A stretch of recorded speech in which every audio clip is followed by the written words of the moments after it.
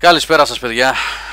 Είναι Δευτέρα 17 του μήνα, webcast game over και εδώ έχουμε μια πολύ μεγάλη παρέα στα μικρόφωνα σήμερα για να συζητήσουμε για διάφορα θέματα. Ελπίζουμε να είστε καλά.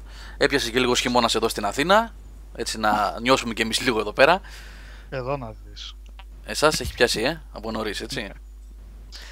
Λοιπόν, στα μικρόφωνα σήμερα στην παρέα εδώ έχουμε ε, Αλέξανδρος Μιχαλητσιάνος, Γεια σας, παιδάκια. Γεια. Νικόλας μετά από πολύ καιρό ο Αλέξανδρος κοντά μας, live. Ο Νικόλας Μαρκόγλου, τα γειτονάκια εκεί στο Cambridge. που την έκαναν από την Ελλάδα. Με ελαφρά πράγματα. ναι.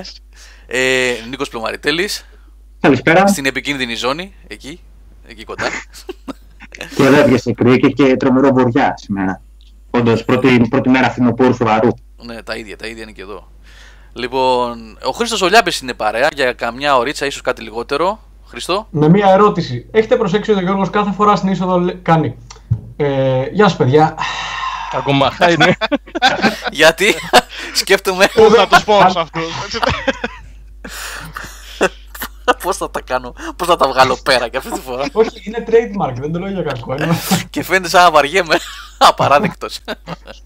λοιπόν, ο Χρήστος Λιάμπης είναι στην παρέα μας σήμερα για να μας μιλήσει για το Battlefield 1. Ε, Battlefield 1, το οποίο έχει από την Παρασκευή το μεσημέρι. Ε, θα μπορούσαμε να είχαμε βγάλει και το review σήμερα, αλλά ήθελε να δει ακόμα μερικά πράγματα ο Χρήστος και λογικά θα βγει αύριο, έτσι Χρήστο; Ναι, ναι. Ωραία. Αλλά... αλλά, Θα μπορούσαμε να δούμε και full του server που θα είναι επίσημα σε λίγες μέρες, αλλά εντάξει, δεν νομίζω ότι έχει άλλο νόημα. ναι. Έχουμε δει πολλά. Ωραία. Και με την ευκαιρία μπορεί να πει γιατί δεν υπάρχει εμπάργο, έχει, λείψει, έχει λήξει συγγνώμη, από το μεσημέρι, πότε το πρωί ήταν. Οπότε μπορεί να μιλήσει ελεύθερα να πει ό,τι θέλει ο Χρήστος. Και έχουμε και τον Λάμπρο, τον Δημακόπουλο στην παρέα. Μετά από πολύ καιρό επίσης. Μας έλειψε ο Λάμπρος. Γεια σας, γεια σας. Ναι, Έλα, μ' ακούτε. Για- ναι, ναι, Καλησπέρα. ναι. Μαζεμένος ο Λάμπρο. Θα αναπτυχθεί σε λίγο, παιδιά. Και άμα αναπτυχθεί αυτός είναι και δύο μέτρα, θα καταλάβετε. Λοιπόν, Είσαι τόσο φίλος, ρε Λάμπρο. Εντάξει, όχι δύο μέτρα. ε, κοντεύει. Κοντά. Κοντά. Σε λίγο θα τα φτάσει όταν μεγαλώσει. Τώρα, τώρα ρίχνω λίγο μπόι. Λοιπόν, ε, θα ξεκινήσουμε, επειδή θα πρέπει να φύγει ο Χρήστος, ε, θα ξεκινήσουμε με το Battlefield 1. Έτσι, το οποίο νομίζω είναι από τα πολύ σημαντικά παιχνίδια της χρονιάς και της περίοδου. Ναι. Ε, νομίζω, ε, ε, βασικά έχουμε μια τριπλέτα online FPS shooters δυνατών, έτσι. Έχουμε το Call of Duty, το Titanfall 2 και το Battlefield 1. Ε, τουλάχιστον σε αυτό το ύφος. Sorry αν ξεχνάω κάτι. Ε, Ναι. Πολύ δυνατός ο τίτλος, οπότε ο Χρήστος μπορεί να μας πει ό,τι θέλει, ας κάνει ένα σε εισαγωγικά, ας πει, επιτρέπει η έκφραση. Εντάξει, είναι και στους δύο σημαντικότερους τίτλους της EA νομίζω. Αν... Δεν νομίζω να μου διαφεύγει κάτι. Ε, FIFA νομίζω- και Battlefield είναι τα... Ναι, για φέτος ναι. το ψωμοτήρι ας πούμε της EA, έτσι. Ναι, ναι, ναι. Ε, οπότε- παιδιά, ναι, συγγνώμη, Χριστό, συγγνώμη Ναι. λίγο ένα λεπτό, επειδή το είδα και ένα PM έλαβα λίγο πριν ξεκινήσουμε και το γράψανε μερικά παιδιά στο chat ε, σχετικά με το διαγωνισμό του Pro Evolution Soccer 2017, τα 5 promo για το PS4. Παιδιά, ε, sorry για την καθυστέρηση, δεν έγινε η κλήρωση την προηγούμενη εβδομάδα, είδατε τι τράβηξα εκεί με το VR και με τα βίντεο, στα unboxing, στα, τις δοκιμές κτλ. Ε, Θάνο, δεν αναλαμβάνεις να κάνεις μια κλήρωση αγόρι μου εκεί με το randomizer να βγάλουμε νικητές αύριο; Άντε ρε Θάνο. Σε δεσμεύω στον αέρα τώρα. Θες; Αυτό το, Ωραία. στημένο, αυτό το στημένο το σικέ που βάζει εκεί πέρα και βγάζει όποιον θέλει. Αυτό, ναι, ναι, ναι. Πειράξαμε. Randomizer, τα χαμού. Αυτό. ναι, ναι. Κάνε ρε Θάνο ένα βιντεάκι εκεί με το randomizer. Βγάλε πέντε παλικάρια εκεί που λάβανε μέρος στο διαγωνισμό. Να τους ανακοινώσουμε αύριο να φύγουν τα παιχνίδια. Κρίμα είναι αφού για, για τα παιδιά είναι εδώ. Τα έχω δηλαδή και κάθονται. Λοιπόν, οπότε παιδιά αύριο, ε, αν καταφέρεις Θάνο, θέλεις 10 ευρώ λέει. 10 ευρώ. Θα σου έλεγα τώρα, αλλά τέλος πάντων. Έχει πάρει και παίζει Modern Warfare εδώ και 20 μέρες πριν από όλους και θέλει και 10 ευρώ. Ε, Και τι θα παίξει το καινούργιο το Call of Duty, θα παίξει το Έλα. Modern Warfare. Θα παίξει, Είπαμε, εννοείται. και η Activision αυτό θα πουλήσει. Το Modern Warfare θα πουλήσει. Προφανώς. Δεν είναι τυχαίο ότι σου λένε πρέπει να έχεις και το δισκάκι για να παίξεις το Modern Warfare. Γιατί αλλιώς δεν πουλιέται το άλλο, ρε παιδί μου, δεν φεύγει. Πώς το λένε; Και πώς το παίζει τώρα ο Θάνος, επειδή είναι digital; Το συγκεκριμένο δεν ξέρω. Ε, Δεν ξέρω που- τι έκδοση έχει ο Θάνος ακριβώς, αλλά λένε ότι θα θέλει το δισκάκι. Ένα κωδικό μου δώσανε και του πέρασα. Μπορεί να είναι από pre-order του παιχνιδιού ο κωδικός, κατά... Digital. κάπως έτσι Ναι. δηλαδή. Μπορεί να είναι απλά τέτοιο κωδικό promotion, για απλά. ξεκλειδω... κλ- ξεκλειδωμένος Ε, ε, για ναι. τους δημοσιογράφους. Ναι. Ε, ναι, τώρα αυτό είναι. Όπως εδώ, ας πούμε, η EA, το Battlefield 1 λέει πάνω press review, είναι η δική έκδοση. Α, λέει ο Θάνος εδώ στο chat, είναι pre-order bonus του PS4. Ναι. Γι' αυτό και μπορεί και Το το, παίζει πέτυχε. έτσι. Ναι. Ναι, απλά λένε τέτοιο ότι για να το τρέξεις θέλει να έχεις μέσα το δισκάκι του... Ο Θάνος δεν έχει τέτοιο Call of- πράγμα. Γι' αυτό σας το λέω. Έχει Ναι, ένα αλλά κωδικό. μπορεί να Εντάξει, έχει, για τους μπορεί να κοινούς έχει υλικούς, κάποιο εντάξει, code ειδικό για press. Κανονικά αυτό που ανακοινώσανε είναι ότι το παιχνίδι για να τρέξει θα πρέπει να έχεις μέσα το δισκάκι του άλλου. OK, OK. Καλά, αυτό δεν μας ενδιαφέρει για την ώρα. Θα τα πούμε για το Call of Duty όταν θα έρθει η ώρα. Να, κάτι γράφει ο Θάνος εδώ. Παιδιά, στο digital δεν χρειάζεσαι. Γιατί το γράφεις ένα-ένα, ρε και πατάς enter; Μία πρόταση. Παιδιά, κρατιέται. στο digital δεν χρειάζεσαι το άλλο παιχνίδι. Ε, τι, σι, έτσι. τσόγλανε. Ε, Back τσόγλανε. to basics. τσόγλανε. Ξέρεις, Λοιπόν, έχει πλάκα θα παίζει ο Θάνος Modern Warfare και μετά από κάνα μήνα θα σκεφτεί και κάτι άλλο ήταν να κάνω review ρε γαμώτο και κάτι άλλο ήταν. Ήταν και ένα παιχνίδι με κάτι διαστημόπλια που λέγεται Call of και Duty. κάτι άλλο, δεν θυμάμαι τι. Μάλιστα. Έλα, λοιπόν, Χριστό, πάμε για να μας πεις για Battlefield 1. Ναι, ναι, Battlefield 1. Λοιπόν, ε, τα βασικά παιδιά είναι καλό. Να, να βγάλουμε τα βασικά εξ αρχής. Είναι καλό, είναι βαθικά πάρα πολύ καλό παιχνίδι. Πάρα πολύ καλό multiplayer. Ε, δεν θα έλεγα ότι κάνει κάτι καινούριο καλά. Ό,τι έκαναν πριν τα Battlefield καλά, το Battlefield 1 τα κάνει καλύτερα, θα έλεγα. Και ό,τι δεν έκανε καλά, δεν κάνει. έπαιζε single player, δεν το κάνει πάλι καλά. Ε, βέβαια έχει πολύ ενδιαφέρον το ότι εκεί που έλεγαν ότι μάλλον πρέπει το Battlefield να σταματήσει να έχει single player, Μμ. ε, με το Hardline η, η DICE έβαλε ακόμα πιο έντονο single player και πάλι το παλεύουν. Αλλά Το Hardline αποτέλεσμα- βασικά δεν ήταν της DICE βέβαια, έτσι. Ε, Το hardline. α, ναι. Ε, όχι της... Ναι, ναι, σωστά. Δεν ήταν της DICE, Τέλος έτσι. πάντων, Ήταν ε, ε, θέλω να της πω ομάδας ότι που είχε κάνει επί το... DICE είχε ανοίξει αυτή η συζήτηση τέλος πάντων, θέλω να πω. Μμμ. Που έλεγαν ότι μάλλον πρέπει να αφήσουν γενικά το single player.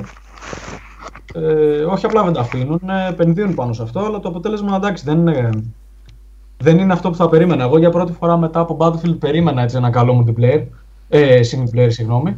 Ε, είναι και εποχή τέτοια. Δηλαδή, ενώ έχουμε δει πάρα πολλά δεύτερο παγκόσμιο πόλεμο, ε, πρώτο δεν έχουμε δει πολλά παιχνίδια. Μπορώ να, μην κάνω- να κάνω λάθος, αλλά θυμάστε εσείς, ας πούμε, έτσι, Ε. μεγάλες κυκλοφορίες πρώτου παγκοσμίου.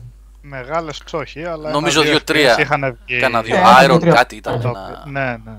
Αυτό που έχουμε δει πολύ δηλαδή είναι ο δεύτερος.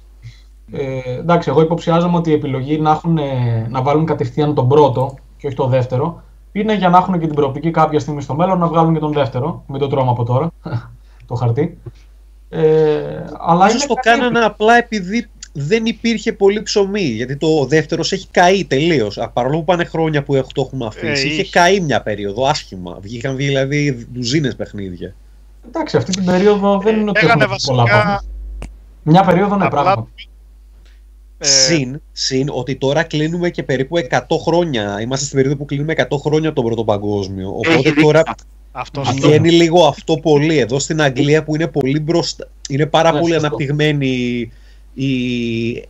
Ξέρεις, ρε παιδί μου, το, τα, τα τιμούνε είναι αυτά σωστό. τα πράγματα και έχουν και, και για τον Πρώτο Παγκόσμιο Πόλεμο ειδική ημέρα και για τους ε, πεσόντες και χίλια δυο πράγματα. Ναι, ναι. Εδώ το βλέπω εγώ από πέρυσι, ας πούμε πρόπερσι που έχει ξεκινήσει όλο αυτό το πράγμα, ε, το τραβάνε.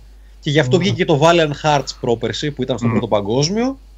Ναι, σωστό. Ίσως γι' αυτό. Η Βέβαια, μόνη καλύτερο από το Red Baron δεν έχω δει παιχνίδι στο Πρώτο Παγκόσμιο ως τώρα. Ναι. Ε, βλέπεις στοιχεία στο παιχνίδι τα οποία είναι διαφορετικά από τα άλλα επειδή είναι στο πρώτο παγκόσμιο, ξέρω εγώ, οχήματα, όπλα. Γιατί κάτι όταν ήταν. Όταν κάναν τα promotion, τα βίντεο κτλ. ή συνεντεύξεις κτλ. λέγανε ότι διαλέξαν, επιλέξαν το πρώτο παγκόσμιο για να δείξουν κάτι το οποίο είναι μεν ε, γνώριμο, αλλά ταυτόχρονα είναι και διαφορετικό επειδή σε μια εποχή που δεν έχουμε ξαναδεί. Ναι, κοίτα, να σου πω τι γίνεται τώρα. Ε, ήταν ένα ρίσκο από την άποψη ότι ε, τεχνολογικά σε σχέση με αυτό που θέλει να παρουσιάσει η DICE, εντάξει, ήταν αρκετά πίσω ο πρώτος παγκόσμιος, με αποτέλεσμα ο- ώστε να μην είναι πολύ αργό το παιχνίδι, αφιλόξενο ίσως, γιατί εντάξει, αν δούμε τα χαρακόμματα δεν είναι διασκεδαστικό να το παίζεις. και όχι σαν εμπειρία ε, εννοώ ότι να είσαι στα χαρακόμματα. Εννοώ ότι είναι δύσκολο να το πω τόσο σαν gameplay, δεν ήταν διασκεδαστικό. Ναι. και αναγκάστηκαν να βάλουν κάποια όπλα, πολλά όπλα, τα οποία δεν υπήρχαν στον πρώτο παγκόσμιο ή α, υπήρχαν σαν πρότυπα. Πρότυπα δηλαδή τα οποία κυκλοφόρησαν το 19, το 20. Αχα. Μμ. Ε, δηλαδή υπάρχουν fully automatic όπλα τα οποία δεν υπήρχαν. Να το πούμε αλλιώς, αν υπήρχε κάποια δύναμη στον πρώτο παγκόσμιο που είχε τα όπλα που υπάρχουν στο Battlefield 1, θα έχει κερδίσει. Όποια και να ήταν αυτή. Μμ. Δηλαδή, αν η Ελλάδα είχε τα fully automatic όπλα που βλέπουμε στο παιχνίδι, θα έπαιρνε τον Πρώτο Παγκόσμιο Πόλεμο. και τους Βαλκανικού μαζί και, και την πόλη και την Κωνσταντινούπολη. Ε, Ε, ε, δεν μια, υπάρχει μια διακοπή, αυτό. παιδιά, συγγνώμη, μια διακοπή επειδή πήρα ένα πείμα από το φίλο μας εδώ, τον Ογκόλυθο, γνωστός φίλος στα web και Ωραία. εμφανίζεται, ε, ότι δεν Είναι βλέπει. ελληνικός. Δεν βλέπει. Ο Γκόλυθο, είναι ο Γκόλυθο, όντως. Ε. ε, δεν βλέπει chat.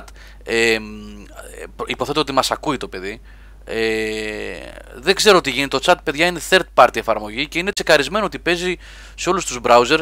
Ο Γκόλυθο, για δοκίμασε κανέναν άλλο Δεν browser. ξέρω, και σε μένα πριν δεν έμπαινα, αλλά ένα-δύο refresh μπήκε κανονικά. Ναι, ένα-δύο refresh, Να ένα του δώσω μερικές Firefox. προσπάθειες. Ναι, ναι, ναι. Είναι έτοιμο αυτό third party έτσι κι αλλιώς. Java, JavaScript ε, chat. Λογικά θα παίξει. Είναι καιρό τώρα που έχει διορθωθεί, έχει βγει η νέα έκδοση και χρησιμοποιούμε και παίζει. Οπότε δοκίμασε ένα άλλο browser, μήπως κάτι δεν πάει καλά με αυτό που χρησιμοποιείς. Sorry για διακοπή, παιδιά, συνεχίζουμε. Δηλαδή, κατά βάση, Χρήστο, θεωρείς ότι είναι παρόμοιο με τα προηγούμενα, ας πούμε. Με ένα Ε, διαφορετικό skin, ας πούμε. Περίμενε, με τα προηγούμενα εννοείς τα προηγούμενα Battlefield; Ναι, είτε το Modern, Ε, είτε το του δεύτερου παγκοσμίου. Ποιο είχε βγει, το Εντάξει, να σου πω, ναι, 1942. η διαφορά δεν είναι τόσο τεράστια. Απλά είναι αρκετά μεγάλη, σίγουρα είναι αρκετά μεγάλη για να δικαιολογεί τη νέα κυκλοφορία. Δηλαδή μην ξεχνάμε ότι ας πούμε το Battlefield 3, το Battlefield το 4, το Battlefield Hardline, αυτά μεταξύ τους ήταν σχεδόν παρόμοια παιχνίδια, έτσι. Τα έπαιρνες κυρίως για τα καινούργια γραφικά, τα, τους καινούριους χάρτες και κάποια μικρά από εδώ και από εκεί. Εδώ, ναι, δικαιολογείται πράγματι, είναι αρκετά διαφορετικό. Δεν είναι τελείως διαφορετική συνταγή. Είναι αρκετά διαφορετική όμως για να το αγοράσει κανείς και είναι και αρκετά καλά εκτελεσμένη για να το αγοράσει κανείς. Ε, εγώ αυτό που είδα, παιδιά, είναι πάρα πολύ εντυπωσιακό. Ε, το gameplay. Α, επίσης να πούμε κάτι πολύ σημαντικό. Το Battlefield 4 όταν κυκλοφόρησε ήταν καταστροφικό. Ε, από τότε η DICE δεν το έχει ξανά επαναλάβει αυτό. Εννοείς καταστροφικό το launch, είχε προβλήματα αυτό. Ναι, ναι. ναι. Το launch, είπα, ναι, όταν κυκλοφόρησε ήταν ε, πολύ κακό, ρε παιδιά, δηλαδή πάρα πολύ κακό. Ε, και το Battlefield 1 έχει κυκλοφορήσει άψογα. Άψογα, δηλαδή πραγματικά είχα δύο κράσεις, τα οποία δεν έφταιγε, μάλλον έφταιγε η κάρτα γραφικών μου, κάτι με το DirectX το 12. Και αυτό που λέει ο Χρήστος τώρα προδίδει ότι το παίζεις σε PC, παιδιά, έτσι. Στο PC, έτσι. Ναι, ναι. Και καλά, παιδιά, είναι εντυπωσιακό, δεν το συζητάω. Είναι ό,τι Χρήστος, πιο σε τι εντυπωσιακό κάρτα έχω το έπαιξες; σε, σε Γιατί με- multiplayer. Έχει σημασία αυτό. Σε τι κάρτα το έπαιξε το παιχνίδι, για να πάρουμε και μια εικόνα των απαιτήσεων; Λοιπόν, ε, εγώ να σου πω έχω μια κάρτα καινούρια. Είναι η- της AMD, η RX 480, 8 GB. Ε, εντάξει, όχι. Η κάρτα είναι πολύ καλή και πολύ καινούργια. Ναι, εντάξει, όχι. εντάξει, είναι. Έλεγα 8 μόνο σε- GB, έτσι, παλιό. τόσο είναι η RAM μου. Σε σχέση με το Battlefront, δηλαδή, είχες ασχοληθεί με το Battlefront. λοιπόν, το α, ναι, έχεις αυτό δει; θα σου πω τώρα. Λοιπόν, ε, τι γίνεται, έχει την ίδια κάρτα, ε, την ίδια μηχανή γραφικών. Ε, ή τουλάχιστον μοιάζει πάρα πολύ, δηλαδή αυτή νομίζω είναι. Ε, την με ίδια. το- αυτή, Frostbite, Ναι, λογικά. νομίζω Frostbite είναι, ναι, νομίζω ναι. Αλλά τι γίνεται, έχει μια μεγάλη διαφορά και για το λόγο αυτό εγώ προτιμώ το Battlefield. Λοιπόν, ξεκαθαρίζω τα γραφικά, είναι ό,τι πιο εντυπωσιακό έχω δει σε multiplayer παιχνίδι, με διαφορά. Παιδιά, είναι συγκλονιστικά τα γραφικά και τεχνικός τομέας και το πώς τρέχει. Εγώ με αυτή την κάρτα τότε είχα στα Ultra, 60 FPS, άντε να έπεφτε στα 55. Ε, κολλήματα πουθενά. Κατέρε όλος ο κόσμος δίπλα και κανένα κόλλημα. Όλα αυτά σε multiplayer περιβάλλον. Ε, ελάχιστα glitches, ας πούμε, σε γραφικά. Δηλαδή να φύγει ένας στρατιώτης μέσα από ένα τοίχο, ας πούμε, κτλ. Ε, τα γραφικά είναι σε επίπεδο Battlefront, απλά προτιμώ του Battlefield. Για ποιο λόγο. Του Battlefront τα γραφικά είναι σε ένα εργαστήριο. Δηλαδή, πώς να το πω, ο χάρτης είναι αυτός που είναι. Δεν αλλάζει και πολύ στο match. Του Star Wars Battlefront, λες. Ναι. Το Star Wars είναι λίγο δηλαδή σε πώς να το πω, εργαστηριακό το αποτέλεσμα. Είναι πανέμορφο. Ε, Αυτός είναι ο χάρτης, δεν επιδράσει ιδιαίτερα μαζί του. Είναι στατικό το περιβάλλον. Ναι, είναι πολύ στατικό. Εντυπωσιακό μεν, στατικό. Από την άλλη, το Battlefield το ένα, παιδιά, είναι. Πώς να το πω, ξεκινάς σε ένα χάρτη και τελειώνεις σε άλλο. Μμμ. Δηλαδή, αν υπάρχουν και οχήματα, ε, έρχονται και τα Behemoths, τα οποία είναι ή τρένο, ή Zeppelin, ή ε, battleships, δηλαδή μεγάλες φρεγάτες, ε, οι οποίες έχουν κανόνια, έχουν ε, όλμους, έχουν χίλια δυο. Ε, είναι εντελώς άλλο το πεδίο που ξεκινάς μάχη και εντελώς άλλο αυτό που καταλήγεις. Λείπουν ολόκληρα κτίρια, έχουν σκαφτεί το έδαφος κάτω. Είναι εντυπωσιακό, είναι πολύ εντυπωσιακό. Ε, δηλαδή έχει τις ρηπές του, όπως ήταν ε, τα πυροβόλα που ήταν στον Πρώτο Παγκόσμιο Πόλεμο, που πριν πάνε στη μάχη κοντά, αρχίζαν, πώς το λένε, οι ρηπές από τα πυροβόλα και πρώτα αυτά θέριζαν το τέτοιο. Έχει τέτοια σκηνικά δηλαδή. Λοιπόν, να σου πω, εγώ ήθελα να το δω αυτό πολύ και στο, μουλ- να σου πω ποιο είναι το, πα- το παράδοξο. ε, προσπάθησαν με το single player να, να δείξουν την εμπειρία του πρώτου παγκοσμίου, ρε παιδί μου. Ναι. Και ξεκινάει πολύ καλά, ξεκινάει πολύ ατμοσφαιρικά γιατί πρώτη, ο πρόλογος ε, λέει, αυτό είναι λέει μάχη πρώτης γραμμής, this is frontline combat, λέει you are not expected to survive.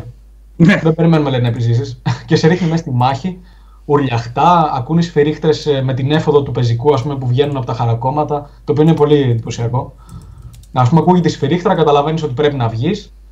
Ε, και λέω εκεί πέρα, ρε παιδιά, δεν είναι εντυπωσιακό αυτό. Και κάπου εκεί τελειώνουν τα πολύ εντυπωσιακά του single player. Οι ιστορίες που προσπαθούν να το δείξουν αυτό, καταλήγουν να το δείχνουν λιγότερο όμορφα ή πιο ρεαλιστικά από ότι το multiplayer.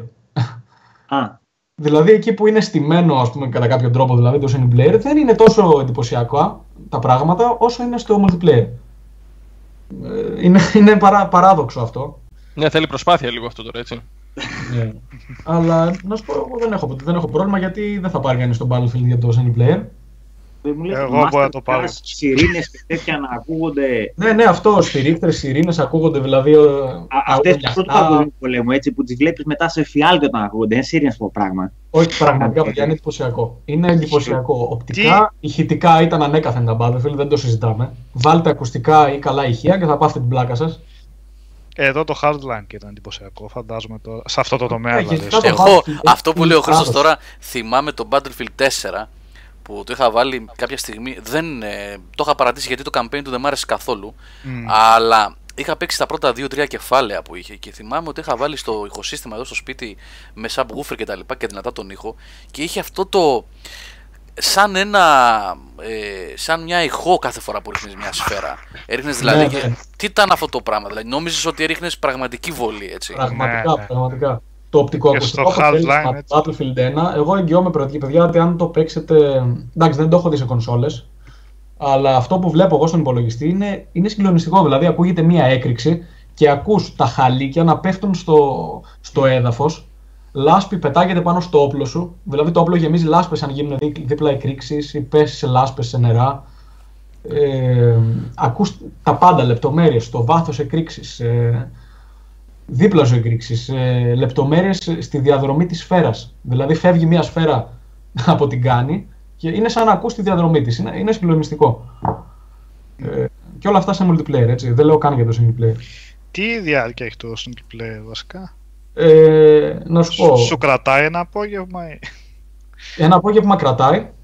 Ε, μπορεί και δύο, ανάλογα πώς παίζεις κιόλας, με τι ρυθμό. Ε, έχει και κάποια έτσι, μια και καλά ελευθερία, δηλαδή έχει κάποια stealth τμήματα, ε, στα οποία δηλαδή μπορείς να σκοτώσεις Γερμανούς χωρίς να σε δουν, ε, να πετάξεις... Ε, εκείνο το κλασικό, πώς σφυρίζουν ας πούμε στα, στα, ε, στα stealth παιχνίδια για να έρθει ο εχθρός. όπως κάνει Α, στο ε, μάφια, κατά στο βάση, μάφια που αρέσει τόσο τώρα- Λοιπόν, ε, πετάς ένα κουτάκι για να πάει εκεί, πάει μόνος του πάντα αυτός.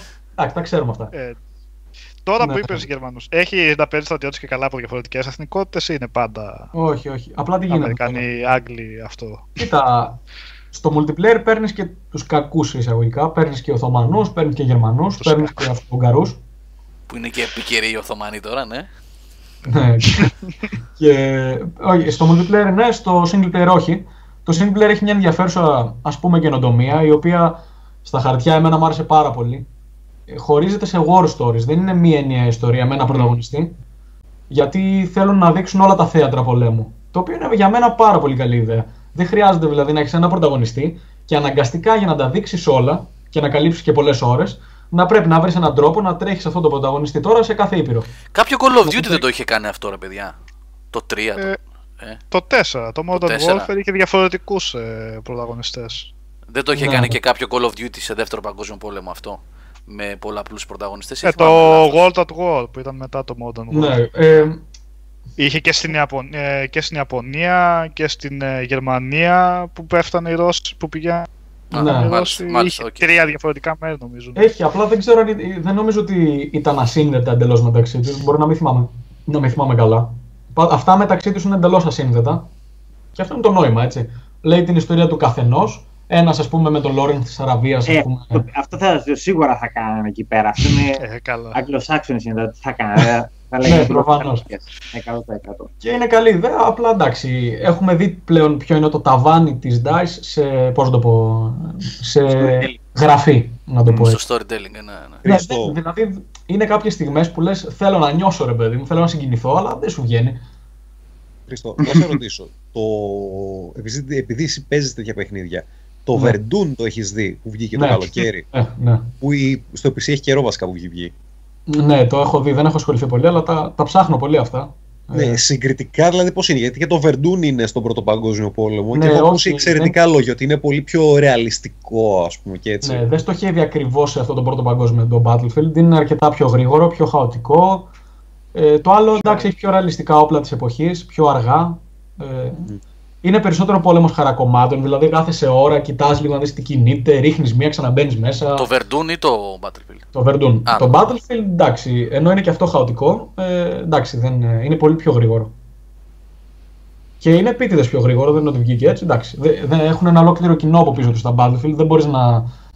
Όταν είναι αιτήσεις κυκλοφορίας, δεν παίρνουν και το ρίσκο κιόλας να απομακρυνθούν πολύ από τη συνταγή για να μην πάρει τον κόσμο, ας πούμε, το Call of Duty και πάει λέγοντας. Ή τουλάχιστον έτσι πιστεύω εγώ. Χρήστο, για το multiplayer τι κάνει το παιχνίδι; Τι για όσους παίζουν multiplayer κάνει τίποτα ή είναι απλά νέοι χάρτες; Ε, Προφανώς, άμα κοίτα, αν λέω ότι το Battlefield είναι καλό, σημαίνει ότι έχει καλό multiplayer. Δεν μπορώ να πω ότι ε, αξίζει πάρτε το Battlefield για το single player, για το campaign. Ε, παιδιά, είναι πάρα πολύ καλό. Είναι. Τώρα να πω στο top 5 ας πούμε multiplayer παιχνιδιών που έχω παίξει, μπορεί. Θα φανεί και στο χρόνο αυτό. Έχει κάποια προβληματάκια ακόμα. Ε, εγώ πιστεύω ότι την πέτυχαν τη συνταγή πάρα πολύ. Ήταν ρίσκο λίγο πολύ αυτό που πήραν, αλλά την πέτυχαν την ισορροπία ανάμεσα στο να δείξουμε δηλαδή την εμπειρία του Πρώτου Παγκοσμίου Πολέμου, αλλά να μην το κάνουμε και πολύ ρε παιδί μου βαρύ για όλο τον κόσμο. Είναι προσβάσιμο. Ε, τεχνικά είναι κορυφή, δεν, δεν το ξαναλέω αυτό. Παίξτε, θα δείτε τι εννοώ. Ε, επίσης μου άρεσε πολύ που υπάρχουν ωραίοι χάρτες. Ε, αυτό είναι που, που είναι πάρα πολύ σημαντικό για multiplayer παιχνίδια. Ε, πάρα πολύ σημαντικό. Δηλαδή για μένα είναι στα τρία σημαντικότερα πράγματα για ένα παιχνίδι αυτό. Να έχει καλούς χάρτες. Ε, Οδήγηση οχημάτων, άλογα, τάγκ κλπ. να σου Πώς πω, είναι; τα οχήματα δεν είναι τόσο ε, σημαντικά πλέον. Δεν- Α. όχι γιατί. Ε, πώς να το πω, όχι ότι δεν υπήρχαν. Είναι βέβαια και η εποχή που εντάξει δεν ήταν τόσα τα οχήματα. Άλογα. Αλλά και ότι πάνε περισσότερο πλέον σε πεζικό να το δείξουν. Υπάρχουν οχήματα, τα χειρίζεσαι μια χαρά, δεν έχω κανένα πρόβλημα. Απλά ε, είναι πολύ περιορισμένα, βγαίνουν λίγα. Ε, δηλαδή, πιο συχνά βλέπεις άλογα νομίζω παρά οχήματα. Λογικό. Ναι. Βέβαια, εντάξει, κάποιοι χάρτες έχουν ένα θεματάκι ότι μπορεί να, να είναι λίγο overpowered. ε, Αυτό, τα ναι. οχήματα. Δηλαδή, ας Έπρεπε πούμε, να κάθεται είναι κάποιος overpowered. με ένα τάγκ από μακριά. Ε, έχει την πολυτέλεια ότι εγώ διαφωνώ με αυτό. Ότι μπορούν να κάνουν repair το όχημα χωρίς να βγουν από το όχημα. Α, δεν βγαίνουν από το όχημα. Ποιοι είναι οι pilot, όχι pilots, οι. Πώς λέγονται αυτοί. Ή οδηγεί κλάση. τέλος πάντων, ναι, ας πούμε, ρε παιδί μου, με τα πολλά. Οι tankers, tankers λέγονται, ναι. Ναι. απλά αυτοί μπορούν να κάνουν repair ε, χωρίς να βγουν από το όχημα. Πάτα ένα κουμπί, απλά ακινητοποιείται το όχημα. Το θέμα είναι ότι αυτοί που είναι στο πυροβολικό, ας πούμε, στη θέση πυροβολικού, λειτουργεί αυτόματα και πάλι. Οπότε, εντάξει, εγώ πιστεύω ότι θα έπρεπε να βγαίνει έξω όπως πάντα, να, να είναι μόνο έτσι. Εντάξει, οκ, δεν είναι μεγάλο πρόβλημα, είναι ένας, μια λεπτομέρεια έτσι που δεν μου άρεσε τόσο. Επίσης, ε, κάτι άλλο που δεν μου άρεσε, ε, ε, δεν ξέρω αν το έχετε παρατηρήσει, υπάρχει ένα θεματάκι με hackers. λοιπόν, δεν είμαι ο τύπος που θα πει ότι αυτός παίζει καλύτερα από μένα είναι hacker. Ε, εντάξει, παίζω χρόνια τώρα, εντάξει. Ε, απλά έχει γίνει θέμα αυτό, έχουν κυκλοφορήσει βίντεο, κυκλοφόρησαν ε, βίντεο κάποιες ομάδες, ε, κυκλοφόρησαν δηλαδή βίντεο που διαφημίζουν το hack τους πριν κυκλοφορήσει το παιχνίδι, το έχουν έτοιμο. Και λειτουργεί αυτό. Κυκλοφόρησαν ε, πολλά βίντεο που δείχνουν hackers κτλ. Ε, το πρόβλημα εδώ είναι ότι η DICE για κάποιο λόγο έβγαλε την παλιά υπηρεσία anti-hacking που είχε, το Punk Buster, και έβγα- έβαλε το Fair Fight, το οποίο δεν ξέρω γιατί το άλλαξαν, ήταν πολύ καλό. Ε, δηλαδή το πρόβλημα ποιο είναι, δεν κάνει detect ε, κάποιο software, δεν το καταλαβαίνει. Απλά ο τρόπος που αντιμετωπίζουν τους hackers αυτή τη στιγμή, ε, από όσο ξέρω δηλαδή, είναι ότι απλά κοιτάζουν τα, τα στατιστικά και τα report και αν υπάρχει μεγάλη απόκληση σου λέει ότι κάτι γίνεται εδώ. Ε, και πλέον εγώ το έχω δει, το έχω πάθει δηλαδή να σε φέρνω πίσω Θεραπεία από- δηλαδή, όχι πρόληψη, έτσι. ναι, ε, σε αυτό κάτι πρέπει να γίνει. Βέβαια το παιχνίδι δεν έχει κυκλοφορήσει επίσημα ακόμα. Οπότε εντάξει, δεν μπορώ να το πω. Το αυτό θα κρυθεί αν στην πρώτη, στον πρώτο μήνα, ας πούμε, όχι στον πρώτο μήνα, στην πρώτη εβδομάδα έχουν κάνει κάτι. Αυτή τη στιγμή υπάρχει ένα πρόβλημα. Εγώ ε, ανά δύο μάτς βλέπω κάποιους παράξενους τύπους οι οποίοι, εντάξει, παίζω παιδιά από το, ε, από το Battlefield, το Bad Company το ένα παίζω multiplayer Bat- Battlefield, πολύ. Δεν το έχω δει αυτό έτσι. Είναι λίγο ύποπτες κάποιες κινήσεις. Σε τρώνε από απίστευτες γωνίες, headshot με πιστόλια από πολύ μακριά. Εντάξει, κάποια παράξενα συμβαίνουν. Αλλά. Εγώ είδα, είδα ένα βίντεο ρε Χρήστο με ένα τύπο που είχε πάρει 5-6 σερί με μια σύριγγα και του σκότωνε. Εντάξει, αυτό δεν είναι hack, αυτό είναι χαζομάρα. Εσύ. του- Είναι, είναι, Πώς γίνεται να μην τον είδαν, λες; Εντάξει, αυτό είναι. Δεν το- ξέρω, και με σύριγγα του πρώτου παγκοσμίου, έτσι, αυτή που παίζει τα δάχτυλα στα πλάγια Ναι, με τα αυτό. στρογγυλά. Και πήγαινα από πίσω. Πιγκ, πιγκ, Για τα κάρφωνα. άλογα που είναι. Κοίτα, ναι, όχι αυτά. Να σου πω, γίνεται τόσο χαμός, ειδικά στους 64 παίχτες, που κάποιες στιγμές μπορεί πράγματι να μην καταλαβαίνεις που βρίσκεσαι. Πέφτουν εντωμεταξύ αέρια μουστάρδα εκεί πέρα, γίνεται χαμός. Ε, χάνεσαι. Σε κάποια σημεία πραγματικά χάνεσαι, ειδικά σε πίστες με χαρακώματα. Ε, δεν ξέρεις άμα είναι πίσω σου δεξιά ή αριστερά ο εχθρός. Απλά κοιτάς, εύχεσαι να μην τη φας, αδέσποτη. Κάνεις προσευχές σου δηλαδή με κάποιο τρόπο και λες: Οκ, πάμε, προχωράμε, τι να κάνουμε. Ε, σημαντική ερώτηση, Χριστό. Το έχουν πιάσει τον πόλεμο όπως το Βερντούν το είχε κάνει νομίζω. που- Το χαράκομα που έπαιζε σειρά ένας επίθεση άμυνα και κατακτά σιγά σιγά το χάρτη. Υπάρχει αυτό ή απλά μπαίνουμε Ο- και ο ένα. Αυτό, εκεί ακριβώς θέλω να πω τώρα. Έβαλαν ένα καινούριο mod το οποίο κατά τη γνώμη μου έλειπε. Το Έλειπε ατρίσιο. πάρα πολύ. Πώς το λένε; Ε, operations. Μμ. Ε, το οποίο για πρώτη φορά σε Battlefield υπήρχε ήδη σε κάποια multiplayer παιχνίδια. Για παράδειγμα το Rising Storm ή Red Orchestra, αν το ξέρετε κάποιοι. Ε, στο οποίο τι γίνεται ουσιαστικά; Κάθε μάχη είναι τμήμα μιας μεγαλύτερης μάχης. Δηλαδή υπάρχει ένα μέτωπο, τώρα πάμε εκεί. Αν πέσει αυτό το μέτωπο υποχωρούμε. Αν χάσουμε σε αυτό το χάρτη υποχωρούμε στον επόμενο χάρτη. Μέχρι Ναι. να χαθεί, δηλαδή μπορεί να χαθεί μια μάχη αλλά να μην χάσει ένα πόλεμο. Οι επιθετικοί έχουν reinforcements, έχουν τάγματα τα οποία χάνουν manpower ανάλογα με την επίθεση. Μέχρι να χάσουν όλο το manpower και οι αμυντικοί πρέπει να κρατήσουν. Αυτό που έχει πολύ ενδιαφέρον είναι ουσιαστικά μία μίξη του Rush ε, με το Conquest. Δηλαδή πρέπει να πάρεις τις περιοχές και να προχωρήσεις σταδιακά μέσα στο χάρτη, να σμπρώξεις τον αντίπαλο, να τον στριμώξεις στο τέλος ε, και είναι κάποιοι χάρτες οι οποίοι είναι πραγματικά υπέροχα σχεδιασμένοι γι' αυτό. Είναι δηλαδή κάποιοι ε, στην ε, σημερινή Τουρκία νομίζω, στην Καλύπολη, αν δεν κάνω, αν δεν κάνω λάθος. Ε, λογικό στην καλή πόλη είχε γίνει. Ναι. σφάγι. Είναι μια το FAO Fortress. Της Σαντάντ. Μια, ένας απίστευτος χάρτης, πάρα πολύ ωραίος. Έχει πάρα πολλούς. Έχει στις Άλπεις ε, χάρτη, πολύ καλό. Έχει αυτό στο Sinai Desert, πάρα πολύ καλός χάρτης. Ε, αυτό στο FAO Fortress για μένα μου αρέσει πάρα πολύ. Είναι πάρα πολύ ωραίο. Δηλαδή, καταλήγεις ας πούμε, στο τέλος οι, α- οι αμυνόμενοι να κλείνονται μέσα στο κάστρο, ε, παίρνουν θέση τι πολεμίστρες. Από δίπλα το πλοίο έχει ο Μπέχεμοθ, βαράει με το κανόνι, πα- μπαίνουν κάποιοι στα αντιαρματικά. Από κάτω βαρά στα τείχη, ας πούμε, αυτούς που κρύβονται κάτω από τα τείχη για να μπουν στην πύλη. Είναι πολύ ρεαλιστικό αυτό. Δηλαδή, σαν πόλεμος, σε αναγκάζει να παίξει, να παίξεις τακτικά. Σε αναγκάζει σε κάποια σημεία. Εντάξει, ξαναλέω, δεν είναι το παιχνίδι το βαρύ της τακτικής, το ρεαλιστικό και όλα αυτά, δεν είναι. Αλλά σε στιγμές ε, είναι πραγματικά εντυπωσιακό σε αυτά τα σημεία. Σε αναγκάζει. Ε, δηλαδή, ας πούμε, σε κάποια παιχνίδια, αν δεν παίξεις με ρόλο, αν δεν παίξετε με medic, αν δεν παίξεις με ένα support να ρίχνει με όλμο. Δεν γίνεται. Δηλαδή, σου λύνουν τα χέρια κάποιοι ρόλοι. Και γι' αυτό εμένα είναι το πιο σημαντικό σε ένα multiplayer παιχνίδι. Το Battlefield το έκανε ανέκαθεν καλά αυτό. Μας το χάλασε με το Hardline και με το.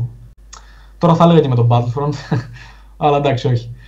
Ε, αλλά εδώ υπάρχει αυτό. Είναι πολύ σημαντικά τα classes. Και αυτό έπρεπε να υπάρχει. Για να έχει δηλαδή ε, διάρκεια στο χρόνο ένα multiplayer παιχνίδι, πρέπει για μένα ο παίχτης να έχει αίσθηση ρόλου στην ομάδα. Και αυτό υπάρχει. Και είναι πολύ σημαντικό. Τώρα, τι άλλο να πω, τι μπορεί να ξεχνάω, βρε παιδιά. VR υποστηρίζει. να βγάλουμε τα ντερά Τώρα μας. που πάρει και φόρα. ναι, να πέσω κάτω τελείως. Καλά, όχι, με αυτά που γίνονται στο Battlefield, αν υποστηριζόταν ένα πραγματικό, έτσι, ένα καλό VR, ε, θα, θα το έβγαζε και θα έλεγες τι έζησα τώρα, ρε γαμώτο, δηλαδή, εντάξει. Καλά, μην το λες αυτό, ας θα τα πούμε σε λίγο με τον Αλέξανδρο για αυτά. τι, το τι έζησα τώρα. Αν τελείωσες, να εγώ έχω να σου συνοψίσω, κάνω. δηλαδή, ναι, είναι συνο... ένα πολύ κάνε μια καλό ναι, ναι, ναι, παιχνίδι. συνοψίσεις για να σε ρωτήσω κάτι σημαντικό, ναι. Ναι, είναι πάρα πολύ καλό. Η ισορροπία εμένα μου άρεσε. Δηλαδή σε κλάσεις, σε οχήματα, στους χάρτες. Ε, δηλαδή, πώς να το πω, δεν βρήκα κάτι να με χάλασε. Αυτό είναι πολύ σημαντικό για παιχνίδι που κυκλοφορεί δηλαδή τώρα αυτές τις μέρες. Δεν βρήκα κάτι να πω ρε γαμότο. Αν εξαιρέσουμε δηλαδή κάτι από τα τυπάκια οι οποίοι κάνουν ένα. Ε, εντάξει. από κάτι γωνίε δεν γίνεται να σκοτωθώ. Ρε παιδί μου, παίζω τόσα χρόνια Battlefield, δεν με έχουν σκοτώσει ποτέ από εκεί, λέω. Εντάξει, εκεί κάτι παίζει.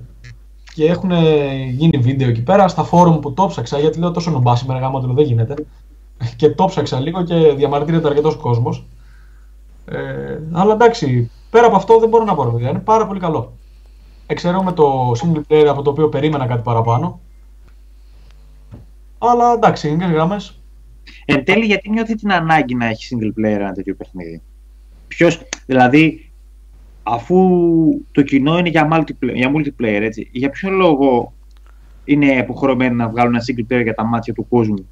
Ε, νομίζω, ότι, καλό; Ναι. νομίζω ότι το εγχειρίδιο κάπως έτσι πάει ακόμα μέχρι να πάρουν κάποιες μεγάλες αποφάσεις. Ε. Ότι θα το κόψουμε εντελώς, έτσι. Κοίτα, εγώ να σου πω. Το δοκίμασε το, το Titanfall αυτό και είδες πόσο καλά πήγε. Ναι γενικότερα τα παιχνίδια αυτά πουλάνε 5 εκατομμύρια κομμάτια και 10 εκατομμύρια κομμάτια και αυτά τα 10 εκατομμύρια κομμάτια τα δύο θα παίξουν multiplayer. Οι υπόλοιποι θα παίξουν ένα multiplayer ε, μια στο τόσο και αν άμα δεν έχεις single player, χάνεις τεράστιο κομμάτι του αγοραστικού κοινού το οποίο το αγοράζει ναι. για να παίξει αυτές τις 5-10 ωρίτσες στο single του και μετά τις άλλες 10-20 και αν multiplayer που θα παίξει συνολικά μέσα σε ένα ολόκληρο χρόνο. Εμένα θα με χάσουν πάντως. ναι, αυτό. αυτό έτσι είναι. Μα πάρα πολύ είναι έτσι. Τι νομίζεις, ότι οι περισσότεροι που τα αγοράζουν αυτά το αγοράζουν γιατί θα παίξουν multiplayer σαν μανιακοί. Όχι. Ναι. Θα παίξουν μια στο τόσο με τους φίλους του, αλλά δεν είναι αυτοί οι οποίοι μπαίνουν και παίζουν μόνοι τους. Είναι λίγο παράδοξο αυτό, βέβαια, έτσι όπως ακούγεται τώρα, Αλεξανδρέ.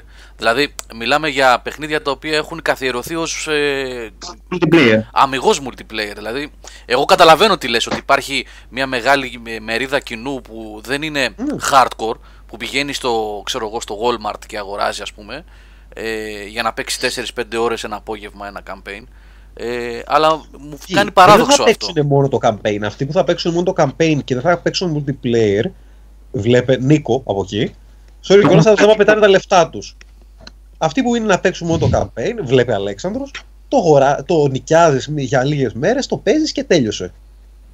Αλλά αυτοί, αυτοί που γενικότερα που το αγοράζουν θα παίξουν ένα multiplayer και θα παίξεις. Είναι η ίδια λογική με όταν βγήκαν τα Call of Duty. Που μαζευόμασταν μέσα στο net cafe ε, και παίζαμε με την παρέα μας από τους 200 μέσα στο Netcafe που παίζαμε έτσι ένα Call of Duty, ένα Battlefield, ένα, ένα Counter Strike, ένα Delta Force, όποια παίζαμε τότε από όλους αυτούς το 10%, το 20% θα το είχε και στο σπίτι του για να σαπίζει μόνος του. Είναι παιχνίδια που κυρίως θα μπεις να παίξεις με την παρέα σου και να κάνεις το χαβαλέ σου δεν είναι τόσο πολύς ο κόσμος από αυτούς που το αγοράζει, οι οποίοι θα παίξουν μόνοι τους. Είναι μεγάλο το ποσοστό, αλλά δεν είναι η συντριπτική πλειοψηφία. Είναι ένα κομμάτι, είναι ένα 30% πες. Είναι 40%, δεν ξέρω πόσο. 10% όσο και να είναι, έχει να κάνει όμως ότι οι αγορές, άμα δεν έχεις μέσα ένα single player και δεν έχεις να δώσεις το τυράκι σε αυτό που θα παίξει πιο χαβαλέ, το, τον έχασες. Και το Titanfall έτσι την πάτησε. Και γι' αυτό τώρα στο καινούριο το Titanfall βλέπεις ότι βάζουν ναι, ναι. μεγάλο και όλα single player. Ναι. Οπότε μπαίνει ένα, ένα, ένα ψευδοκαμπέιν μέσα, έτσι. Συγγνώμη, Χρήστο, ναι, έλα, συγγνώμη, σε διέκοψα. Ξέρετε, απλά δεν έχουμε φτάσει νομίζω ακόμα στο σημείο που να πούμε εντάξει, άστο. Θα το παλεύουν ακόμα για καιρό και να σου πω και εγώ δηλαδή που δεν εντυπωσιάστηκα. Δηλαδή, μια ιστορία που προσπαθούν να σου πούνε ότι είναι ρε παιδί μου ρομαντική σε σημεία, έτσι συγκινητική κτλ ε, καταλήγει να είναι ένα glorified showcase. Δηλαδή, πώς το πω, ένα μεγαλοποιημένο training. Καταλήγει να το αισθάνομαι, το αισθάνομαι εγώ έτσι τουλάχιστον. Έχει κάποια βίντεο που πραγματικά είναι εντυπωσιακά, κάποιες στιγμές που είναι πραγματικά εντυπωσιακές, αλλά δεν είναι τίποτα παραπάνω από στιγμές.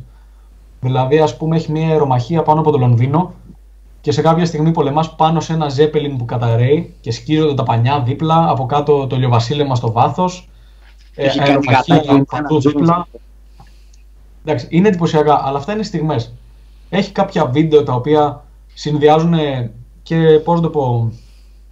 Να σου πω δηλαδή, να το συνοψίσω ποιο είναι το πρόβλημά μου εμένα. Ε, βάζει ένα πάρα πολύ ωραίο βίντεο, εισαγωγικό, το οποίο σου λέει, ας πούμε, μιλάει ωραία λόγια, ωραία εναλλαγή συναισθημάτων και εικόνων, η οποία δεν είναι από το campaign, είναι μια εισαγωγή. Λέει για τους ανθρώπους γενικά, ας πούμε, που συμμετέχουν στον πόλεμο, ε, λέει για όλα τα συναισθήματα που νιώθουν αυτοί οι στρατιώτε. Λέει ότι εμεί είμαστε όλοι αυτοί οι άνθρωποι που πεθαίνουν. Ε, είτε είσαι Γερμανό, είτε είσαι τέτοιο, είτε είσαι τάλο. Λοιπόν, και ξαφνικά με το που μπαίνω, ε, όχι στο προλόγο, στο campaign, με βάζει να θερίζω, α πούμε, μπορεί και 100 άτομα, ξέρω εγώ, ένα αποστολή. Έτσι. Πετάγονται έτσι κατά πάνω μου, θερίζω πα, πα, πα, πα, πα, πα, πα, πανικό και εξαφανίζεται όλο αυτό. Ε, αυτό Ενώ δείχνει πριν ότι λίγο δεν μου υπάρχει έχει γραφή. πει ότι- Δεν υπάρχει γραφή. Είναι... Ναι, δηλαδή, ενώ πριν μου έχει πει ότι ρε παιδί μου, και το ένιωσα εγώ για κάποια στιγμή, ότι έχει ένα συν- συναισθηματικό βάρος ο πόλεμος, ρε παιδί μου, ότι σκοτώνω ανθρώπους απέναντί μου. Δηλαδή, στο prologue, στην εισαγωγή, είναι εντυπωσιακό. Δηλαδή, ακούς τον παίχτη σου να.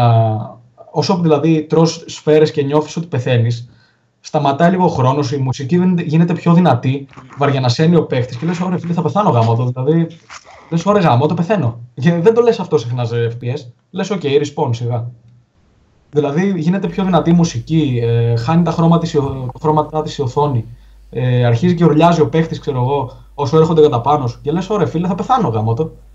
Λοιπόν, και το ίδιο προσπαθεί να σου πει και για τους εχθρούς. Και ξαφνικά, ξέρω εγώ, στο πρώτο campaign σε βάζει και θερίζεις εκεί πέρα 150 άτομα. Και εντάξει, ρε παιδί, μετά γελάει και λίγο ο πρωταγωνιστής, κάνει και την πλακίτσα του. εντάξει, ρε παιδί. Εντάξει, Δηλαδή, μια δεν, έχει, συνέπεια. δεν έχει γραφή, Χριστό, έτσι. Δεν έχει γραφή. Ναι, δεν έχει γραφεί. Ενώ έχει ωραία βίντεο, ωραίες εικόνες ε, και ωραία θέατρα πολέμου. Είναι εντυπωσιακά. Είτε Εντάξει. είναι μια ανάβαση στις Άλπη. Νομίζω ότι Ε. το έχετε καλύψει λέγοντας ότι μπαίνει μέσα ως τυρί για να γίνονται περισσότερες πωλήσεις, ρε παιδιά. Εντάξει. Ένα multiplayer καθαρά παιχνίδι Ναι. το οποίο. Απλά φέτος εγώ το πίστευα ότι μπορούσε να γίνει κάτι. Αυτό με πείραξε λίγο. Το πίστεψα φέτος. Ότι θα έχει Δηλαδή, campaign. έχω, όντως. έχω και εγώ ένα ιστορικό ενδιαφέρον. Ναι. Πάντως πρέπει να το δεις και από την άλλη πλευρά. Με, εξ- εσύ το έχει δει Battlefield. Είναι κάθε τέτοιο παιχνίδι, κάθε τόσο mainstream παιχνίδι, το οποίο ξέρεις ότι θα χτυπήσει εκατομμύρια σε πωλήσεις, έχει ενδυνάμει μια τεράστια μερίδα κοινού, η οποία θα, το, θα είναι η πρώτη φορά που το αγοράζει. Ναι. Οπότε, άμα το, οπότε αυτό το πράγμα το οποίο για εσένα δεν λέει και κάτι, δεν Μπορεί έχει να ξαναδεί, είναι δεν ένα ξαναδεί, χιτικό για κοινό. αυτούς θα είναι η πρώτη φορά που το βλέπουν. Και γίνονται hooked. Μετά λε εντάξει, έπαθα την Απλά- πλάκα μου, εδώ είμαστε. Δεν πάω Ναι. πουθενά. Απλά θέλω να πω ότι εμείς, εντάξει, σαν άνθρωποι που έχουμε δει και πέντε παιχνίδια παραπάνω, ε, εντάξει, δεν μπορώ να εντυπωσιαστώ. Αναγνωρίζω ότι είναι μέτριο στο σύνολο. Είναι μέτριο. Δηλαδή, Καλά, πώς να εντάξει, το πω, ποια αυτό είναι που η έκανε τελευταία φορά κάποτε που το Call of Duty εντυπωσιάστηκες 4. από το παιχνίδι γενικότερα. Ε. Πολύ σπάνια πλέον γίνεται. Όσο πιο πολύ παίζεις, τόσο πιο λίγα Ναι, σε θέλω να εντυπωσιάζουν. πω ότι ας πούμε, υπήρχαν εποχές ας πούμε, που στο Call of Duty το 4 με κατέβαιζε ο Captain Price μέσα στη μέση καταιγίδας σε ένα πλοίο μέσα στη μέση ξέρω εγώ, του ωκεανού και λέω ρε παιδιά, τι είναι αυτό; Εντάξει, αναγνωρίζω τη σημαντικότητά του για εκείνη την εποχή. Δε, το ότι πλέον δεν με εντυπωσιάζει δεν σημαίνει ότι δεν ήταν πράγματι εντυπωσιακό εκείνη την εποχή. Ήταν επαναστατικό. Αλλά δεν μπορεί να με εντυπωσιάσει ακόμα το ίδιο πράγμα. Εντάξει, τότε ήταν, ναι. Αυτή τη στιγμή θέλουμε κάτι παραπάνω. Μπορεί το μέσο, έχει την τεχνολογία να το κάνει, έχει τα λεφτά να το κάνει. Βλέπουμε ότι παίρνουν πραγματικούς ηθοποιούς πλέον για ρόλους. Μπορούν να το κάνουν πλέον. Αυτό είναι το, εμένα το πρόβλημά μου. Δηλαδή, κάποτε είχαμε την τεχνολογία που μας περιόριζε. Πλέον έχουμε και τα λεφτά, έχουμε και την τεχνολογία, έχουμε και την ε, δημοφιλία, ας πούμε, κατά κάποιο τρόπο του μέσου. Δηλαδή, μπορούμε, γιατί όχι; Αυτό με του ηθοποιού είναι λίγο αμφιλεγόμενο γιατί διάβασα ότι οι voice actors ξανακατεβαίνουν λέει σε απεργία γιατί δεν πληρώνονται καλά την Παρασκευή. Εντάξει, η διανομή των χρημάτων μέσα στη βιομηχανία είναι ένα άλλο θέμα. Αλλά λέω ναι, ότι γιατί γενικά λέει ότι με τόσα τραβάει. λεφτά, ναι, τόσα λεφτά που έχει ανέβει πλέον η βιομηχανία, λέει και αυτοί έχουν ακόμα καταστατικό που ισχύει εδώ και 10 χρόνια. Ναι, αυτό εντάξει. Είναι εσωτερικό πρόβλημα. Αλλά λέω Ναι, ότι ναι, γενικά, σαν βιομηχανία, ρέει και το χρήμα, υπάρχει δημοφιλία, υπάρχει τεχνολογία, τεχνογνωσία. Σαφώς. Ναι, δηλαδή είναι κρίμα, ας πούμε. Μπορούμε. Αλλά εντάξει, τι να πω. Τέλος πάντων, το παιχνίδι σε αυτό που περιμένουμε να κάνει λοιπόν για να το κλείνουμε, γιατί νομίζω είπαμε και παραπάνω ίσως χρεια- από όσα χρειάζεται. Έχουμε και ένα review αύριο. Το παιχνίδι είναι καλό σε αυτά που περιμένουμε να είναι καλό. Είναι πολύ καλό μάλιστα. Ερώτηση, τίποτα Χριστό. παραπάνω. Ερώτηση. Αφού, το, ε, αφού κλείνουμε με τον Battlefield, τώρα να περάσουμε στα επόμενα. Πριν πάμε στα επόμενα. Η ερώτηση είναι. Πόσο σε βοήθησε το παιχνίδι για αυτό που θα κάνεις ένα μήνα από τώρα; Ναι. Προετοιμάστηκες κατάλληλα αγόρι μου; Ρε φίλε, άμα προετοιμαστώ από Battlefield θα έχω θέμα. Λοιπόν, Αλλά- ο Χρήστος μας ε, περίπου ένα μήνα φεύγει να υπηρετήσει τη μαμά πατρίδα. Θα τον χάσουμε για Ναι, κανένα 9 μήνο, 10 μήνο. Θα τον χάσουμε, θα μας λείψει. Και με την ευκαιρία το να ανακοινώσουμε κιόλας εδώ ότι θα μας λείψει ο Χρήστος και να έχει καλή θητεία, το ευχόμαστε. Να, Να είστε καλά. με ασφάλεια να πάνε όλα καλά και να γυρίσει γρήγορα σπίτι. Ναι. Εν τω μεταξύ έχει πλάκα γιατί μου λέει η μάνα μου: Άντε, επιτέλους τόσα χρόνια παίζεις εκεί πέρα με τα παιχνιδιά. Άντε, θα πας τώρα εκεί. Θα τα εφαρμο- Θα τα εφαρμόσεις. Και μετά θα θες να ξαναπαίξεις, δεν θα θες να ξαναδείς όπλο για πλάκα. Πολύ πιθανόν. Όταν γυρίσει ο Χρήστος θα μου πει «Ε, Γιώργο, μη μου στέλνεις multiplayer FPS. Εντάξει, χόρτασα. Adventure από εδώ Κάτι και σε ουράνια πέρα. τόξα έχουμε, α πούμε, ξέρεις. Point and click, μονόκυρος και ουράνια τόξα.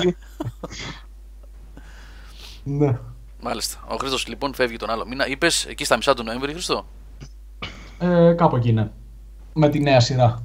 Γάμα εσώ, όχι πώς είναι τώρα, δέλτα. Τέσσερις είναι εσώ, πάλι τρεις είναι, δεν ξέρω. Του Νοεμβρίου η Θα σειρά. μου πει- θα μου πει εκεί πέρα ο Λοχέας, κάτσε καλά ρε ψάρι. Θα του πω κάτσε ρε να πούμε πέντε χρόνια Battlefield βλάκα. θα μου πει, ε, Καλά. Η Ε, σειρά ε. του φοιτητή, ο Νοέμβριος. Ε. Παίρνεις πτυχίο τον, ε, το Σεπτέμβριο, Νοέμβριο παρουσιάζεσαι. Κλασικό. Ε, Hill Master, δε, όταν είπα δεκάμενο, είπα θα λείψει από το site. Ο άνθρωπος 9 μήνες η θητεία του κτλ. Ε, εντάξει, εγώ δεν είπα ότι μόλις απολυθεί με το που βγει από την πύλη θα έρθει να γράψει review. Ε, εντάξει. Όποτε είναι έτοιμος βασικά. Μπορεί να είναι και 12 μήνες, μπορεί να είναι και 9,5. Ρε παιδί μου, κοίτα, αν υποθέσουμε ότι βγαίνω εγώ, ας πούμε, όμως στις 20 του μηνός και στις 21 κυκλοφορεί το Red Dead Redemption 2, ε, στείλ το μου, δεν έχω θέμα. Ακριβώς. Βλέπετε, γι' αυτό σας Ναι, λέω. στείλ το μου, ρε ναι, παιδί ναι, μου. ναι, ναι. Ω, Γιώργο, αυτό πρέπει να το σχολιάσουμε πριν πας για διάλειμμα. Για το κόκκινο της Rockstar. Ε, ναι, αυτό είναι το επόμενο. Δεν πάμε διάλειμμα ακόμα. Πάμε στις 11 να Ω. κλείσουμε μια ώρα στον αέρα και ύστερα, ναι, ναι. Πάμε να συζητήσουμε αυτό, έτσι, και μετά θα μιλήσουμε για VR και οτιδήποτε άλλο. Τι να συζητήσουμε τώρα, τη δυναμική της Rockstar που αλλάζει την εικόνα, αλλάζει χρώμα στο λογότυπο και, γίνεται, και πέφτει το ίντερνετ. ναι, φοβερό πράγμα. Ε, έτσι. Ρε φίλε, ήμουνα στην παραλία, το κοιτάω. Χάζευα τώρα εκεί στο κινητό, από την κυραγή. Κοιτάω και είχε, είχε 9 λεπτά που είχε αλλάξει. Γιατί έλεγε στην ενημέρωση στο Facebook, ξέρω εγώ, ότι άλλαξε πριν 9 λεπτά τη φωτογραφία. Και λέω από κάτω 12.000 like. Σε 9 λεπτά. το, το κλείνω, όπως είμαι, πήγα βούτυξα, δροσίστηκα, λέω Παναγία μου, λέω τι είναι αυτά. Συγγνώμη, εσύ έκανες μπάνιο χτες; Ναι, κάνω εγώ, κάνω μέχρι αργά. Σωστός. Στην Ελλάδα ζω, Ωραίος δεν ζω στην είσαι. Αγγλία που ζουν οι άλλοι. Ωραίο, Άρρωστοι. ωραίος, σωστός. Σωστός. Χαρά στο κουράγιο σου βέβαια, γιατί έκανε ψυχρούλα χτες. Όχι, ρε, δεν νιώθουμε τίποτα. Έτσι, αυτά είναι. Χτες λέει ο άλλος δεν ήταν Πάσχα. λοιπόν, τι. Αφού λοιπόν υπάρχει το ενδεχόμενο να ακούσουμε για RDR2, έτσι. Ε, τι είναι δεχόμενο. όχι δεν είναι ενδεχόμενο, γεγονός. δεδομένο είναι. Εντάξει, ναι, και δεν νομίζω ότι θα είναι remaster, εντάξει, νομίζω ότι θα είναι Όχι, πράγματι το αφού- 2. Αφού Δεν έχει βγάλανε νόημα να και... αφού βγάλανε και την εικόνα με τους 7 που είναι. Ναι, με τους 7. Δηλαδή είναι εμφανές ότι θα... Α, ναι, ναι. Είναι 7 καουμπόιδες, δεν έχει Ε, κανένα. και δεν νομίζω να έκανε τόσο teasing για ένα, για ένα remaster τώρα η Rockstar. Γιατί Ένα- η Rockstar- Ναι, Ευκαιρία σημαίνει είναι ότι πάντως. πάει, πάει και πολύ καιρός από το 5, έτσι. Τρία χρόνια. Πόσο. Τρία χρόνια. Τρία χρόνια. Είναι ώρα τώρα για νέο παιχνίδι από τη Είναι Rockstar. ώρα Ναι. καιρός είναι. Και θα, θα τα και ανακοινώσουν τώρα, δεν θα βγει τώρα, θα πάρει κανένα χρόνο μέχρι να το δούμε. Εντάξει, συνήθως χοντρικά Μάιο, κάπου εκεί νομίζω θα κυκλοφορούν. Οι Και Rockstar. σου, και σου λέει βγαίνει τα Χριστούγεννα. Όχι να μην βγει Χριστούγεννα, όχι, όχι. Ψήφι. Θα βγει τον Ιούλιο που θα βγαίνω κι εγώ. Ε, Λοιπόν, ε, επειδή από ό,τι καταλαβαίνω, όλοι λίγο πολύ έχετε παίξει RTR εδώ που μιλάτε, εκτό από μένα. Η αμαρτία Πώς είναι από μεγάλη. Τροπή, τροπή. Α, δεν δεν το έχω έχεις παίξει. Ούτε εσύ, Νίκο; Σοβαρά. Όχι. Ούτε Δεν το δεν Ωραία, μόνο έλα. αυτό. Που δεν έκανε. Έλα εδώ στον Παράδεκε, πάγκο. παράδεκε. Ο Νίκος είναι πισάς, γι' αυτό δικαιολογείται. Εσύ δεν Σωστά, δικαιολογείται. εγώ δεν δικαιολογούμαι. Περιμένω, περιμένω να βγει στο PC το πρώτο. Μπα και το κάνω. Καλά, είναι. ναι. Καλά, χτύπα ένα emulator γιατί δεν έχεις καμιά άλλη επιλογή. Μάλλον, ναι. Ωραία, πείτε τώρα εσείς τι περιμένετε από το ενδεχόμενο ανακοίνωσης ενός RDR2. Τι περιμένετε να, πού περιμένετε να πάει βασικά το πράγμα. Έτσι, γιατί από όσο έχετε πει πολλές φορές και ο Σάβα πολλές φορές που το αγαπάει πολύ αυτό το παιχνίδι, σε εκπομπές έχει μιλήσει, ε, το έχει τερματίσει η Rockstar, έτσι. Ναι. Ναι. Ε, στο RTR βασικά για μένα είναι το. Η κορυφή, έπιασε κορυφή. Το άγιο το σκοπότηρο, ναι. Ναι. Ε, νομίζω ότι πραγματικά είναι το επόμενο μεγάλο open world παιχνίδι που περιμένουμε. Δηλαδή το Mafia 3 έπεσε έξω, εντάξει. Όχι ότι είχαμε τόσο. Ε, Εντάξει, ντροπή, ντροπή να τα Βασικά- βάζουμε μαζί τώρα. Ναι. Όχι, το- θέλω να πω σαν open world που περιμένουμε Ναι. παιχνίδια, είναι το επόμενο μεγάλο. Για να Το μην πω επόμενο- παιχνίδι γενικά. Το επόμενο σωστό βασικά. Ναι. Γιατί, Γιατί ρε, η παιδιά, Rockstar αφού ποτέ βγαίνει δεν Watch ήταν- Dogs 2 τώρα. Σωστό. Ε, Πέρασε μηχανάκι Τι- μάλλον να πει. Μηχανάκι, Ζέμπρινγκ, Ζέμπρινγκ. Ναι, Ναι, η εντάξει. Rockstar ποτέ δεν ήταν της λογικής στο να γεμίσω τον χάρτη κονίδια. Και όταν λέμε κονίδια με πανομοιότυπες αποστολές και... Κάτσε, Δρασ- κάτσε, κάτσε, το διάβασα γιατί; αυτό το πρωί. Μην με τρελάνετε. Δεν έχει η Rockstar map cleaning. Είμαστε Όχι, σοβαροί. βέβαια. Έχει, Σοβαρά. πώς δεν έχει. Εντάξει, Δεν- έχει. Ρε παιδιά, όταν η Rockstar σου βάζει 70 κύριες αποστολές και οι δευτερεύες όλες είναι ξεχωριστές, τώρα άμα σου έχει map, ε, εικονίδια για μαγαζιά και, και Όχι, τι όχι, άλλα όχι, εικονίδια. δεν είναι αυτό. Η Rockstar έχει ακριβώς ό,τι είχε το Witcher το 3. Έχει πολλές κεντρικές αποστολές να χορτάσεις. Έχει πολλά side quest δευτε- δεύτερα τα οποία είναι και αυτά αρκετά καλά. Όχι πάντα, εξαρτάται. Και έχει και άπειρα μικράκια. Άπειρα μικράκια. Και το Red Το Dead να είχε έχει άπειρα ένα- μικράκια. Και το Grand Ε, Theft Auto όχι. είχε άπειρα μικράκια. Εγώ δεν τα θυμάμαι αυτά. Ειδικά Ε, στο... δεν τα θυμάσαι γιατί εσύ είσαι δεν το είχε- map cleaning. Στο RDR δεν είχε να μαζεύεις Δεν τα λουλούδια. θυμάμαι ακριβώς επειδή με το map, cle- του map cleaning θα τα έκανα. Αλλά Θέλει στο αυτόματο RDR πιλότο, εσύ δεν το καταλαβαίνεις. Όχι, νομίζω ότι η διαφοροποίηση είναι στο ότι εφόσον είναι καλό το παιχνίδι και είναι καλές οι αποστολές και δεν σε φορτώνει με βαρετές αρχικές και δευτερεύουσες αποστολές, δεν σε χαλάει και το υπόλοιπο. Και έχει φτιάξει και ένα Ναι, ωραίο ναι, κόσμο. Ρε το- παιδιά, έχει, Αυτή είναι ένα η διαφορά τόσο με τα όγκο, υπόλοιπα. έχει ένα τόσο όγκο από κεντρικές αποστολές σε σχέση. Έχει ας πούμε στα άλλα open world 20 κεντρικές αποστολές που πόσο να διαρκέσουν σε open world και σου έχουν από δίπλα 100 εικονίδια τα οποία είναι οι 2-3 παραλλαγές. Ε, αυτός δεν μπορείς να το συγκρίνεις με το. με ένα παιχνίδι της Rockstar που ε, σου γεμίζει το χάρτη ουσιαστικά με κεντρικές αποστολές. Που σε κάποια στιγμή, σε, σε διάφορες στιγμές μπορεί να έχεις 5 ας πούμε κεντρικές αποστολές ταυτόχρονα. Μμμ. πάνω στο χάρτη Ξέρεις. ή δευτερεύουσες οι οποίες είναι πολύ καλή ποιότητα. Εκεί, Το εκεί μεγάλο. δηλαδή, εκεί αρχίζεις και αγνοείς ίσως τα, τις- τι- τα collectibles και αυτά που λες και εσύ, Άλεξ, ότι έχει. Ακριβώς επειδή έχει τόσο όγκο να σε κρατήσει. Ενώ στα άλλα. Ναι. Αυτό ήθελα να σου πω ότι το Red Dead και συγκριτικά και με όλα τα παιχνίδια της Rockstar το Red Dead είχε καταφέρει να κάνει αυτό το πράγμα ότι πραγματικά μπορούσες απολύτως να αγνοήσεις όλη τη σαβούρα ή τα πιο αδιάφορα πράγματα τριγύρω. Πήγαινε, έκανες μόνο τα κεντρικά missions, δεν έκανες ούτε τα secondary άμα δεν γούσταρες και δεν χρειαζόταν να τα κάνεις. Δεν χρειαζόταν για, Ακριβώς. για έξτρα οπλισμό, δεν χρειαζόταν γιατί δεν βγαίνει εκείνο το boss επειδή δεν έχεις πάρει το τέλειος σπαθί, γιατί, γιατί, γιατί, γιατί, γιατί. Όχι. Ασχολούσαν μόνο με το κεντρικό σου και ήσουν τέλεια. Και επίσης, το δεύτερο εμένα καλό, για- γιατί θεωρώ το Red Dead το καλύτερο παιχνίδι της Rockstar, ότι σε σύγκριση με τα άλλα παιχνίδια της Rockstar, τα οποία κάνουν το κλασικό open world βδέλιγμα, που σε στέλνει, παίρνει την αποστολή στο βόρειο μέρος του χάρτη, σε στέλνει στο νότιο μέρος του χάρτη για να σε στείλει στο δυτικό μέρος του χάρτη για να την παραδώσεις στο ανατολικό μέρος Ναι. του χάρτη, που ευρίζω όποτε το βλέπω αυτό και παρατάω Ναι. παιχνίδια, ε, το Red Dead με εξαίρεση κάτι αποστολές της ιστορίας που σε είχαν στείλει κάτω στο Μεξικό δεν το έκανε. Σε άφηνε σε μια περιοχή σχετικά εκεί τριγύρω, έβγαζες εκείνες τις αποστολές και μετά πήγαινε σε μια άλλη περιοχή. Και ήταν μεγάλη μαγιά αυτό. Γιατί αυτές οι αειδίε τύπου Assassin's Creed, το οποίο πραγματικά περπατάς μέσα από την πόλη και Καλά, σμπρώχνει εντάξει. 500 άτομα. Ε, ε, δεν Εγώ το εμένα μου κάνει Ξαναγυρνά κρίση πανικού πίσω ποτέ. και ξαναπάς από εδώ και από εκεί για να δώσεις την αποστολή. Ε, άκη σε χτύρε. Δεν το Ε, δεν κουμπάω. θα- Δηλαδή, δεν- βγαίνει- δεν θα κάνει κρίση uninstall πανικού. το παιχνίδι και πετάγεται. Ε, δεν θα συγκρίνω το Grand Theft Auto με το Assassin's Creed. Γιατί στο ένα Όχι, απλά και το Grand Theft τρέχεις, Auto τα κάνει τα απλά ίδια. χρησιμοποιείς τα πόδια, στο Grand Theft Auto οδηγάς. Και στο Όχι, και πέντε το έχει Grand ένα Theft Auto τα πάρα- κάνει τα ίδια και κάθεσαι και οδηγάς σαν, σαν καραγκιόζης μέσα από ολόκληρη την πόλη, πάνω κάτω δεξιά-αριστερά. Α, είναι Το όμως Red Dead αρέσει δεν το αυτό. έκανε αυτό και ήταν τεράστιο υπέρ. Τεράστιο βαντάζ. Γιατί είχε πραγματική διάρκεια. Δεν είχε ψευδή διάρκεια που διπλασιάζει το χρόνο μόνο και μόνο επειδή ε, κουτρουβαλάς πάνω κάτω σε ένα μέρος. Ναι, δεν, δεν διαφωνώ λίγο με αυτό. Γιατί ήταν μία από τις ουσίες του Grand Theft Auto η οδήγηση και το έκανε και πολύ καλά στο 5. Γιατί Ε, αν στο άλλο να 4 κάνει- ήταν αμφιλεγόμενο. Για, ε, κα- για ένα από εδώ και από εκεί. Και άλλο να πρέπει να κάνεις οδήγηση πάνω κάτω δεξιά-αριστερά συνέχεια σε, μια- σε ένα γιγάντιο χάρτη. Είναι κούραση. Ήταν το ίδιο πράγμα που ε, σου έλεγα ότι έβριζα στο Witcher το 3 στην πρώτη περιοχή. Που είχα λυσάξει πάνω κάτω δεξιά-αριστερά. Λέω τι είναι αυτό; Ναι, αλλά αν είχε ένα αυτοκίνητο στο Witcher 3 θα ήταν καλύτερα. Αγροτικό. Και αν και καρούτια θα ήταν τρένο. Να παίρνει κανένα ταξίδι γύφουλα για να σε πήγαινε. στο τι, τι, τι, τι τα μάζευε τα χρήματα. Το θέμα είναι ότι το Red Dead δεν έχει, ρε παιδί μου, δεν είχε αυτά τα, δε- τις δευτερεύουσες αποστολές τις ψόφιες. Δηλαδή και οι δευτερεύουσες αποστολές του ήταν 4-5 βασικοί χαρακτήρες με εξαιρετικές ιστορίες. Δηλαδή έλεγες ότι δεν είναι ότι πέρασε ένας μου είπε μια βλακία, άντε πάω να πάρω ένα δέμα να το πάω. Και δεν είχε, αυτή, αυτή τη σαβούρα είχε Ε, ναι. πετάξει το Red Dead. Δηλαδή η δευτερεύουσα ιστορία είχε το, τον Αλμπάνι που πουλάγε τα, τα γιατροσόφια, είχε τον άλλο που ήθελε να πάει στο χώλι, ήταν πολύ ωραίες ιστορίες. Αυτή, είναι- αυτή ήταν η όλη του μαγιά. Δεν είχε τέτοια. Και άμα ήθελες, σου είχε και τα εξτραδάκια. Εντάξει, είχε να παναμαζεύει και λουλουδάκια, είχε να σκοτώνεις και πουλιά. Εντάξει, τα είχε και αυτά. Άμα θες, τα Ναι, κάνεις. είχε το κυνήγι, αλλά αυτό ήταν καλό γιατί έδινε, Ήταν πάρα, ωραίο, πολύ, εντάξει. κα, έδινε πάρα πολύ καλά στο gameplay με αναβαθμίσει και τα λοιπά που έπρεπε να κάνεις. Όλα, όλα. Εντάξει, ουσιαστικά μιλάμε για ένα παιχνίδι που άγγιξε τελειότητα έτσι, στα πάντα. Ε, και πετύχαινε φοβερά την αίσθηση των western, έτσι. Ναι. Για να μην συζητήσουμε για τα animation, η αίσθηση των όπλων, εντάξει, είναι απίστευτη, είναι από τα καλύτερα πάρα πολύ πράγματα.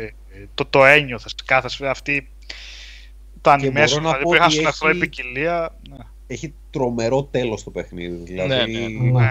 Αν και θα ήθελα τα τελευταία, τα τελευταία 30 λεπτά Να μην υπήρχαν, ε. ε, να μην υπήρχαν. ε. Θα Ναι, ήθελα να και τελειώνει όταν εκεί πέρα που θες τελειώνει να ο τα Μάρστον. Α, α. Ε, κοίτα, το έδωσε σήμερα. Ποιος το έγραφε, ας πούμε, που το spoiler όλο το, Ε, δεν όλο το πειράζει. παιχνίδι. Ε, όχι, μην το σποιλάρετε. Όχι, δεν Το το, πάμε. λέω. Απλά εντάξει, το παιχνίδι πραγματικά οι τελευταίες 2-3 ώρες που νομίζω ότι έχεις τελειώσει όλα και ζεις τη ζωή σου και και και, εκείνο είναι η κορυφή Καλά, ναι, του ναι. storytelling της Rockstar. Όλο Ήταν το, άψογο. το Ναι. τελικό σημείο βασικά. Όλα, με, όλα. με τη τελευταία την πόλη που πηγαίνεις, με τους Pinkerton που είναι. Όλο αυτό είναι φοβερή. Ορίμανση το- ξαφνικά. Και, και το μεγάλο στοίχημα τώρα, έτσι. Το πού θα πάει το 2. Ε, για prequel λένε και δεν μου φαίνεται και απίθανο.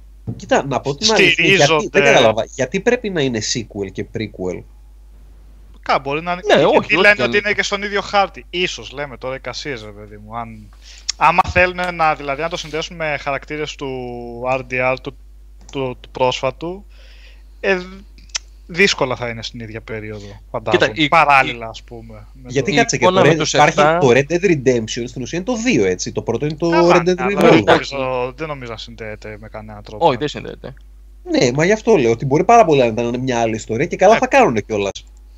Καλά, Η- κοίτα, το Redemption δεν συνδέεται με το Revolver γιατί το... ποιος το έπαιξε το Revolver και ποιος. Γιατί είναι ωραίο το revolver. Ωραίο ήταν, αλλά χαρακτήρες και τα λοιπά ποιος θυμάται και ποιος. Ναι, ναι, όχι, όχι δεν είναι. Σαν Αλλά reboot. Αλλά μιλάμε για την εποχή που. Παιδιά, μια ήταν ερώτηση θα σας απέναντι κάνω στο Grand για το Theft Auto Revolver. 3, ρε, εσύ. Μια Είχα ερώτηση. παιχνίδια. Μια ερώτηση για το Revolver που λέτε τώρα, γιατί το συζητούσαμε και με το Στάβα στο τηλέφωνο πριν μερικές μέρες. Αυτό το παιχνίδι ήταν ανάπτυξη της Rockstar ή το είχε κάνει απλά Όχι. publish; Όχι. Της Δεν Capcom. ξέρω. Ήταν, ε. Δεν Η νομίζω Rock- καν Rockstar πάλι. ήταν, η Rockstar San Diego. Ήταν Το Rockstar Revolver. και είχε Δεν κυκλοφορήσει. νομίζω, ρε Κά... Εγώ θυμάμαι ότι κάποιος άλλος ήταν publisher ή Άλλος, developer. άλλος ήταν ο Capcom. δημιουργός, ο δημιουργός άλλος ήταν σίγουρα. Δεν ήταν παιδιά η Capcom. Για Rockstar, το βλέπω μπροστά μου. Rockstar Κάτσε να San σου πω κι εγώ. Diego developer, ε, Rockstar Games publisher και distributor Retake 2. Ναι. Μήπως στην Ευρώπη ήταν άλλος ο distributor. Γιατί τώρα που Μήπως είπε. ήταν με άλλο όνομα πιο πριν. Μήπως- Όχι, Rockstar, παιδιά, το, το κρατάω στα χέρια μου αυτή τη στιγμή. Α, όχι, όχι, Rockstar OK. ήταν. Rockstar, Rockstar ήταν, ε, έτσι. το βλέπω μπροστά μου. οκ, Ναι. οκ. Απλά το, η Rockstar San Diego πριν από, αυτά, πριν από αυτό είχε κάνει άλλα παιχνίδια με άλλο όνομα. Δηλαδή ήταν εταιρεία που αγοράστηκε από τη Rockstar στην ουσία. Αλλά εντάξει, όλα Α. τα τμήματα της Rockstar είναι εταιρείες που αγοράστηκαν από αυτή. Εκτός από την North που είναι η Που πρώτη. είναι η original. Η original. Ε, ναι. Ναι. Το Gun το θυμάστε, ρε παιδιά, ή μόνο εγώ τώρα κάνω. Το Ε, Gun, ναι, ωραίο ναι, και το Αλλά Gun. δεν Ε. έλεγε και πολλά. Το Ναι, Gun ναι, κι όμως, ναι. κι όμως ήταν μια πρώτη προσπάθεια σε αυτό το ύφος. Ε, ήταν αξιοπρεπής η Έλεγε προσπάθεια. πολύ Είμαι. κοντά. Τι λες. Ναι, Και ναι. υπέροχη μουσική, έτσι. Νικόλα, δεν ξέρω αν το θυμάσαι καλά ή τώρα έτσι. Ε, καλά, εντάξει, απόψεις είναι αυτές. Εγώ πιστεύω ότι το Gun ήταν πολύ αξιοπρεπής προσπάθεια και ήταν και στο μετέχνιο της νέας γενιάς τότε. Είχε βγει και Xbox και 360 PlayStation 2. Και PlayStation 2. PlayStation 2 και PlayStation 3. Και, ναι, έτσι. Ε, και είχε πουλήσει και πολύ. Δηλαδή πάνω από ένα εκατομμύριο κομμάτια είχε πουλήσει Μα για ένα είχανε- παιχνίδι το είχε οποίο έρχονταν προωθηθεί. πουθενά. Είχε προωθηθεί πολύ, ναι. ναι. Αλλά εντάξει, ήταν απλά συμπαθητικό. Η ιστορία δηλαδή πήγαινε πολύ τρέχοντας. Πολύ τρέχοντας. Δεν άφηνε το παιχνίδι να αναπνεύσει λίγο με τις εξελίξεις.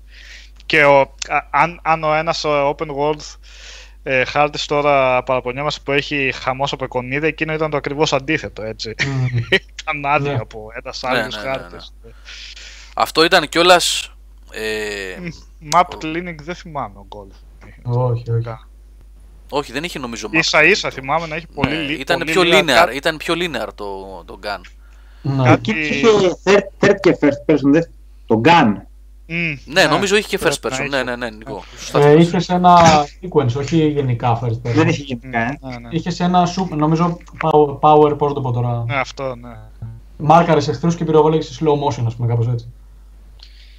Ε, και το Gun ήταν και το τελευταίο πολύ μεγάλο παιχνίδι της Neversoft, έτσι.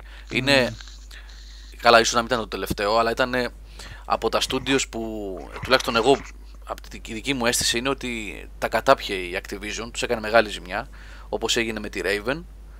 Ε, είναι 3-4 studios που αγοράστηκαν από την Activision κατά τη δεκαετία του 2000. Τη Raven, τη θυμάστε έτσι, Hexen, X-Men Legends κλπ. Ιστορικό στούντιο. Μμμ, ναι. Και η Neversoft που έκανε τα Tony Hawks. Μμμ. Έτσι. Α, αυτή ήταν, ναι. Ναι, ναι. Guitar Hero. Ακριβώς. Και μετά τι Κοιτάξτε, έγινε, ναι. τι έγινε με την Eversoft, η- ε, και η Neversoft και η Raven και πολλά άλλα studios τώρα που έχει η Activision, τα έχει βάλει και δουλεύουν βοηθητικά σε κάθε ετήσιο Call of Duty. Έτσι, δηλαδή, αν είναι δυνατόν, τόσο δυνατά studios, τόσο μεγάλα με ιστορία, να έχουν πέσει σε τέτοια δυσμένη, ας πούμε, από την Activision, από τη μαμά εκεί, και να φτιάχνουν χάρτες και assets και textures και τέτοια για άλλα studios. Είναι τραγικά πράγματα αυτά το Tony Hawk που λες Θάνο, που το απαράδεκτο που βγήκε πριν κάνα- από κάνα χρόνο, ε, δεν έχει καμία σχέση με τα... Ήσασταν πολύ μικροί εσείς, τέλη δεκαετίας 90, εσείς εννοώ εσύ και άλλα παιδιά της ηλικίας σου. ναι, τέλη δεκαετίας 90, αρχές 2000 είχαν βγει τα Tony Hawk's Pro Skater, τα οποία ήταν, είχαν δημιουργήσει ο, trend ολόκληρο, ήταν Και χήμαρος, μουσικά. έτσι. Εγώ ακόμα τα ακούω τα τραγούδια αυτά. Ε, αυτά ήταν τόσο καλά που τα παίζαμε κι εμείς που δεν μας αφορούσε το skate. Αυτό είναι το θέμα. Ακριβώς, ακριβώς, ακριβώς. ναι, ναι, ναι. Είναι πολύ καλά παιχνίδια. Ήταν πραγματικά. τόσο καλά που τα έπαιζες και να, χωρίς να έχεις καμιά επαφή με το θέμα. Νομίζω το Tony Hawk's Pro Skater 2 κιόλας ήταν το πιο δυνατό, το πιο επιτυχημένο εμπορικά. Ήταν, νομίζω. Δεν ξέρω, Λάμπρο, Το θυμάσαι οποίο εσύ, έχει και- Αλέξανδρε; Το 2, ναι, νομίζω το 2 ήταν και έχει και κάτι βαθμολογία στο Metacritic είναι στην πρώτη πεντάδα, κάπου εκεί. Ναι, τόσο κάτι ψηλά. τέτοια. Ναι, κάπου εκεί είναι νομίζω το 2. Στο Game Boy Color, όχι αυτό είναι το ένα. Όχι, Και το καταλαβαίνεις, Εμπορικό. καταλαβαίνεις ότι το παιχνίδι, από ε, πίσω βρίσκεται publisher η Activision όταν μια σειρά, ρε παιδί μου, γίνεται ετήσια και εν τέλει εξαφανίζεται γιατί Ε, καίγεται. Έτσι, έτσι. Tony, Tony Hawk ε, Pro Skater το 99 και μετά βγαίνουν κάθε χρόνο μέχρι Κάθε το χρόνο. νούμερο 8. Ναι, Που μέχρι πλά, που πε- το κάψανε και μετά ναι. και, και τέτοια έτσι. Και spin-off και τέτοια. Δηλαδή νησάφι, ας πούμε. Φυσικά. Το κάψαν. Α, Ναι, όχι. ναι, λέω το, το GameSpot λέει το έχει best game Ο ever. χρόνος λέει, λέει ο ότι το έχει, ναι, Σκέψου. ναι, ναι. Εγώ, παιδιά, θυμάμαι το Tony Hawk το, το 2 που ήμασταν φοιτητής τότε και μαζευόμασταν βράδυ Σάββατο σε ένα σπίτι να ετοιμαστούμε να βγούμε. Και είχα, είχε ένα, ένα Xbox τότε φίλος εκεί και εννοείται ότι δεν πηγαίναμε ποτέ πουθενά έτσι. και παίζαμε Tony Hawk μέχρι το πρωί όλοι. Τέτοιο Λοιπόν, κάψιμο. και ο Θάνος γράφει στο chat. Έκαναν όνομα του Τόνι Χόκ, λέει, και είναι σαραντάρης αυτός ακόμα με μια σανίδα στα πόδια. Τι θες να πεις, ρε φίλε, για τους σαραντάριδες; δηλαδή, Δεν έχεις δει τον Καλύφα να κάνει. Δεν με έχεις δει ένα να κάνω με, skateboard; με σανίδα. δεν με έχεις δει, φίλε, με ηλεκτρονικό segway, Αλούπια. με ηλεκτρικό segway να σκίζω τους εθέρες στο εγάλεο. Βρε, βρε κουράδα Θάνο που άμα είσαι τον Τόνι τι κάνει στα 40 του. Φακ. λοιπόν, Καρναούμπα, τι να πω για το PSVR, εμ, για αυτό που λες, για το που δεν έχει, H- ναι, δεν έχει HDR. Το είπα και στο βίντεο. Ε, δεν ξέρω ποιος φωστήρας το σκέφτηκε αυτό το πράγμα. Θα το πούμε όμως πιο μετά, όταν θα περάσουμε στα του VR. Άστο, μην βγούμε εκτός θέματος τώρα. Ε, να τα βάλουμε σε μια σειρά λιγάκι. Ε, αλλά μιας και το αναφέρεις στο chat, αυτό ναι, είναι ε, μεγάλη επιτυχία. Μεγάλη επιτυχία. Να βγαίνει σε 20 μέρες από τώρα, σε ένα μήνα σχεδόν για την ακρίβεια. Ε, το PlayStation 4 Pro, το οποίο διαφημίστηκε ως το σύστημα που βγάζει, που δίνει HDR και 4K. Και άμα το πάρεις αυτό και το βάλεις στο PlayStation VR, δεν μπορείς να βλέπεις σε HDR. Είναι θεοί έτσι. Φτιάξανε ένα, φτιάξανε ένα, βι- ένα, ένα chipset στον επεξεργαστή του PSVR το οποίο δεν βγάζει HDR. Ενώ. Καλά, εντάξει τώρα, είναι για γέλια, παιδιά. Αυτό. Όλα καλά, όλα ωραία. Έχει τα συν και τα πλήν του το PSVR. Τα είπαμε, θα τα ξαναπούμε. Αλλά. Ποιος το σκέφτηκε αυτό; Και προσέξτε, έμαθα ότι το, το HDMI out του επεξεργαστή του PSVR δεν είναι σαν του PS4 του, προσέξτε, του παλιού του PS4, του πρώτου μοντέλου. Όσοι έχετε PS4 απλό, ενός 2-3 χρόνων μοντέλο, το πρώτο, έγινε μια αναβάθμιση τώρα τελευταία, παιδιά, το ξέρετε έτσι. Και, Ε, υποστη- το Slim. και υποστηρίζει HDR ε, και ε, 4K out, όχι 4K, συγγνώμη, HDR out. Έτσι δεν είναι; Ναι. Ναι. Ωραία. Ένα τσιπάκι, ένα HDMI του 2014 παίρνει αναβάθμιση. Το τσιπάκι, το HDMI out του PSVR που βγήκε τώρα δεν παίρνει αναβάθμιση, παιδιά. Δεν αναβαθμίζεται αυτό. Έτσι, δεν αναβαθμίζεται. Είναι τρελό. Είναι τρελό. Τέλος πάντων, βγήκαμε πάλι εκτός θέματος. Είχαμε, δεν είχα. Ε, τίποτα άλλο για το Red Dead Redemption, τι να πούμε. Τι να πούμε. Τι να Ε, πούμε, τι να για, πούμε, για βέβαια. μια φωτογραφία. Ναι. Και πολλά είπαμε νομίζω για μια φωτογραφία. Θα Από ό,τι μπορούσαμε να κατάλαβα, πούμε τότε. όσοι παίζετε τέτοια. όσοι έχετε παίξει το πρώτο και όσοι παίζετε open world παιχνίδια, αυτό το περιμένετε πώς και πώς, έτσι. Ναι, είναι- είναι ουσιαστικά το, πώς το λένε, το όνειρο για βιντεοπαιχνίδια που έγινε πραγματικότητα για όσους αγαπάνε τα western και όλη αυτή την κατηγορία τελεία- τελικά. Μόνο Ήταν, μη- ήταν αυτό που όλοι θέλαμε και δεν είχαμε ακριβώς. Ναι, και δεν έχει να κάνει τόσο με το open world, γιατί και εγώ να σου πούμε δεν είμαι πολύ λάτρης στον open world. Αλλά Ναι. αυτό είναι, το Red Dead είναι κάτι άλλο. Είναι από μόνο Ήταν, του πρα- κάτι. ήταν all around, καλά αυτό το έχει γενικά η, η Rockstar. Έχει αυτή, Όχι. αυτό το πράγμα ότι κάνει ένα τεράστιο παιχνίδι, αλλά δεν κάνει κάτι κακό σε αυτό, να της ξεφύγει κάτι. Δηλαδή να της φύγει λίγο η οδήγηση, ή λίγο το shooting, ή λίγο το μέγεθος του κόσμου, ή τα quests. Όχι. Εγώ εδώ έχω μια ένσταση να σου πω την αλήθεια, γιατί τα GTA θα γίνω λίγο αιρετικό τώρα, αλλά θεωρώ ότι η οδήγησή τους είναι κακή και, είναι, και αποτελεί ένα τεράστιο κομμάτι το GTA και ξαφνικά κανείς δεν μιλάει γι' αυτό.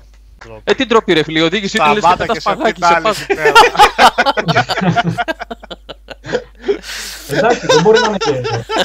Πες Και δεν λένε το πες τα, φτιάξουν. Χρυσόστομε, πες τα. Α, το λέει κι άλλος, ορίστε. Ε, άλλο- Οι δύο είστε όλοι και όλοι. Το παιδί- Δύο είστε και βρεθήκατε στα μικρόφωνα σήμερα. Τι Δεν γίνεται, θα ρε; πάρει. Ε, μα υπάρχει ομερτά, έτσι. Δεν μιλάμε, δεν αγγίζουμε. Κάτσε, ρε φίλε, αφού το βλέπουμε, δεν πάει, δεν είναι Πάρα οδήγηση. πολύ. αυτή. Το 4 Παπά, ήταν είναι απαράδεκτο. Ε, Και στο Ναι, στο 5. 4 εντάξει, ήταν λίγο όχι, παράξενο. ρε παιδιά, και στο Εγώ στο πέντε. 5 παρακάλαγα να βρω μηχανή, ρε φίλε. Με τα μάξι δεν οδηγιότανε. Μια χαρά ήταν Ε, τα- όχι, ρε παιδιά. Δεν- Σε Δεν ξέρετε βάζει- να οδηγάτε. Δεν ξέρετε. Όχι, Επειδή στο πέντε είσαι ήσουν μια χαρά. Στο 4, παιδιά, είχα απλά, απλά σε ένα σημείο είχα αρχίσει να γελάω. Είχα κολλήσει σε μια αποστολή κάνα δύο ώρο και λέω δεν θα μπορέσω να τη βγάλω ποτέ. Κυνηγάς να πετύχεις κάποιον, άρα. Και απλά προσπαθείς να τον τρακάρεις για να τον βγάλεις έξω από το δρόμο. Και να παίρνω κοφτά τη στροφή στους 90 μοίρες και να μην μπορώ το μυαλό μου με τίποτα να χωνέψει ότι ρε φίλε, όπως στρίβεις με το αριστερό το controller, πρέπει ταυτόχρονα για κάποιον ηλίθιο λόγο να στρίβεις και με την κάμερα μαζί. Και η κάμερα μετά να χάνει, να μην στρίβει 90 μοίρες, να στρίβει 80 ή να στρίβει 110. Δηλαδή, και συγγνώμη, να να, χάνονται. να, για κάτσε ρε Αλέξανδρε, περίμενε τώρα.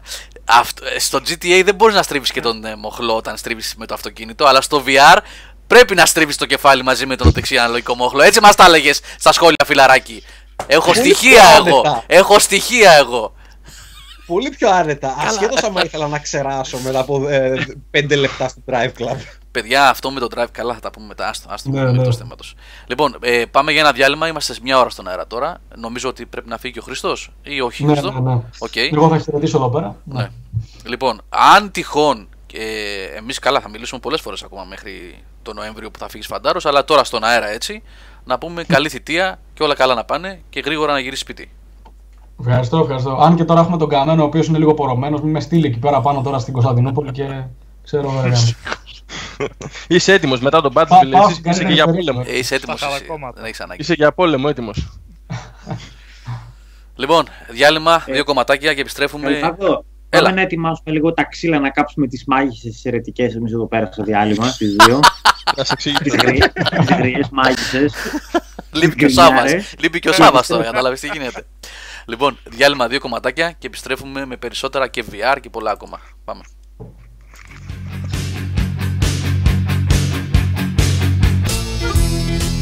Well, I saw quite a crowd, but I'm out on the road again. Λοιπόν, ε, το κόψαμε το κομματάκι των Can Hit. Sorry, παιδιά, αν εντάξει, μην βάλουμε τρία στη σειρά και μας χάσετε πολλή ώρα. Ε, θα το παίξουμε μετά, θα κάνουμε άλλο διάλειμμα. Ε, τι ακούσαμε, Ακούσαμε You've got another thing coming, Judas Priest. Και ακούσαμε και Chosen από Arena. Μια... Ναι, Νίκο, αυτή την πάντα εγώ την ήξερα. Ο Σάβα μου την Α, ε, σύστησε. ε, που θα- ε, είναι πολύ ωραία η αρένα. Ναι. Ναι. Πώς, πώς θα τους χαρακτηρίζεις, prog, rock, πώς Prog, θα το... ναι. Prog, Προς έτσι. το prog, α, ναι. prog rock. Ωραίο, ωραίο Εκεί. άλμπουμ αυτό το... Ωραία. ε, Πώς λέγεται Από αυτό πού το... ήταν; Ε, Immortal λέγεται αυτό το άλμπουμ. Που, ακου- α, το τραγούδι που ακούσαμε λέγεται Chosen από το άλμπουμ Immortal. Πολύ ωραίο. Λοιπόν, ε, εμείς έχουμε ξεκινήσει ήδη και μιλάμε τώρα εδώ. Ο Χρήστος έφυγε. Ε, ακούτε Νίκο Πλωμαριτέρη, Αλέξανδρο Μιχαλητσιάνο, Νικόλα Μαρκόγλου και Λάμπρο Δημακόπουλο και Τζόρτζ Ε, Καλέφα και εμένα. Γιώργο, επειδή σας άκουγα προσεκτικά στο θέμα και δεν πεταγόμουν ως συνήθως που πετάγουμε. Το τελευταίο που λέγατε με την κονσόλα πάνω στο. Δεν το κατάλαβα τι εννοούσατε ακριβώς. Μήπως μπορείτε να το εξηγήσετε; Για το VR. ναι. Ναι, λοιπόν, έγινε μια ερώτηση ε, σε, στο άρθρο που ανέβασα την ε, Παρασκευή ε, από ένα παιδί για το αν μπορείς να συνδέσεις στο PlayStation VR ε, άλλη πηγή πλην του PS4 και να βλέπεις σε cinema mode. Δηλαδή, όχι VR, απλά προσωμείωση τεράστιας ε, οθόνης. Α, έλα, κατάλαβα. Εντάξει. Λοιπόν, και από ό,τι ε, το τσέκαρε και ο Αλέξανδρος, γιατί εγώ δεν το ήξερα αυτό, ε, μας είπε ο Αλέξανδρος ότι γίνεται, έτσι Άλεξ; Γίνεται, γίνεται. Και Γίνεται. είναι. Απλά επειδή υπάρχει μια πολύ περίεργη συνδεσμολογία με το PSVR, δηλαδή με αυτά που λέγαμε με τα καλώδια τα τελείωτα, ε, πρέπει το κουτάκι του PSVR το αφήνει συνδεδεμένο με το USB πάνω στο PS4 για κάποιο λόγο, αλλά την έξοδο που έχεις από το PS, ε, την είσοδο που έχεις μάλλον στο, PS, στο PSVR processor, αντί να την έχεις συνδεδεμένη πάνω στο PS4, τη βάζεις στο Xbox, τη βάζεις πάνω στο laptop σου, τη βάζεις οπουδήποτε έχεις HDMI. Ναι, κοίταξε, Και με το κατευθείαν παίρνεις PS4. την εικόνα από εκεί Ναι, και την έχεις μέσα στην οθόνη του PSVR, ας πούμε, σε μια μεγάλη οθόνη. ναι. Ε, ο Άγγελος γράφει εδώ στο chat ότι γίνεται, το έκανε και το Digital Ναι, ναι, το Foundry. έκανα και εγώ. Το, Το έκανα έκανε ο και εγώ. Έλεγα Αλέξανδρος. πριν στα παιδιά, έπαιξα σε ΜΕΙ, μη μαμέ όπως το λέμε στην Ελλάδα, ε, Cadillacs and Dinosaurs. Σε 200 σε μια inches. γιγάντια οθόνη σινεμά. Ε, ο λόγος που μένει συνδεδεμένο με το PS4 είναι γιατί το, P- το PSVR ες, ως, δεν είναι αυτόνομο, ε, αυτόνομη πλατφόρμα, χρειάζεται το PS4 για να λειτουργήσει.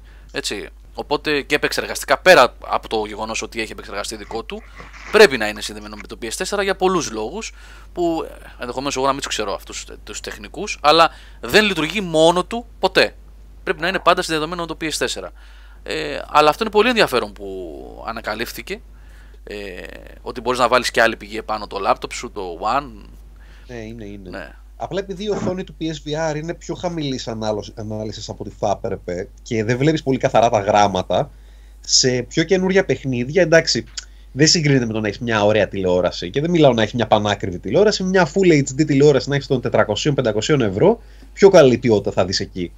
Αλλά για πιο παλιά παιχνίδια που είσαι συνηθισμένος να τα παίξεις σε. Όχι, HD, σε- όχι σε full HD, σε, χ- σε χαμηλότερες αναλύσεις, εκεί πέρα εντάξει είναι όργιο.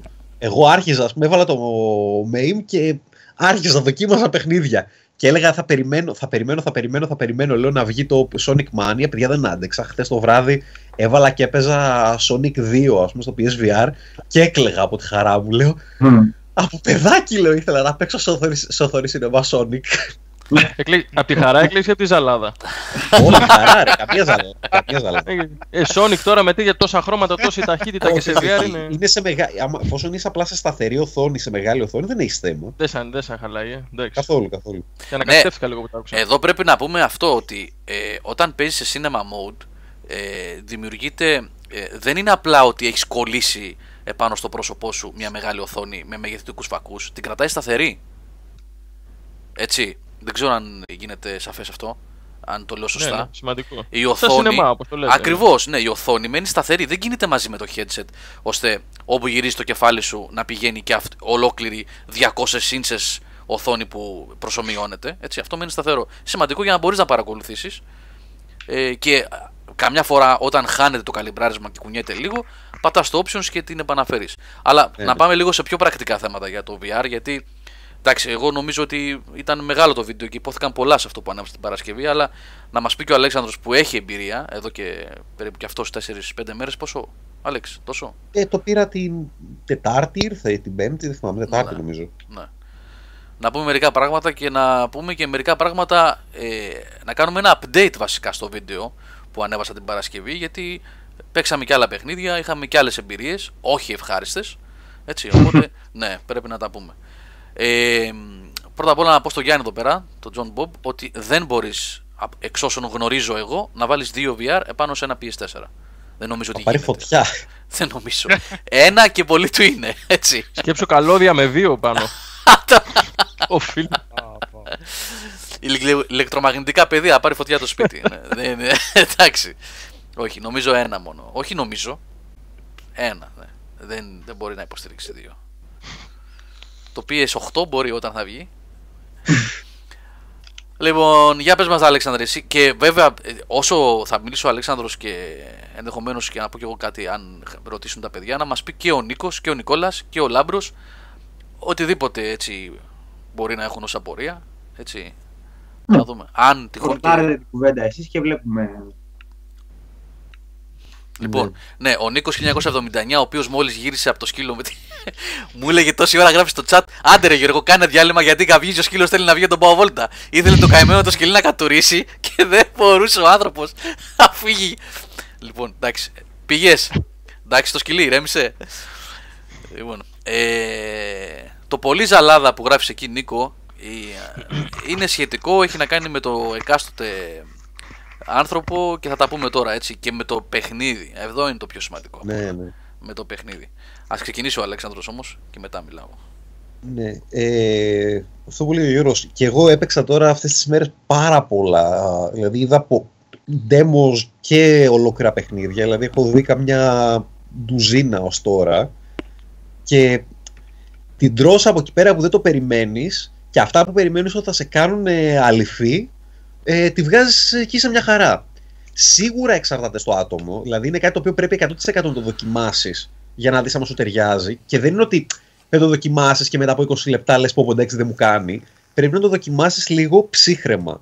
Το έγραψα και σε ένα από τα σχόλια που, από τα όρθρα του Γιώργου ότι το VR, παιδιά, δεν είναι μπήκα μέσα, α, OK, okay, πω πω εντυπωσιακό, έλα να κοιτάξουμε στα 35 σημεία.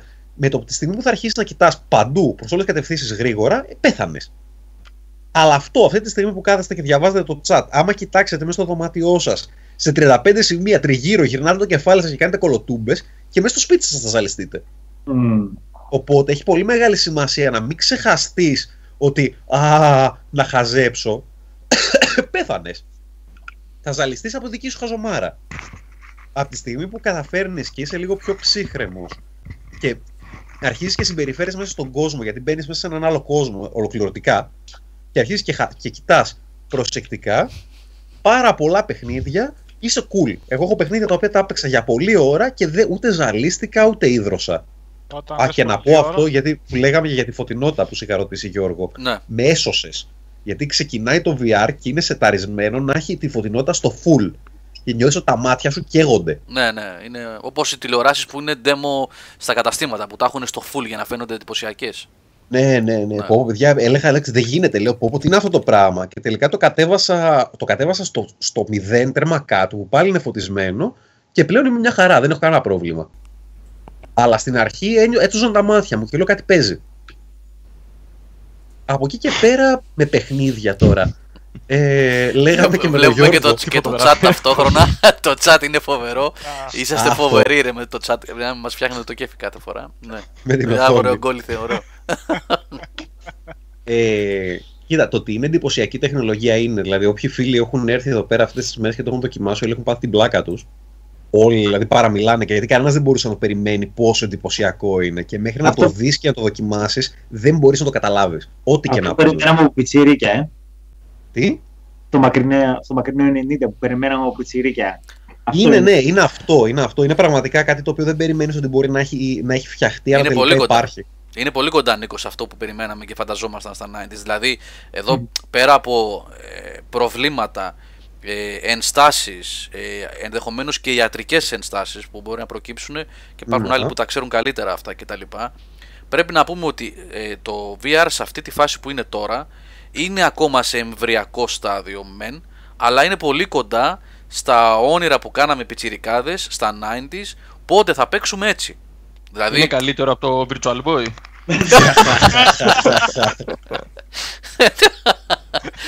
Λίγο, ένα κλικ είναι λαμπρό. Ένα κλικ πάνω. Λίγο, λίγο πιο κόκκινο.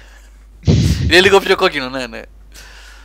Ε, ναι, είναι, είναι κοντά στα όνειρα που κάναμε, ας πούμε, τότε, ειδικά με τα... Ε, πώς λεγόταν αυτό του Stephen King, ε, που το VR, με τον Pierce Brosnan, Lone, Lone Mower Man. Α, The Lone Warman. Ναι, Ναι, ναι, ναι, αγιά σου. Και Αγιά σου. υπήρχε μια, εκεί μεταξύ 92 και 95, μια έτσι, ένας οργασμός με το VR. Ε, Και λίγο πιο παλιά. Και στο λίγο πιο παλιά. κινηματογράφο. Και λίγο πιο παλιά. Σωστά, σωστά, ναι. Ε, εγώ έχω πει, παιδιά, ότι η εμπειρία μου με VR δεν είναι τώρα η πρώτη. Και δεν μιλάω για το Virtual Boy που λέει ο Λάμπρος. Ήταν το 96, 1996 ή 97. Είχα πάει στο Λονδίνο, ε, επίσκεψη σε ένα φίλο Έλληνα που παντρεύτηκε μια κοπέλα από την Αγγλία και έμεινε μόνιμα εκεί, τέλος πάντων. Λοιπόν, και μ, έκανα λίγο τουρισμό στο Λονδίνο. Στο Τροκαντέρο, πώς λέγεται, σωστά το λέω, το προφέρω Τροκαντέρο. σωστά; Λοιπόν, ναι. Εκεί στη Leicester Square κοντά υπάρχει ένα arcade που είχε η Sega έναν ολόκληρο όροφο.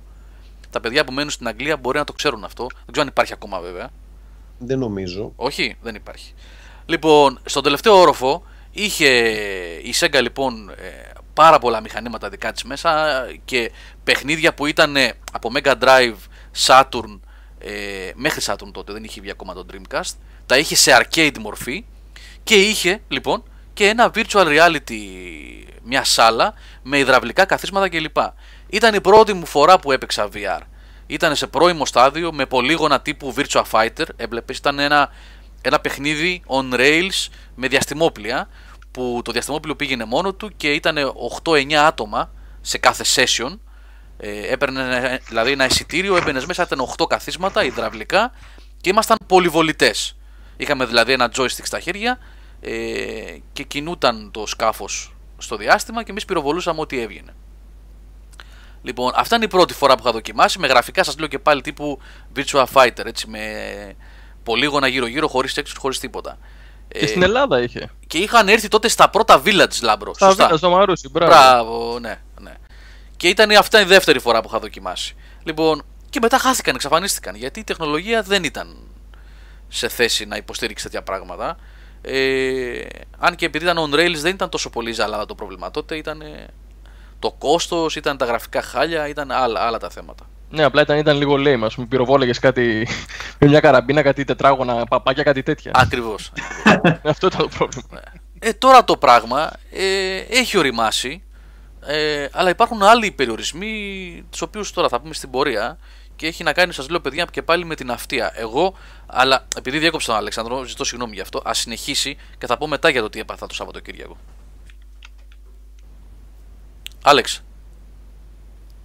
George, μισό λεπτό, Α. λίγο AFK εδώ πέρα γιατί είχα ένα ατύχημα. Οκ, οπο- εντάξει, συνεχίζω εγώ, συνεχίζω εγώ. Τότε να πω εγώ για την- αυτό που έπαθα το Σαββατοκύριακο και ε, σε λίγο Αλέξανδρος. Λοιπόν, παιδιά, εγώ το Σαββατοκύριακο, ε, ε, επειδή το έγραψε ένα παιδί στο άρθρο, ένα σχόλιο, ε, το δοκίμασα αυτό ε, και μιλάω για το Tomb Raider, γιατί έχω το Rise of the Tomb Raider να κάνω ένα update review θέλω, στο αρχικό του Σάββα, το περσινό.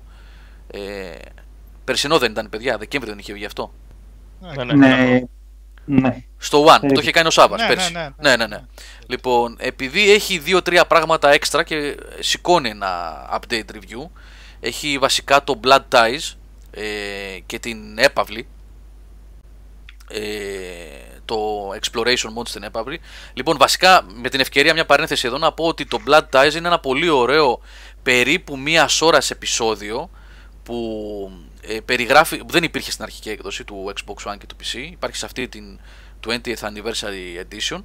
Ε, και είναι περίπου διάρκειας μιας ώρας εντελώς διαφορετικό, σε στυλ adventure είναι, θυμίζει παλιά Tomb Raider και όχι το Rise, το gameplay του Rise of the Tomb Raider το οποίο ε, έχει την έπαυλη όπως το θυμόμαστε από τα παλιά παιχνίδια πρέπει να πω, το design μοιάζει πάρα πολύ ε, και εκεί μέσα ε, στην έπαυλη η Λάρα αρχίζει και εξερευνεί το χώρο, ανακαλύπτει κρυμμένα μυστικά κτλ. που έχουν να κάνουν με τον παρελθόν της. Ε, δεν είναι content το οποίο ε, δικαιολογεί την εκ νέου αγορά του παιχνιδιού αν το έχετε παίξει στο One στο PC προς Θεού ε, αλλά είναι πολύ ενδιαφέρον και επίσης εκτός από αυτό όταν το τελειώσεις έχει free exploration mode και έχει και το Lara's Nightmare ένα λίγο τύπου Dark Souls θα τολμήσω να πω ε, mode στο οποίο, το οποίο είναι πάρα πολύ δύσκολο ε, παίζει πάλι μέσα στην έπαυλη και ε, αν χάνεις έχει από την αρχή ξεκινάς και πρέπει να κάνεις κάποια συγκεκριμένα πράγματα. Δεν σας το λέω για να μην δώσω spoiler. Ε, τέλος πάντων υπάρχει ένα ολόκληρο ε, κομμάτι στο Rise of the Tomb Raider για το PS4 το οποίο είναι εντελώς νέο. Δεν υπήρχε στις πα- στις προηγούμενες εκδόσεις και έχει ε, έχουν κάποιο ενδιαφέρον. Ο Νίκος εδώ λέει νομίζω ότι αυτά τα extras θα βγουν με free patch στην παλιά έκδοση του One Γιώργο. Αν βγούνε να τα κατεβάσετε γιατί έχουν ε, πολύ ενδιαφέρον. Να τα δείτε. Λοιπόν, τώρα προσέξτε τι γίνεται. Μέσα σε αυτό, σε όσους έχουν season pass, λέει ο Μιχάλης συμπληρώνει, οπότε το λέμε και στον αέρα. Λοιπόν, ε, όσοι έχετε VR και πάρετε το Rise of the Tomb Raider, υπάρχει η δυνατότητα να παίξετε το Blood Ties σε VR mode. Ένα παιδί λοιπόν στο άρθρο που είχα κάνει την Παρασκευή γράφει παιδιά ε, στο τάδε ξένο site έχουν γράψει ότι πάθανε πολύ μεγάλη ζημιά παίζοντας το Blood Ties ε, και ότι ήταν ζαλισμένοι κτλ. Ε, λοιπόν, παίρνω πάσα από το παιδί που κάνει το σχόλιο, λέω να το δω. Το δοκιμάσω, τι γίνεται, αυτό έχω. Και το ξεκινάω, παιδιά, και ε, το Blood Ties όταν ξεκινάς σε VR mode ε, σε υποχρεώνει να παίξεις σε comfort mode. Το ονομάζει comfort. Comfort mode σημαίνει ότι κινείσαι σαν να είσαι σε grid. Νίκο Πλωμαριτέλη, ε, Legend of Grimrock κλπ. Α, ναι. Δηλαδή, πατάς τις δύο σκανδάλες του DualShock και κάνεις ένα μπλοκ. Περπατάς. Ξανά, άλλο ένα, ένα μπλοκ. Δηλαδή, σημαδεύεις που θες να πας με τη Λάρα, πατάς και μετακινείσαι. Αυτό λέγεται comfort mode. Ίσα ίσα για να αποφύγεις αυτό που θα πάθεις μετά. Μόλις παίξεις λίγο στο comfort mode και πάρεις το κολλάι, το παιχνίδι κρίνει ότι μπορεί να σου, ξε- να σου ξεκλειδώσει συγγνώμη, το free mode. Ε, λοιπόν, παιδιά, λέω κάτσε να παίξω το free mode. Αυτό ήταν. Πέθανα. Ελεύθερο λάθος. Πέθανα, παιδιά. Δεν ξέρω Ε. τι ακριβώς συμβαίνει και κάποια παιχνίδια προκαλούν τέτοια ναυτία σε μένα προσωπικά και κάποια όχι. Μήπως είναι Προγραμματισμός. συνδυασμός χρωμάτων, Γιώργο, τίποτα. Νίκο μου δεν ξέρω τι να σου πω. Δεν ξέρω. Εδώ θα πρέπει να γίνουν μελέτες, δεν ξέρω, να υπάρχουν γιατροί, υπάρχουν οφθαλμίατροι, υπάρχουν οριλά, γιατί ο Σάββας μου που είχε να κάνει και με το λαβύρινθο το μεσημέρι που μιλάγαμε, δεν θα πω τίποτα άλλο, μην πούμε καμιά πλακία εδώ τώρα, γιατί είναι σοβαρά θέματα αυτά. Ε, με το λαβύρινθο στα αυτιά εννοώ και την ισορροπία στο σώμα, έτσι. Ναι. Ναι. Ε, αλλά το, το αφήνω εδώ, έτσι. Ε, υπάρχουν άνθρωποι που ξέρουν για αυτά τα πράγματα. Ε, και Αυτό είναι μετά... το θέμα όμως. Ναι. Εμείς δεν ξέρουμε ότι κάποιοι ξέρουν, αλλά δεν, πρέπει, θα πρέπει να υπάρχει μια έρευνα, ρε παιδί μου. Γιατί Ναι. εντάξει, σίγουρα στον καθένα λειτουργεί διαφορετικά, αλλά κάπου θα υπάρχει κάποιος να κάνει τέλος πάντων, ή αν υπάρχει να τη βρούμε αυτήν την έρευνα. Τι είναι και τι επηρεάζει. Ναι, ναι. Γιατί αυτή τη στιγμή πάμε στα σκοτάδια όλοι. Δεν ξέρω Νομίζω- κανείς μας τι μας τι μας ενοχλεί. Ναι, έτσι. νομίζω ότι θα, ε, αυτό θέλει ψάξιμο. Ε, δεν μπορώ να πω τίποτα παραπάνω γι' αυτό. Δεν ξέρω σε ποιο γιατρό μπορεί να, αποφυ- να απευθυνθείς, ποιες μελέτες πρέπει να γίνουν, ποιο ποσοστό ανθρώπων επηρεάζει ή όχι. Δεν ξέρω τι γίνεται με αυτό το θέμα. Ε, μα, υπάρχει σκοτάδι σε αυτό το. Έρευνες έχουν γίνει, έχουν γίνει μελέτες, υπάρχουν στατιστικές. Δεν ξέρω, δεν ξέρω τι γίνεται με αυτό το θέμα. Και δεν ξέρω Κοίτα, και πάντως. πώς προκύπτει από ποιο παιχνίδι ζαλίζεσαι ή όχι. Δηλαδή, πραγματικά, εγώ το μόνο που μπορώ να πω αυτή τη στιγμή είναι με αυτό ζαλίστηκα, με αυτό δεν ζαλίστηκα. Δεν μπορώ να πω σε, πιο, σε βάθος. Ναι, Γιατί- μόνο έτσι. Ναι. Και αυτό που ζαλίζει εσένα μπορεί να μην ζαλίζει εμένα. Ή το αντίστοιχο. Προφανώς, προφανώς. Και μετά για να κουμπώσω εδώ πέρα τώρα και να ε, ξαναπάρει το λόγο ο Αλέξανδρος, πρέπει να πω ότι μετά βάζω ε, το Drive Club. Τώρα θα σου πω Καρναούμπα και την ερώτηση. Βάζω το, το, το Drive Club VR, το οποίο παιδιά πρέπει να πω, το λέγαμε πριν την ώρα που παίζανε τα, τα κομμάτια εκτός αέρα. Δεν ξέρω αν θα καταφέρω να γίνει, να γίνει review αυτό. Ε, μετά τον πρώτο γύρο, μετά τον πρώτο γύρο, άρχισα να υδρώνω. Και όταν είπα στο Σάβα ότι ίδρωνα, μου λέει ότι μόλις νιώσει αυτό το συνέστημα, παράτα το, πέτα το από πάνω σου. Και μετά βλέπω και στα, στα warnings, στα disclaimer που έχει όταν φορτώνει ε, το εκάστοτε VR παιχνίδι, ότι αν νιώσει ζαλάδα ή ε, υδρώσεις, σταμάτα αμέσως. Παιδιά, επηρεάζει κάποιους ανθρώπους. Τώρα μιλάω για μένα προσωπικά, έτσι. Δεν είναι ούτε Ευαγγέλιο ούτε βίβλος αυτό, προς Θεού. Ε, κάποιους ανθρώπους, κάποια παιχνίδια θα τους επηρεάζουν πάρα πολύ. Και δεν ισχύει για όλο αυτό. Αυτό είναι το πρόβλημα. Δηλαδή, έχω παίξει πάρα πολλές ώρες, επειδή λέει ο Καρναούμπας εδώ, πόσο. Ε, ο Καρναούμπας το ρώτησε. Συγγνώμη, ρε παιδιά, να δω. Κάποιος είπε πόση ώρα έχω παίξει συνεχόμενα. Έχω παίξει παιδιά περίπου μία ώρα συνεχόμενα. Έχω παίξει παραπάνω από δύο ώρες, δύο-δυόμιση ώρες session με πεντάλεπτα διαλύματα. Δηλαδή, παίζω, ξέρω εγώ, μισή ώρα, βγάζω το headset, να βάλω ένα άλλο παιχνίδι ε, ή να πιω μια γουλιά καφέ, ξέρω εγώ, να πάω μια τουαλέτα. Αλλά ε, δεν με έχουν πειράξει όλα τα παιχνίδια το ίδιο. Το Until Dawn το τελείωσα και μάλιστα το τελείωσα και δεύτερη φορά για να, ε, γιατί έχει κάποια μονοπάτια στο gameplay του διαφορετικά με το τρενάκι που πρέπει να κάνεις. Ήθελα να το δω όλο δηλαδή το παιχνίδι. Κανένα πρόβλημα. Κανένα πρόβλημα απολύτως. Ε, Κάποιες VR εμπειρίες σαν το Alumet που έγραψα, που είναι animation ταινία ουσιαστικά σε VR Ένα περιβάλλον. συγκλονιστικό. Το οποίο είναι συγκλονιστικό αυτό. Και για μένα αυτό είναι πραγματικά το μεγάλο μέλλον, ε, το μέλλον μάλλον του VR σε πολύ μεγάλο βαθμό, αν ε, ήρθε για να μείνει τελικά αυτή η τεχνολογία. Ε, στο EVE δεν ζαλίστηκα, στο PlayStation VR Worlds δεν ζαλίστηκα καθόλου. Ε, τι να σας πω, έχει να κάνει με τον προγραμματισμό, με τα χρώματα, με τα hertz που, τρέχουνε, που τρέχει η οθόνη εκείνη τη στιγμή, πώς έχει προγραμματιστεί; Ειλικρινά δεν μπορώ να πω γι' αυτό. Είναι πολλές παράμετροι. Εγώ Πάρα αυτό που πολλές. λες με, το, με τον υδρότα το έχω πάθει που δεν με ζαλίζουν. τα παιδιά. Δηλαδή μπορώ να παίξω οποιοδήποτε FPS, δεν, με, δεν έχω ζαλιστεί ποτέ. Και ζαλίστηκα, παιδιά, το, το, θυμάμαι πριν κάνα δύο χρόνια. Γιατί, Γιατί πε- έπαιζε η γυναίκα μου ένα FPS και κάθομαι εγώ τώρα στο σαλόνι και χαζεύω. Και επειδή τώρα αλλού φαντάζομαι εγώ το μυαλό μου κά- κάτι παίζει με το συγχρονισμό ματιών και εγκεφάλου μάλλον. Γιατί αλλού όταν θες εσύ να παίζεις, προφανώς κάπου θεωρείς ότι πας και πάει το μυαλό σου και πάνε και τα μάτια σου και τα χέρια σου. Όταν εγώ νομίζω ότι θα πάει αριστερά, αλλά ο άλλος πάει δεξιά. Αυτό το πράγμα μου, μου, μου έφερε υδρότα, φίλε, και αναγούλα. Καμία σχέση με VR, έτσι. Απίστευτο. Μμμ. Ή κάποια στιγμή θυμάμαι πολύ μικρός βέβαια τότε, αλλά θυμάμαι ότι είχα ζαλιστεί με το Rayman το πρώτο. Μιλάμε τώρα 90 κάτι. από τα χρώματα. Αυτό που, Παρανοϊκό, βάζει, έτσι. ναι, αυτό που βάλει ο χρόνος εδώ πέρα στο τα warnings που είναι τα, τα βασικά warnings που παίζουν γενικά σε όλα τα video games.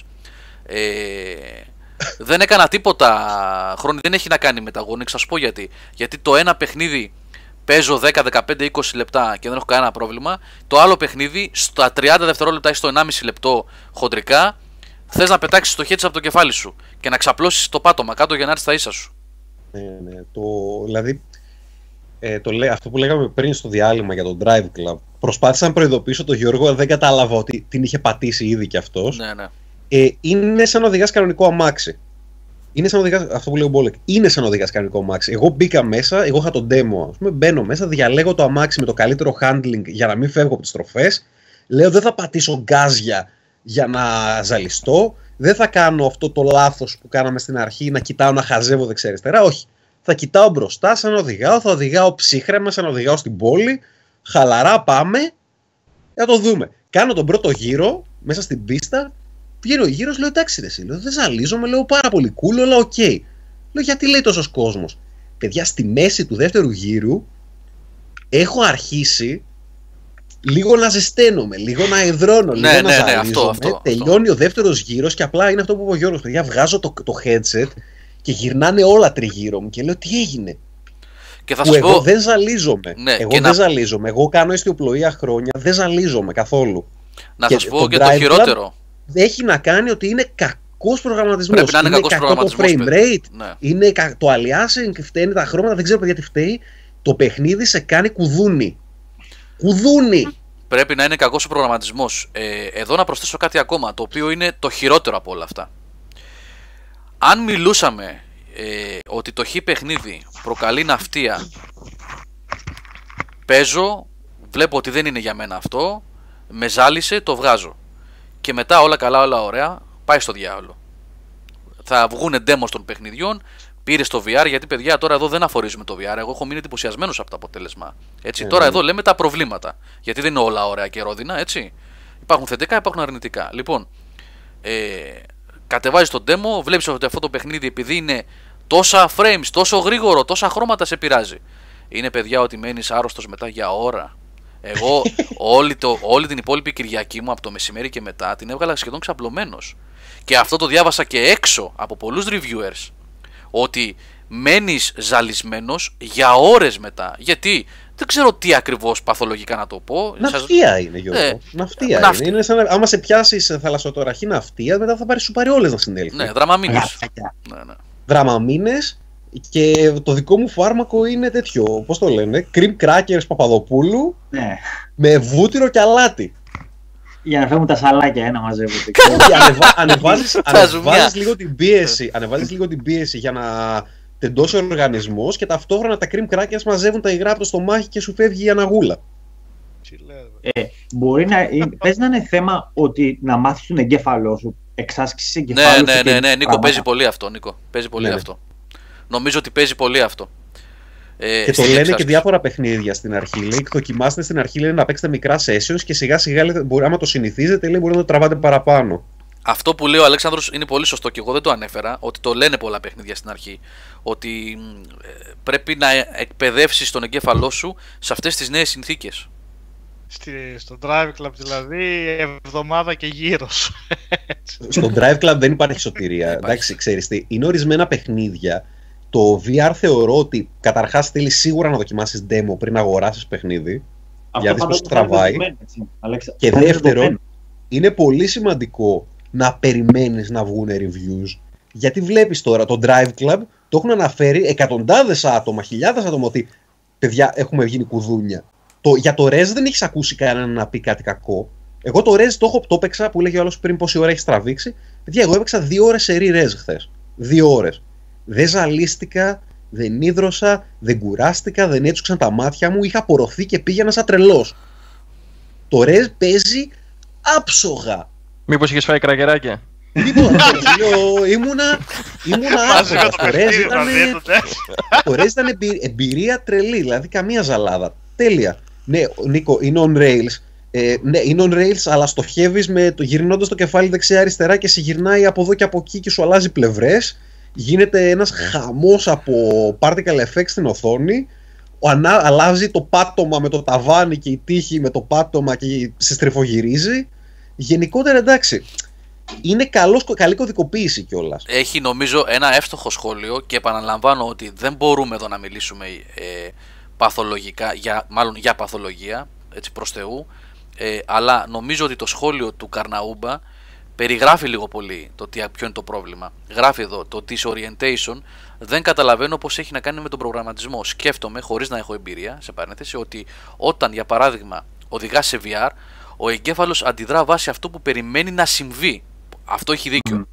Δηλαδή, αν βλέπεις ότι στρίβεις, ο εγκέφαλος περιμένει να νιώσεις το σώμα σου να στρίβει αντίστοιχα. Ίσως η έλλειψη αυτής της κίνησης της κίνησης Μπορεί. να δημιουργεί την αυτία. Νομίζω Μπορεί. Α. ότι περιγράφεις σε αυτό το σχόλιο πολύ σωστά το τι συμβαίνει και παθαίνεις το σοκ αυτό. Ε, ίσως γι' αυτό και στο Rez να μην είναι. Γιατί όσο πιο πολύ απέχεις από την πραγματικότητα, τον πραγματικό κόσμο. Καλά, έστω τώρα το Μπορεί, πάμε σε sci-fi μπορεί. εξηγήσεις, αλλά το Drive Club είναι πιο Έχει καθαρό. λογική, ναι. Καταλαβαίνεις ότι οδηγάς αυτοκίνητο. Μπορεί, μπορεί, Οπότε, γιατί να είναι πιο φυσιολογικό. Υποσυνείδητα μπορεί να το δέχεται αλλιώς ο οργανισμός. Γιατί δεν έχει να κάνει με την κίνηση σε, πώς το λένε, σε, δυσ- σε 3D περιβάλλον. Ας πούμε στο EVE που είπε ο Γιώργος και στο Battlezone που παίζω τώρα εγώ, είσαι μια χαρά. Δεν έχεις πρόβλημα και κάνεις και κολοτούμπες, ας πούμε, στο EVE, δηλαδή στριφογυρνάς αεροπλάνα και τέτοια. Ο Πάνος έχει φτιάξει. Αυτό είναι, αυτό είναι VR. Η φωτογραφία του Α, Πάνου είναι, αυτό. είναι έπως, ναι. Ε, εδώ να σας πω κάτι. Θυμάστε στο βίντεο, α, όσοι το είδατε, που είπα για το Super Stardust, Stardust Ultra VR, ότι ήταν το παιχνίδι που με ε, διέλυσε. Καλά, τα Ε, δεν το Super έχω Stardust δοκιμάσει, ήταν ούτως ή το άλλως. φοβάμαι. Ακούστε τώρα. Το Super Stardust Ultra VR, δεν μιλάω για το κανονικό του mode, επαναλαμβάνω γιατί ίσως να μην το έκανα σαφές στο βίντεο. Όταν παίζεις το κανονικό mode, δηλαδή το Twin Stick Shooter, απλά βλέπεις τη σφαίρα στην οποία ε, έχεις το σκάφος σου και σκοτώνεις τα, τους αστεροειδείς κτλ. Τεράστιο μπροστά σου και γύρω γύρω ένα εικονικό περιβάλλον. Υπάρχει μέσα στο παιχνίδι ένα VR mode που είναι τύπου ε, ή Valkyrie ή Battlezone, δηλαδή first person, έτσι. Αυτό. Α, έτσι είναι. Ναι, ναι, ναι, ναι, ναι. Ναι, είναι first person. Κανονικά. Α. Ναι. Το οποίο ήταν το παιχνίδι που δεν άντεξε ούτε 10 δευτερόλεπτα, σας είπα. Λοιπόν, αυτό έφαγε ένα patch ε, την αμέσως επόμενη μέρα από το launch 3 GB. 3 GB είναι όλο το παιχνίδι, 4 πόσο είναι. λοιπόν, δεν το, δεν το ξαναέβαλα, δεν τόλμησα να το βάλω πάλι να το δω, να το δοκιμάσω. Αλλά θέλω να δω αν, αν έχουν αλλάξει κάτι σε αυτό το mode, αν έχουν γίνει παράπονα και έχουν αλλάξει κάτι. Και εκεί θα συμπεράνω τουλάχιστον μέχρι ενός βαθμού αν όντως έχει να κάνει και με προγραμματισμό του παιχνιδιού. Ε, ανάλυση, Μπο- hertz ή οτιδήποτε άλλο. Μπορεί και να το αφαιρέσανε κιόλας. το patch. Αυτό τώρα που λέει ο Χρόνης για τα horror games. Εδώ παιδιά πρέπει να σας πω ότι όσο κι αν ε, δημιουργούνται θέματα ε, με ναυτίες κτλ. Έπαιξα το kitchen demo Χρειάστηκες. ναι, του, ναι. λοιπόν, έχει ανέβει το demo. Ε, εγώ δοκίμασα βασικά πρώτη μέρα που πήρα το VR το ε, beginning hour demo. Νομίζοντας ότι θα υποστηρίζει VR. Το beginning hour, έτσι, είναι αυτό που είχα δοκιμάσει στην E3 που σας είχα περιγράψει όταν είχα γυρίσει, θυμάστε, ότι είχα παίξει VR με το Resident Evil 7. Λοιπόν, δεν το υποστήριζε. Λίγες μέρες μετά όμως, βασικά στο launch του PlayStation VR στις 13 του μήνα βγήκε το Kitchen Demo, το οποίο είναι άλλο. Ναι. Είναι άλλο, δεν αυτό που είναι. είχα παίξει εγώ σε VR Ναι, στην ναι. E3. Λοιπόν, και το βάζω. Παιδιά, τα horror games, τα horror games σε VR, για όποιον αντέξει το στομάχι του, ξέρεις, έχει το κουράγιο, και δεν λέω ότι εγώ είμαι, απλά μου άρεσε αυτό που είδα, θα, κα- θα σημειώσουν επιτυχία. Δηλαδή, η εμπειρία του να... Βέβαια, Πρέπει να. Εκεί ουσιαστικά πάμε. θα έχει ένα φράγμα. Σε άλλο. επ- Ναι, αυτό. Πάμε σε άλλο, άλλο πρόβλημα εκεί. Ε, είναι τόσο έντονο και ρεαλιστικό, παιδιά. Τα βίντεος δεν μπορούν να αποδώσουν. Πηγαίνετε να πατήσετε να δείτε στο YouTube τα ε, demos του Kitchen. Θα δείτε, ρε παιδί μου, έχουμε ανεβάσει και εμείς ένα. Ένα που έκανα εγώ stream. Ε, α, και παρεπιπτόντω. Ε, διαπίστωσα γιατί έκανα τεστ με το συγκεκριμένο βιντεάκι, είναι στο κανάλι μας δεν υπάρχει δυνατότητα όταν ε, γιατί έλεγε ένας φίλος κάτι ε, έγραψε ένα σχόλιο γιατί δεν ε, φαίνεσαι όταν παίζεις ε, διαπίστωσα τουλάχιστον αυτό έχω δει μέχρι στιγμής ότι όταν κάνεις stream με PlayStation VR επειδή η κάμερα προφανώς είναι απασχολημένη στο 100% με το να διαβάζει την κίνηση του headset και του DualShock ή των Move χειριστηρίων δεν μπορεί ταυτόχρονα, υποθέτω, να σε δείχνει και στο stream. Οπότε δεν υπάρχει ε, δυνατότητα, εκτός αν έχεις VDSL και έχεις βάλει και μια καμερούλα δίπλα να κάνεις stream ε, σε ξεχωριστό παράθυρο κτλ. κτλ. Άλλο αυτό. Ε, πάντως το, τα horror παιχνίδια ε, θα σημειώσουν μεγάλη επιτυχία για όσους αντέχουν. Είναι πολύ εντυπωσιακό και δεν περιγράφεται η αίσθηση του ότι είσαι αυτή η τύπησα που εμφανίζεται στο kitchen με το μαχαίρι. Ας Νομίζεις την έχω ότι είναι εφιάλτες μπρο... ακόμα. Ναι, νομίζω ότι είναι μπροστά σου. Νομίζω ότι είναι μπροστά σου. Ναι, ναι, ναι. Παιδιά, εγώ το είδα αυτό και λέω εντάξει θα, θρυ... θα θρηνήσουμε θύματα γιατί πραγματικά λίγο να έχεις θέμα με την καρδιά σου μπορείς να την πατήσεις πάρα πολύ Ναι, άσχημα. ναι, ναι, ναι. Σε Εγώ. εκείνο το σημείο που βάζει τα χέρια τα ματωμένα πάνω στα Α, μάτια αυτό, σου. αυτό, αυτό, αυτό. Εκεί πέρα απλά πετάγεσαι και μετά στο τέλος που έρχεται παιδιά και σε καρφώνει με το μαχαίρι. Παιδιά, εγώ, εγώ, δεν το, εγώ το παραδέχομαι. Έκλεισα τα μάτια μου. Εγώ το έβαλα στη γυναίκα μου αυτό, το έπαιξα εγώ μια φορά και της λέω: Έλα να δεις, χωρίς να της πω τι είναι. Της λέω: Είναι ένα χώρο να είσαι έτοιμη όμως, έτσι. Την ξεκάνεις τη γυναίκα. Ωραία, αυτή. το είναι, έχω πει. προσέξτε, Πάει, τέλος. όλο και όλο το, το ντεμάκι αυτό, όλο και όλο είναι 4 λεπτά, δεν είναι. 3. Ναι, τόσο. Λοιπόν, Βίντεο είναι στην ουσία. Απλά μπορείς και τριγύρω. Ακριβώς. Κοιτά τριγύρω, Ναι, δεν ναι. έχει κάτι να κάνεις. πετάς μόνο μπορείς να την την κάμερα στην αρχή για να ξυπνήσεις τον άλλο που είναι κάτω. Αυτό, ναι. Ναι. Λοιπόν, με το που εμφανίζεται αυτή την πρώτη φορά, χωρίς καν να την πλησιάσει και την πιάνει με την άκρη του ματιού της, ότι μέσα από το σκοτάδι εμφανίζεται και πάει πίσω από τον τύπο που προσπαθεί να σε ελευθερώσει, το πέταξε. Μου λέει: Πάρ το, εγώ δεν παίζω αυτό το πράγμα. Πάρ το τώρα όπως είναι. Αφού στην αρχή λέει: Πω, πω, εντυπωσιακό, είναι μπροστά μου αυτός. Γιατί σπρώχνεις τα χέρια σου μπροστά, το DualShock βασικά δηλαδή, για να σου κόψει με ένα μαχαίρι αυτός κάτι δεματικά που σου έχουν πιάσει τα χέρια και σε έχουν παγιδευμένο. Και λέει τι πράγμα είναι αυτό σαν ζωντανό και τα λοιπά και με το που βλέπει μέσα από τα σκοτάδια να εμφανίζεται αυτή η παλαβή ας πούμε με το μαχαίρι λέει πάρ' το τώρα όπως είναι, πάρ' το. Κάφτο. Και πέταχτα το από το μπαλκόνι. Δεν το θέλω σπίτι μου αυτό. ναι, ναι. Θα, θα κλάψει κόσμος. Είχα υπνίες, ρε. Εγώ είχα ταχυπαλμία μετά για καμιά ώρα. Ναι, ναι. Υπάρχουν... Τα horror, παιδιά, είναι πολύ... άμα έχουν jump scare ε, στο, στο VR θα την πάθεις πάρα πολύ άσχημα. Και στο Until Dawn. Ζαλάδες, ταχυπαλμίες. Ναι, Νίκο, θα έχει. Θα έχει. Ωραία Ε, πράγματα, και ναι. στο Until Dawn έχει πάρα πολλά σημεία που φοβάσαι, παιδιά. Το Until Dawn, ε, εγώ είμαι ο πρώτος που το είχα έτσι αγνοήσει και έλεγα «Οκ, εντάξει, on rail shooter» με, και βάζουν και το όνομα Until Dawn επάνω. Πρώτα απ' όλα να σας πω, νομίζω ότι θα ελπίζω να προλάβω, θα, το- θα το κάνω όμως, ναι. θα βγάλουμε το review αν το πρώτο αύριο για VR, ε, μιας και το τελείωσα κιόλας. Ε, έχει ένα έτσι επιφανειακό σενάριο που σχετίζεται με το πρωτότυπο Until Dawn. Έχει ένα ενδιαφέρον εκεί για όποιον γούσταρε την ιστορία του Until Dawn. Ε, και σε setting και λίγο στη γραφή του, λίγο έτσι γύρω γύρω. Ε, αλλά είναι ένα πολύ ωραίο και καλοφτιαγμένο on-rail σουτεράκι που είναι, δεν ζαλίζει, πολύ σημαντικό, εντυπωσιακό, δείχνει τι μπορεί να κάνει το PlayStation VR στα καλά του, στα καλά του το PlayStation VR δηλαδή, όχι στις ναυτίες και στις δυσκολίες, αλλά στο ωραίο πρωτότυπο gameplay που μπαίνεις μέσα σε έναν κόσμο.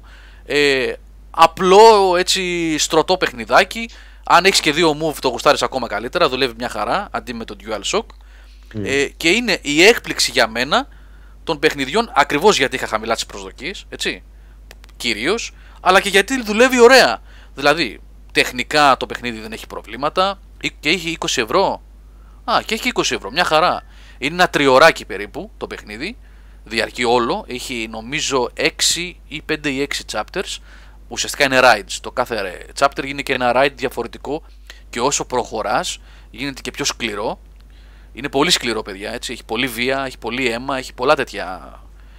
Και έχει ωραία jump scares χωρίς να τους να τους κάνει κατάχρηση. Δεν ε, καταχράζεται το μπα στα μούτρα σου, ξέρω εγώ κάτι. Ε, στρωτό gameplay, ωραίες στιγμές με βούτες του βαγονέτου που νιώθεις στο μάχη σου να πηγαίνει πάνω κάτω χωρίς να σε πιάνει ναυτία όμως. Γενικά είναι για μένα το Until Dawn ένα πολύ ωραίο δείγμα του πώς μπορούν να δούμε όμορφα παιχνιδάκια που να προσφέρουν μια ωραία εμπειρία VR ε, σε on-rails περιβάλλον. Εγώ προσωπικά, από αυτά που έχω δοκιμάσει μέχρι στιγμής, ως, ως ε, showcase που είπε και ο Νικόλας προηγουμένως, ως, ως demo του τι μπορεί να κάνει το VR, αυτό θα σύστηνα σε κάποιον. Αν μου έλεγε ποιο να πάρω ρε Γιώργο αυτή τη στιγμή και να γουστάρω να παίζω εδώ με την παρέα και με τους φίλους μου και την οικογένεια, θα έλεγα αυτό. Και το, και το Drive Club VR. Άμα θες να χάσεις κιλά και να κάνεις εμετούς, ναι. Ε, Πρέπει για δίαιτα. να πω κάτι τώρα. Δηλαδή, δεν πρέπει πλέον να είναι δεδομένο ότι πριν αγοράσεις ένα παιχνίδι πρέπει να υπάρχει το demo. Θα έχει προβλεφθεί αυτό από την ε, Sony. Θα σε γελάσω, αλλά σχε- υπάρχουν ε, για τα περισσότερα παιχνίδια που έχουν βγει υπάρχει demo. Μμ. Είναι, δεν, δεν γίνεται αλλιώς έτσι. Διότι άμα αγοράσει το παιχνίδι και ζαλίζεσαι, το οποίο είναι φυσιολογικό από ό,τι μου πάτε, μπορεί να συμβεί σε οποιονδήποτε, πρέπει να έχει μια προστασία από αυτό ή έστω κάτι να. Κοίτα, Να- θέλει, θέλει, σου λέω, θέλει λίγο. Καταρχάς θέλει να το συνηθίσεις γιατί τις πρώτες φορές σίγουρα θα ζαλιστείς, γιατί δεν, θα, δεν ξέρεις πώς θα συμπεριφερθείς. Άμα συμπεριφερθείς έτσι όπως λέγαμε, λίγο ψυχραιμίας στο πώς κοιτάς και κατεβάσεις και τη, το, φω- τη φωτεινότητα να μην σε τυφλώνει και το κάνεις, ας πούμε, να, να κάτσεις καλά στο κεφάλι, μετά είσαι ok. Μετά από εκεί και πέρα, δοκιμάζεις τα demos μια-δυο φορές και βλέπεις, σε ζαλίζει, δεν σε ζαλίζει. Εγώ από τα demos και μόνο κατάλαβα τι, τι με ζαλίζει και τι όχι. Το Drive Club δεν πρόκειται να το κουμπίσω, δεν υπάρχει περίπτωση, με, με έβγαλε knockout. Εγώ Νίκο είμαι απόλυτος σε αυτό. Εγώ α- αν ήμουν αυτή τη στιγμή ε, καταναλωτής και δεν είχα... Δηλαδή αφού το δοκίμασα, έτσι, έχω δει τι μπορείς να πάθεις, τι δουλεύει σωστά και τι όχι. Αν δεν είχα demo για παιχνίδι, δεν θα αγόραζα ου- ούτε μισό ευρώ δεν θα έδινα. Ωραία. Χωρίς demo, μετά από το σοκ που έπαθα με το Blood Ties του Rise of the Tomb Raider και το Drive Club VR, χωρίς demo, ούτε μισό ευρώ. Ναι, και ανακοινώθηκε. Κάποια- Χειρότερη ρίξε ένα, μια ενοικίαση άμα το νοικιάζουν. Ναι, ναι, κάπου. ναι, ναι, ναι, παιδιά. Αν δεν δοκιμάσετε. Δεν, δεν αξίζει να αγοράσεις αν το έχεις κάνει. Ε, κάποια ηλικία θα το απαγορεύατε, ας πούμε, εσείς τώρα; Μα το απαγορεύουν, το, το απαγορεύει το ίδιο το PSVR με το που ξεκινάει κάτω από 12 ετών. Κάτω από 12, εντάξει. Ναι, Ναι. ναι. Κάτω από 12 ετών. Το απαγορεύει. Δηλαδή με το που ξεκινάει λέει ότι δεν είναι κατάλληλο για παιδιά κάτω των 12 ετών. Γιώργο, τι άλλα παιχνίδια είδες αυτές τις μέρες; Για πες λίγο, Πέρα γιατί από αυτά που είπαμε. κόπηκες μία, για πες το πάλι. Τι άλλα παιχνίδια είδες πέρα από αυτά που είπαμε; Εκτός από το Riggs, το Ναι. οποίο δεν έχω δει καθόλου, ε, από το πακέτο των 9-10 παιχνιδιών τα έχω δει όλα. Δηλαδή, Battlezone, Eve, από λίγο έτσι, δηλαδή Ναι. ε, έπιασα, πώς να, να το πω, έπεσα με τα μούτρα σε ένα να το τελειώσω για να μπορώ να γράψω ένα κειμενάκι, το Until Dawn στην προκειμένη, έτσι, και από λίγο έχω δει το VR Worlds, το Battlezone, ε, το Drive Club VR μαύρη ώρα, και η στιγμή, ε, το δωρεάν που είναι το Playroom VR, το οποίο είναι ενδιαφέρον, για, καλά για δωρεάν δεν το συζητάμε, και δουλεύει ωραία, επειδή είναι ναι, family. ναι, πολύ ωραίο. Έχει πολύ πλάκα με παρέα. Έχει εδώ. πλάκα. Με, με τρία άτομα που ήμασταν εδώ πέρα και παίζαμε, είχε πολύ γέλιο. Είναι ωραίο και επειδή είναι family game, ούτε ζαλίζονται τίποτα. Είναι σιγουράκι αυτό. Ναι. Ε, το Bound σε VR mode έπαιξα, αυτό που είχε κάνει ο Νικόλας review. Το θυμάστε Ναι, το third. αυτό θέλω πολύ να το δώσω. Είναι για πάρα να- πολύ ωραίο και είναι και όλα σε ένα δείγμα third person παιχνιδιού σε VR περιβάλλον. Όπα. Ωραίο ringtone. Καλό. Είναι μπότσακ. Λοιπόν, ναι, το Bound είναι μια περίπτωση που έχει ενδιαφέρον γιατί ε, ρ- γράψανε κάποια παιδιά και ρωτήσανε πώς θα μπορείς να παίζεις αν κάποτε βγουν παιχνίδια συγγνώμη, τύπου Witcher ή ξέρω εγώ γενικά third person. Το Bound λοιπόν είναι ένα τέτοιο δείγμα παιχνιδιού. Είναι ένα παιχνίδι που είναι third person που συνεχίζεις σε VR περιβάλλον να ελέγχεις τον χαρακτήρα σου με τους μοχλούς κανονικά τους αναλογικούς όπως θα το έκανες όταν έπαιζε η τηλεόρασή σου. Απλά όταν ο χαρακτήρας σου είναι πολύ κοντά, νιώθεις ότι θα τον κάνεις έτσι και θα τον αγγίξεις και γυρίζοντας τριγύρω ε, είσαι μέσα μαζί του. Αλλά συνεχίζει όμως η κάμερα να τον ακολουθεί και να πηγαίνει, να φεύγει μακριά σου δηλαδή ο χαρακτήρας κλπ. Επίσης πρέπει να πω ότι το Bound είναι το πιο καθαρό σε ανάλυση παιχνίδι που είδα, καθόλου θολούρα. Βέβαια αυτό οφείλεται στο ότι δεν έχει texture στο παιχνίδι καθόλου, είναι σαν vector graphics, έτσι είναι όλα ε, flat κτλ. Όπως το Battle Zone. Ακριβώς, ακριβώς, ναι, ναι. ναι. Και κάποια στιγμή πρέπει να πούμε στο zoom, λέει ο Καρναούμπας, και να μιλήσουμε για τσόντε σε VR. Νομίζω Έχουμε κάνει, ε. την έχουμε κάνει τη συζήτηση Καρναούμπα και έχουμε πει ότι θα βγουν πολλά λεφτά εκεί, φίλε. Θα βγουν πολλά λεφτά. Όχι, Ο Νίκο. Αλέξανδρος Έλα, Νίκο, ναι, ο συγγνώμη, πες, Αλέξανδρος πες. Ναι. που δεν είναι παντρεμένος θα μας πει αν είδε ή όχι; Τι; Αν έβαλε το χέρι στην Άστα. τέτοια. Όχι, δεν άκουγα. Πραγματικά. Α, ε, δεν υπάρχει υποστήριξη ρε, για το PSVR ακόμα για τέτοια. Εντάξει, οκ. Αφού συνδέεται σε PC, πώς δεν Αφού- υπάρχει; δεν, δεν το Ναι, αλλά να κάνει head tracking και όλα αυτά δεν έχει. Αν θες και χετράκι, Ναι, τη αλλά να αλλού. δεις εντάξει. Ε, Αυτό ναι, είναι άμα το δεν το δεις, point. άμα δεν το δεις το Το μωρό δω ζωντανό, κάτω το μωρό πρέπει να σπαρταράει μπροστά, να το βλέπεις. τζίγκλι τζίγκλι να είναι. Λοιπόν, ε, Ε, ε, τέτοιο, με κορόιδευε η κοπέλα μου. Ε, της λέω ήρθε, λέω δεν θα βγω σήμερα. Μου λέει, Όχι, κατάλαβα, λέει. Πώς το λένε. Ε, VR ε, λέει τσόντες απόψε. Λέω δεν θα δούμε πώς είναι. Tennis simulator λέει ο άλλος. Κάνω για review, πες για το site είναι. Ε, Για το site. το site. Μελέτη κάνω, Λούνα μελέτη. 3D. Αυτό θέλω τώρα. Λούλα.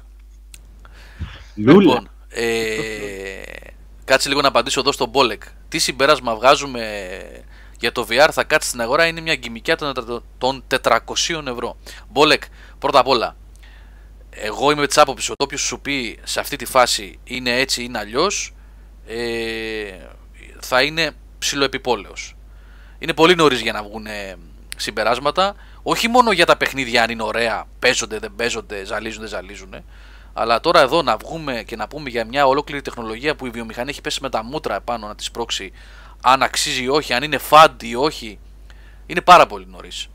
Έχει θετικά, έχει αρνητικά. Υπάρχουν, ε, συ- υπήρξαν στιγμές αυτή τη βδομάδα που έχω περάσει με το μηχάνημα που καραγούσταρα, νιώθω σαν μικρό παιδί που ζει ας πούμε ένα όνειρο που γίνεται πραγματικότητα και υπάρχουν και, στι, υπάρχουν και υπήρξαν μας, συγγνώμη, στιγμές που ήθελα να το πετάξω από το παράθυρο γιατί με έκανε άρρωστο. Ένιωθα χάλια με τον εαυτό μου. Ζαλισμένος να μην μπορώ να σηκωθώ όρθιος, έτσι. Λοιπόν, πρέπει να το δούμε. Πρέπει να δούμε πού θα κάτσει η μπίλια. Είναι νωρίς. Πρέπει να δούμε τι δουλεύει. Νομίζω ότι και οι developers τώρα αυτή τη στιγμή πειραματίζονται επάνω μας, έτσι, κλασικά, στο κασίδι το κεφάλι, να δουν τι δουλεύει, τι δεν δουλεύει, ποια παιχνίδια ο κόσμος μπορεί μαζικά να παίξει και ποια όχι. Εγώ πιστεύω ότι δεν υπάρχει καμία τυχαία τα first person παιχνίδια. Με την τεχνολογία έτσι όπως είναι τώρα και με τα παιχνίδια, τα δείγματα που έχουμε δει αυτή τη στιγμή, πολύ δύσκολο το βλέπω. Μπορεί να υπάρχουν άνθρωποι που θα μπορούν να τα παίζουν και να μην μασάνε Χριστό. Αστροναύτη, ξέρω εγώ. Εντάξει. Οκ. Θα υπάρχουν, βεβαίως θα υπάρχουν παιδιά που δεν θα έχουν πρόβλημα.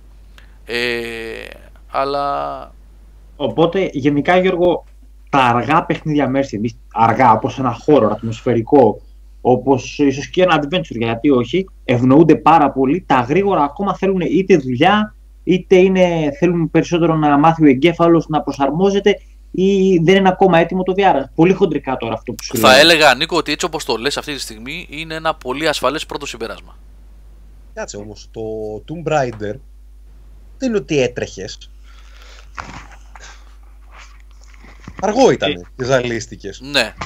Ναι. Αργό ήταν το... το Ναι, δεν είναι αργό. θυμάμαι Είναι αργό. Όταν Εδώ, πας στο κανονικό το mode, στο free mode. ναι, ε, δεν μπορεί να πεις ότι είναι γρήγορο, όχι. Δεν μπορείς να πεις Να, ότι είναι όχι. γρήγορο. Έχει Ναι, δίκιο. το EVE ας πούμε και το Battle Zone και το Res που γίνεται της πόπης στην οθόνη δεν ζαλίζεσαι. Βασικά το EVE, το EVE δεν είναι γρήγορο.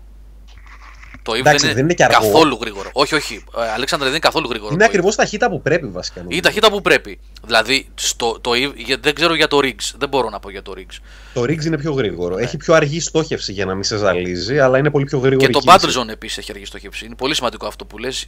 ναι. Νομίζω ότι δεν είναι τυχαίο αυτό. Ε, το EVE δεν είναι γρήγορο. Το EVE μπορεί να έχει κίνηση σε 360 μοίρες, αν το λέω σωστά, γύρω-γύρω σε ανοιχτό περιβάλλον στο, στο διάστημα. Δεν είναι όμως γρήγορο. Δεν Δεν μπορείς να πεις ότι είναι γρήγορο. Τα trailers που κυκλοφορούν είναι λίγο παραπλανητικά. Και νομίζω ότι υπάρχει λόγος που δεν είναι γρήγορο. Είναι πολύ γρήγορο το EVE όταν κάνεις launch μέσα από το hangar. Ξέρεις, που σε πετάει και νιώθεις ότι θα Ναι. κολλήσεις πίσω. Όταν είσαι στο διάστημα, δεν μπορείς να πεις ότι είναι γρήγορο του τύπου. Ξέρω εγώ. Όχι, δεν είναι τεράστια. Ναι, τα ισχύει, τα ισχύει. Νομίζω εκεί πρέπει να είναι το trick. Ένα παιχνίδι, ένα FPS τύπου Metroid που δεν είναι τρομερά γρήγορα, που είναι πιο μεθοδικές και αργές οι κινήσεις, Ναι. νομίζω ότι είναι εφικτό. Ένα Metroid δηλαδή πολύ θα ήθελα να το δω εκεί. Αλλά ένα Ένα- Call of ένα- Duty Ένα που Doom, πας, ας πιστεύω. πούμε, πετώντας και χοροπηδάς δεξιά-αριστερά και τρέχεις σαν, πα- σαν παλαβός, εκεί πέρα νομίζω δεν έχεις καμία ελπίδα. Ναι, ναι. Ε, αυτό τώρα που είπε ο Αλέξανδρος και ο Νίκος που είπαν για το Tomb Raider και ταχύτητα και τα λοιπά. Ε, εγώ προσωπικά, εγώ ως Γιώργος, εντόπισα το πρόβλημα στην ταυτόχρονη κίνηση της κάμερας με τον δεξί αναλογικό μοχλό και με το κεφάλι μου. Α, Εγώ προσωπικά εκεί ζαλίζομαι. Δηλαδή, ε, προσπάθησα να συγχρονίσω αυτό που λένε hand-eye coordination, δηλαδή να μην γυρίζω όπως πολύ σωστά είπε ο Αλέξανδρος πιο πριν στην αρχή, να μην κάνεις τρέλες. Δηλαδή, γυρίζοντας τον δεξί αναλογικό μοχλό για να πάω την κάμερα εκεί που θέλω, να προσπαθήσω να συντονίσω το βλέμμα μου, το γύρισμα του κεφαλιού μου βασικά, όχι το βλέμμα, με το δάχτυλό μου. Αν καταφέρεις και εκπαιδεύσει τον εαυτό σου να το κάνει αυτό, νομίζω ότι η ναυτία θα μειωθεί πάρα πολύ. Εγώ δεν το κατάφερα αυτό. Θέλει χρόνο, θέλει.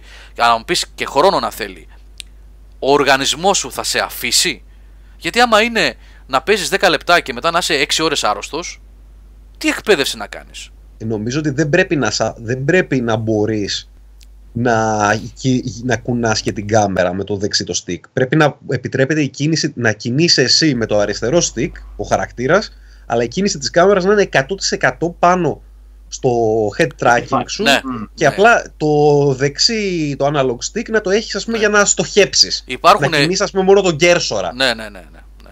ναι νομίζω έτσι, ότι. είναι, έτσι είναι το ρέζ ακριβώς. Δηλαδή, κουνάς εσύ όπου θέλεις, κοιτάς δεξιά-αριστερά, στοχεύεις και πιο μακριά. Με το, αλλά τον κέρσορα μπορείς κιόλας να τον κινήσεις με το άλλο. Αλλά δεν σε αφήνει το δεξί stick να κοιτάς δεξιά-αριστερά. Εκεί πέρα το χάσες. Συμφωνώ και εγώ σε αυτό. Δηλαδή, γιατί να θέλεις τη δεύτερη κίνηση με τον αναλογικό μοχλό ενώ έχει το κεφάλι σου; Αυτό Ναι. το πράγμα. Αυτό δεν είναι το νόημα ουσιαστικά του VR. Είναι ότι με το κεφάλι σου κινείς την κάμερα. Ποια παιχνίδια δηλαδή είχαν, Γιώργο, διορθωτική Νομίζω κίνηση ξέρεις τι στην κάμερα; κάνει. Ξέρεις τι κάνει, Ρενίκο. Ε, τώρα δεν ξέρω αν είναι σωστό αυτό που Για να λέω. καταλάβω κι εγώ ακριβώς τι είναι. γιατί Νομίζω ότι Και- προσπαθεί να, να εξομοιώσει την αυτόνομη κίνηση κεφαλιού ματιών. Κατάλαβες τι λέω; Ναι, κατάλαβα τι λες. Αλλά με, όταν, όταν κουνάς. Την ανεξάρτητη εγώ- κίνηση, συγγνώμη, την ανεξάρτητη κίνηση κεφαλιού ματιών. Όχι αυτόνομη, την ανεξάρτητη κίνηση. Ναι, ρε, Γιατί- Γιώργο, αλλά όταν, όταν κινείς τα μάτια σου, είτε στο VR είτε στην πραγματικότητα, κοιτάς εκεί πέρα που έχεις στρέψει ήδη το βλέμμα σου. Είναι ήδη μεγάλη η οθόνη του VR για να καλύπτει το βλέμμα σου, έτσι. Ναι, ναι. Τι- Δηλαδή, άμα κουνείς τα μάτια σου ενώ είσαι σταθερό το κεφάλι σου, βλέπεις άλλα πράγματα από τη μία και άλλα πράγματα από την άλλη. Σωστά, Μμ. ή όχι; Όχι, έτσι όπως το λες είναι. Δηλαδή, άμα γυρίσω εγώ τα μάτια μου δεξιά και κοιτάξω, δεν θα κοιτάω πέμα αριστερά γιατί δεν κοιτάμε 360 μίλια, ούτε 100, πόσο κοιτάμε, 100, ε, 120, 140 κοιτάμε. Ναι, εσύ είναι με, την, περιφ- με το περιφερειακό vision. Α πούμε, πας σε ένα 160 περίπου με 150. Ναι, κάπου εκεί περίπου, ναι. Οπότε γιατί να θέλεις.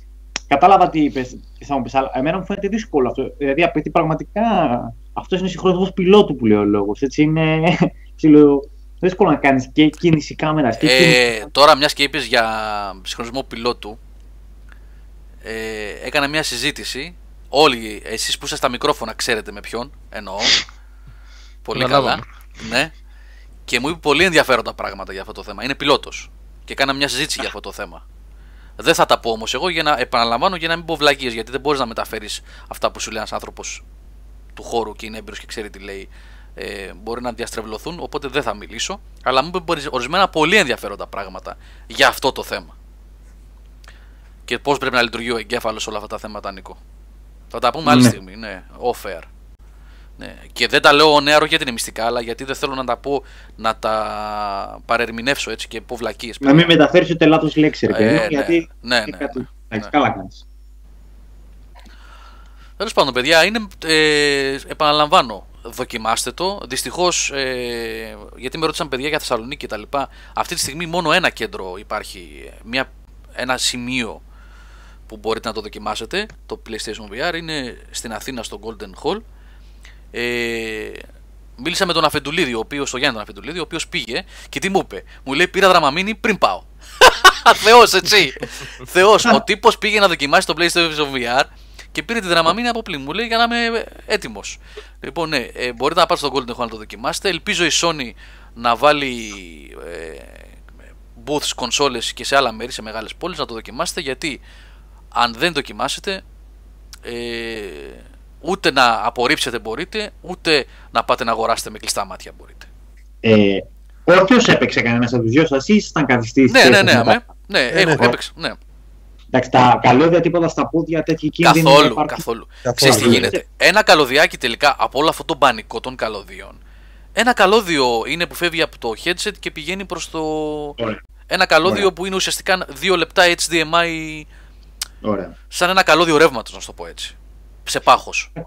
Ναι. Έτσι. Ο, ο, ο Ήταν λίγο Καρναού- τουρλουμπούκι να τα δέσεις όλα τα καλώδια, αλλά εγώ πλέον τα έχω βάλει όλα και είναι μαζεμένα και δεν το βλέπω. Έχεις απλά αυτό το καλώδιο που έρχεται εκεί. Το, Ένα. το σπαστικό είναι οι ψήρες. Οι ψήρες είναι το σπαστικό. Σωστό. Ναι. Γίνονται συνέχεια, όπως όλες οι ψήρες, μπλέκονται συνέχεια τα καλώδια και κάθομαι, ρε παιδί μου, όταν προσπαθώ να τα πιάσω όλα, εν τέλει το έχω, βγ- τις έχω βγάλει από το VR και όταν το βάλω και όλα αυτά, τότε τις πιάνω από δίπλα, τότε τις συνδέω. Αλλιώς πρέπει να το κουβαλήσω και να κουβαλάω και τις ψήρες να κρέμονται από κάτω, μου τις πάει. Οι ψήρες Ναι. είναι, Είναι μπέρδα. μεγάλο το λάθος το ότι δεν έχει το VR ενσωματωμένα ακουστικάκια από το πλάι, τα οποία ας πούμε κατεβαίνουν και τα βάζεις στο αυτί. Σαν το Κάτι. Oculus. Ναι, το Oculus έχει το ενσωματω... Oculus. Ναι, ναι, ναι. ναι. Ε, Το Oculus πλέον έχει ενσωματωμένα. Όταν το είχα παίξει ήταν εξ- Ναι, ναι. εξωτερικά. Μέχρι το DK2 είχε εξωτερικά, τώρα έχει ενσωματωμένα. Μμ. Ε, και επίσης οι ψήρες που δίνει η Sony κάνουν τη δουλειά τους. Α, τώρα μιας και είπαμε για τις ψήρες. Παιδιά, ε, γιατί λέμε θετικά, αρνητικά, συν, πλην, ξέρω εγώ, καθένας ε, αναλόγως πώς θα του κάτσεις στον εγκέφαλο το VR. Ένα πράγμα είναι de facto, ο ήχος. Αυτό είναι απίστευτο. Ο ήχος, παιδιά, είναι 3D, τι να σας, 3D του θανατά, έτσι. Δουλεύει τέλεια, ακούς πίσω σου, γυρίζεις και βλέπεις κάτι πίσω σου. Περιφερειακός στο 100%, καταπληκτικός ο ήχος. Καταπληκτικός. Συγχαρητήρια πολλά δηλαδή. δηλαδή ψήθυ, ψήθυρος να ακούγεται πίσω σου, θα γυρίσεις να το προσέξεις. Ναι, είναι ναι, ναι, φοβερό ναι, αυτό το ναι. πράγμα. Φοβερός ο ήχος, φοβερός. Δηλαδή, άμα έπαιζες μάγα 3D και σφύριζες. και γυρνά- Άσε τώρα λείπει ο Σάβας. Άσε λείπει ο Σάβας. λοιπόν, Και εντάξει, αυτά. πέρα από τα για το VR. παιχνίδια που είπαμε για το VR, υπάρχουν και άλλα πράγματα. Ε, Αυτό που έλεγες εσύ το Alumet. Το Alumet, παιδιά, είναι ένα 20 λεπτό καρτούν ε, τύπου stop motion animation ή claymation, κάπου στην διάμεσο είναι η λογική του. Το οποίο είναι μέσα από τα 10 καλύτερα πράγματα που έχω δει ποτέ σε short movie στη ζωή μου. Είναι συγκλονιστικό, παιδιά. Αν, αν, αν Ήτανε- πάρετε. Ναι, ναι, ναι. Δάκρυζα, δάκρυζα. Ναι, δηλαδή ναι. βλέπω Συ- μπροστά μου συγκλονιστικό. ένα ε, υπτάμενο καράβι, ας πούμε, και το χαζεύω και είναι ένα κοριτσάκι επάνω, ας πούμε, και το μετά το βλέπεις και κατεβαίνει κάτι σκαλιά και λέω πού πάει; Και απλά εκείνη τη στιγμή τεντώνομαι, ρε παιδί μου, από την καρέκλα και σου λέει ε, experience, ε, ε, better experience if you are standing και όπως τσεντώ- τσεντώνομαι, μάλλον τεντώνομαι λιγάκι, σκύβω κατά λάθος προς το σκ- ε, καράβι και μπαίνει το κεφάλι μου μέσα στο καράβι και βλέπω το κοριτσάκι πώς κατεβαίνει τα σκαλιά, βλέπω τη μάνα του στην κουζίνα που κάνει κάτι. Λέω, λέω εντάξει, πού Ναι, βρίσκομαι, παιδιά, τι είναι γίνεται συ- εδώ. Είναι συγκλονιστικό αυτό που λέει ο Αλεξανδρός, το έγραψα στο σχόλιο εγώ. Ε, αν πάτε να κάνετε τεστ κάπου, ζητήστε να σας βάλουν το Alumet. Εγώ πιστεύω ότι είναι ένα δείγμα του γιατί το VR ε, πέρα από το gaming πρέπει να μείνει. Δηλαδή, αν δεν πετύχεις το gaming γιατί θα, ο κόσμος δεν θα μπορεί να παίζει, γιατί δεν θα βγουν καλά παιχνίδια, γιατί είναι αυτίες, αν υπάρχουν τέτοιο, αν υπάρχει τέτοιο περιεχόμενο από δημιουργούς, από καλλιτέχνες, ναι, το VR να μείνει. Να Ναι. μείνει το VR. Είναι Ήδη- συγκλονιστικό. Υπάρξει, υπάρξει σίγουρα. Δεν τυχαίο ότι έδωσε τόσα λεφτά η Facebook να αγοράσει το Oculus. Ναι, ναι, ναι. ναι. Ε, κορόιδα δεν είναι. Παιδιά, οι Δεν πετάνε τα ταινίες, λεφτά. οι ταινίες που μπορούν να γίνουν με αυτό το πράγμα είναι. Εντάξει, ε, το, το Alumet είναι ένα 20 Αλουμέτ λεπτό, κουμπράς. Αλουμέτ. Το γράφω τώρα και στο chat. είναι ένα 20 λεπτό πραγματάκι το οποίο άμα το δεις απλά το βίντεο στο YouTube δεν θα σου πει τίποτα απολύτως. Άμα το ζήσεις είναι, είναι μια παιδική φαντασίωση. Είναι ότι είσαι ξαφνικά 6 χρονών ξανά, έβλεπες ένα παιδικό στην τηλεόραση και έπεσες στον ύπνο και κοιμήθηκες και έπεσες μέσα στη φρουτοπία. Ναι, ναι. Παιδιά είναι, είναι Έπεσε μέσα συγκλονιστικό. στη φρουτοπία. Ξαφνικά είναι αυτό το πράγμα. Είναι μια επτάμενη φρουτοπία. Γεράσιμε, ε, επειδή έγραψες πιο πάνω, μην χαθεί το comment. Ε, καλύτερο immersion με τις ψείρες. Καμία σχέση με το surround. Το surround Ναι. δουλεύει, εντάξει, οκ, αλλά το 3D audio που παίρνεις. Ε, αν έχεις ένα headset, γιατί μπορείς να βάλεις όποιο headset θέλεις, έτσι. Αν έχεις ένα καλό headset, ξέρω εγώ, ένα, ένα Razer, ένα. δεν ξέρω τι, οτι- οτιδήποτε τέλος πάντων, και είναι, ξέρεις, noise reduction κτλ. Και, και το φορέσεις και χαθείς τελείως από το περιβάλλον σου. Ναι, δεν το συζητώ. Το headset είναι καλύτερο. Δίνει πιο καλή Ναι, αίσθηση ναι. 3D. Ακόμα, audio. ακόμα και με τις ψήρες είσαι καλύτερα, Γιώργο. Ναι. Δεν. Αφού Ακόμα και με τις ψήρες, σωστά. Ναι. παιδιά, δεν καταλαβαίνεις τι γίνεται τριγύρω σου. Το οποίο εντάξει, άμα μπει κανένας μέσα στο σπίτι σου, την πάτησες. Βασικά, Αλλά- ναι, να κλειδώνετε καλά το σπίτι. Αυτό είναι σημαντικό. Ναι, αν παίζετε Δεν VR και είστε καταλαβαίνει μόνοι σας. τίποτα. Μπαίνεις τόσο πολύ μέσα στον άλλο τον κόσμο που έχει, έχει, έχει τελειώσει τα πάντα από τριγύρω σου.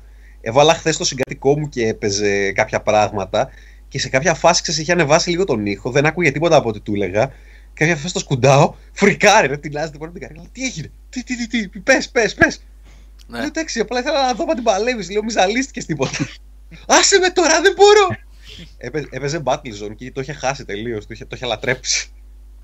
Να το το άλλο, το έβαλε ο Άγγελος, αλλά επαναλαμβάνουμε ότι δεν μπορείτε να καταλάβετε, παιδιά, τώρα. Ναι, δεν μπορείς. Δηλαδή Ε, είναι. δε- δε- δεν υπάρχει ζωντανεύει καμία ένα δυνατότητα. παραμύθι. Ένα παραμύθι ζωντανεύει μπροστά στα μάτια σας. Τι μπορούν να κάνουν παιδιά σε παιδικό animation; Όχι για παιδιά, δεν το είπα σωστά, σε animation βασικά. Να το πω πιο σωστά. Γιατί μικρά παιδιά δεν μπορούν να φορέσουν VR έτσι κι αλλιώς. Ε, τι μπορούν να κάνουν εγώ μετά από αυτό που είδαμε το Alumet. Δεν υπάρχει όριο. The sky's the limit που έλεγε και μια ψυχή. Κάποιος- σα- Κάποιος- κάποιος- Ένας πολιτικός εδώ δεν έλεγε: Η ουρανή είναι δική μας. Κάπως έτσι. Ναι. Αυτό με τον Καρχαρία που λέει ο Death Racer, το demo. Όχι, δεν υπάρχει full game. Είναι ένα κομμάτι, είναι μια ενότητα ε, των 5 mini games που υπάρχει στο PlayStation VR Worlds. Έχει 5 ενότητες. Έχει ένα ε, Ocean Theme. Αυτό με τον Καρχαρία είναι, έχει τρία σημεία. Ένα με τον Καρχαρία, ένα Wildlife και ένα Coral Reef. Έχει το London Heist, αυτό με τη ληστεία κτλ. Πολύ ενδιαφέρον, εντυπωσιακό και αυτό είναι. Αυτά είναι mini games όμως, έτσι. Ε, έχει ένα sci-fi και τι άλλο. Έχει ένα τέτοιο, ένα pong. σ- Ε, φου- φου- φουτουριστικό pong σε VR. Πάρα πολύ πλάκα έχει.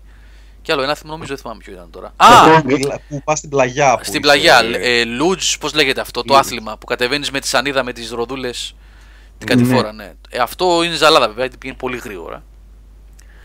Και αυτά που γράφετε φυσικά για εκπαίδευση και τα λοιπά, το VR, μουσεία, ε, εκεί θα βρει τρελή εφαρμογή. Μμ. Ναι, εκεί. Ακόμα και αυτό που λες όμως και αυτό για το βυθό, αυτές οι εμπειρίες, παιδιά, είναι τα μέρη που σε ταξιδεύει. Ε, έχει το PlayStation ένα app καινούριο, το οποίο είναι VR videos. Και τώρα είναι ακόμα πολύ καινούριο, έχει πολύ λίγα πράγματα μέσα, αλλά και έχει, low είναι- res. Και πολύ low res είναι πολλά από αυτά, βέβαια. και είναι πολύ low res, αλλά είδα μερικά. Κοιτάξτε, ας πούμε, είδα ένα ντοκιμαντέρ του National Geographic για το Yellowstone. Που είναι 360 και σε πάει στο Yellowstone σε διάφορα σημεία. Α πούμε, σου μιλάει μια κοπέλα εκεί πέρα και σε κάνει βόλτες και σε όλα αυτά. Εντάξει, παιδιά, είναι χάσιμο. Εγώ είδα σε αυτό που Εγώ λες, νιώθω ότι έχω δει το Yellowstone πλέον. εγώ είδα ένα 360 ρεπορτάζ του ABC από το Κατμαντού. Στο Κατμαντού δεν είχε γίνει ο σεισμός πέρυσι στο Θιβέτ. Ναι. Λοιπόν, και πήγανε και στήσανε κάμερα ε, λίγους μήνες μετά και καλά πώς είναι η ζωή. Ήταν ρεπορτάζ ε, από- για το δελτίο ειδήσεων ε, του ABC. Ε, απλά το γύρισαν με 360 κάμερα. Παιδιά, ναι, ναι. παθαίνει σοκ.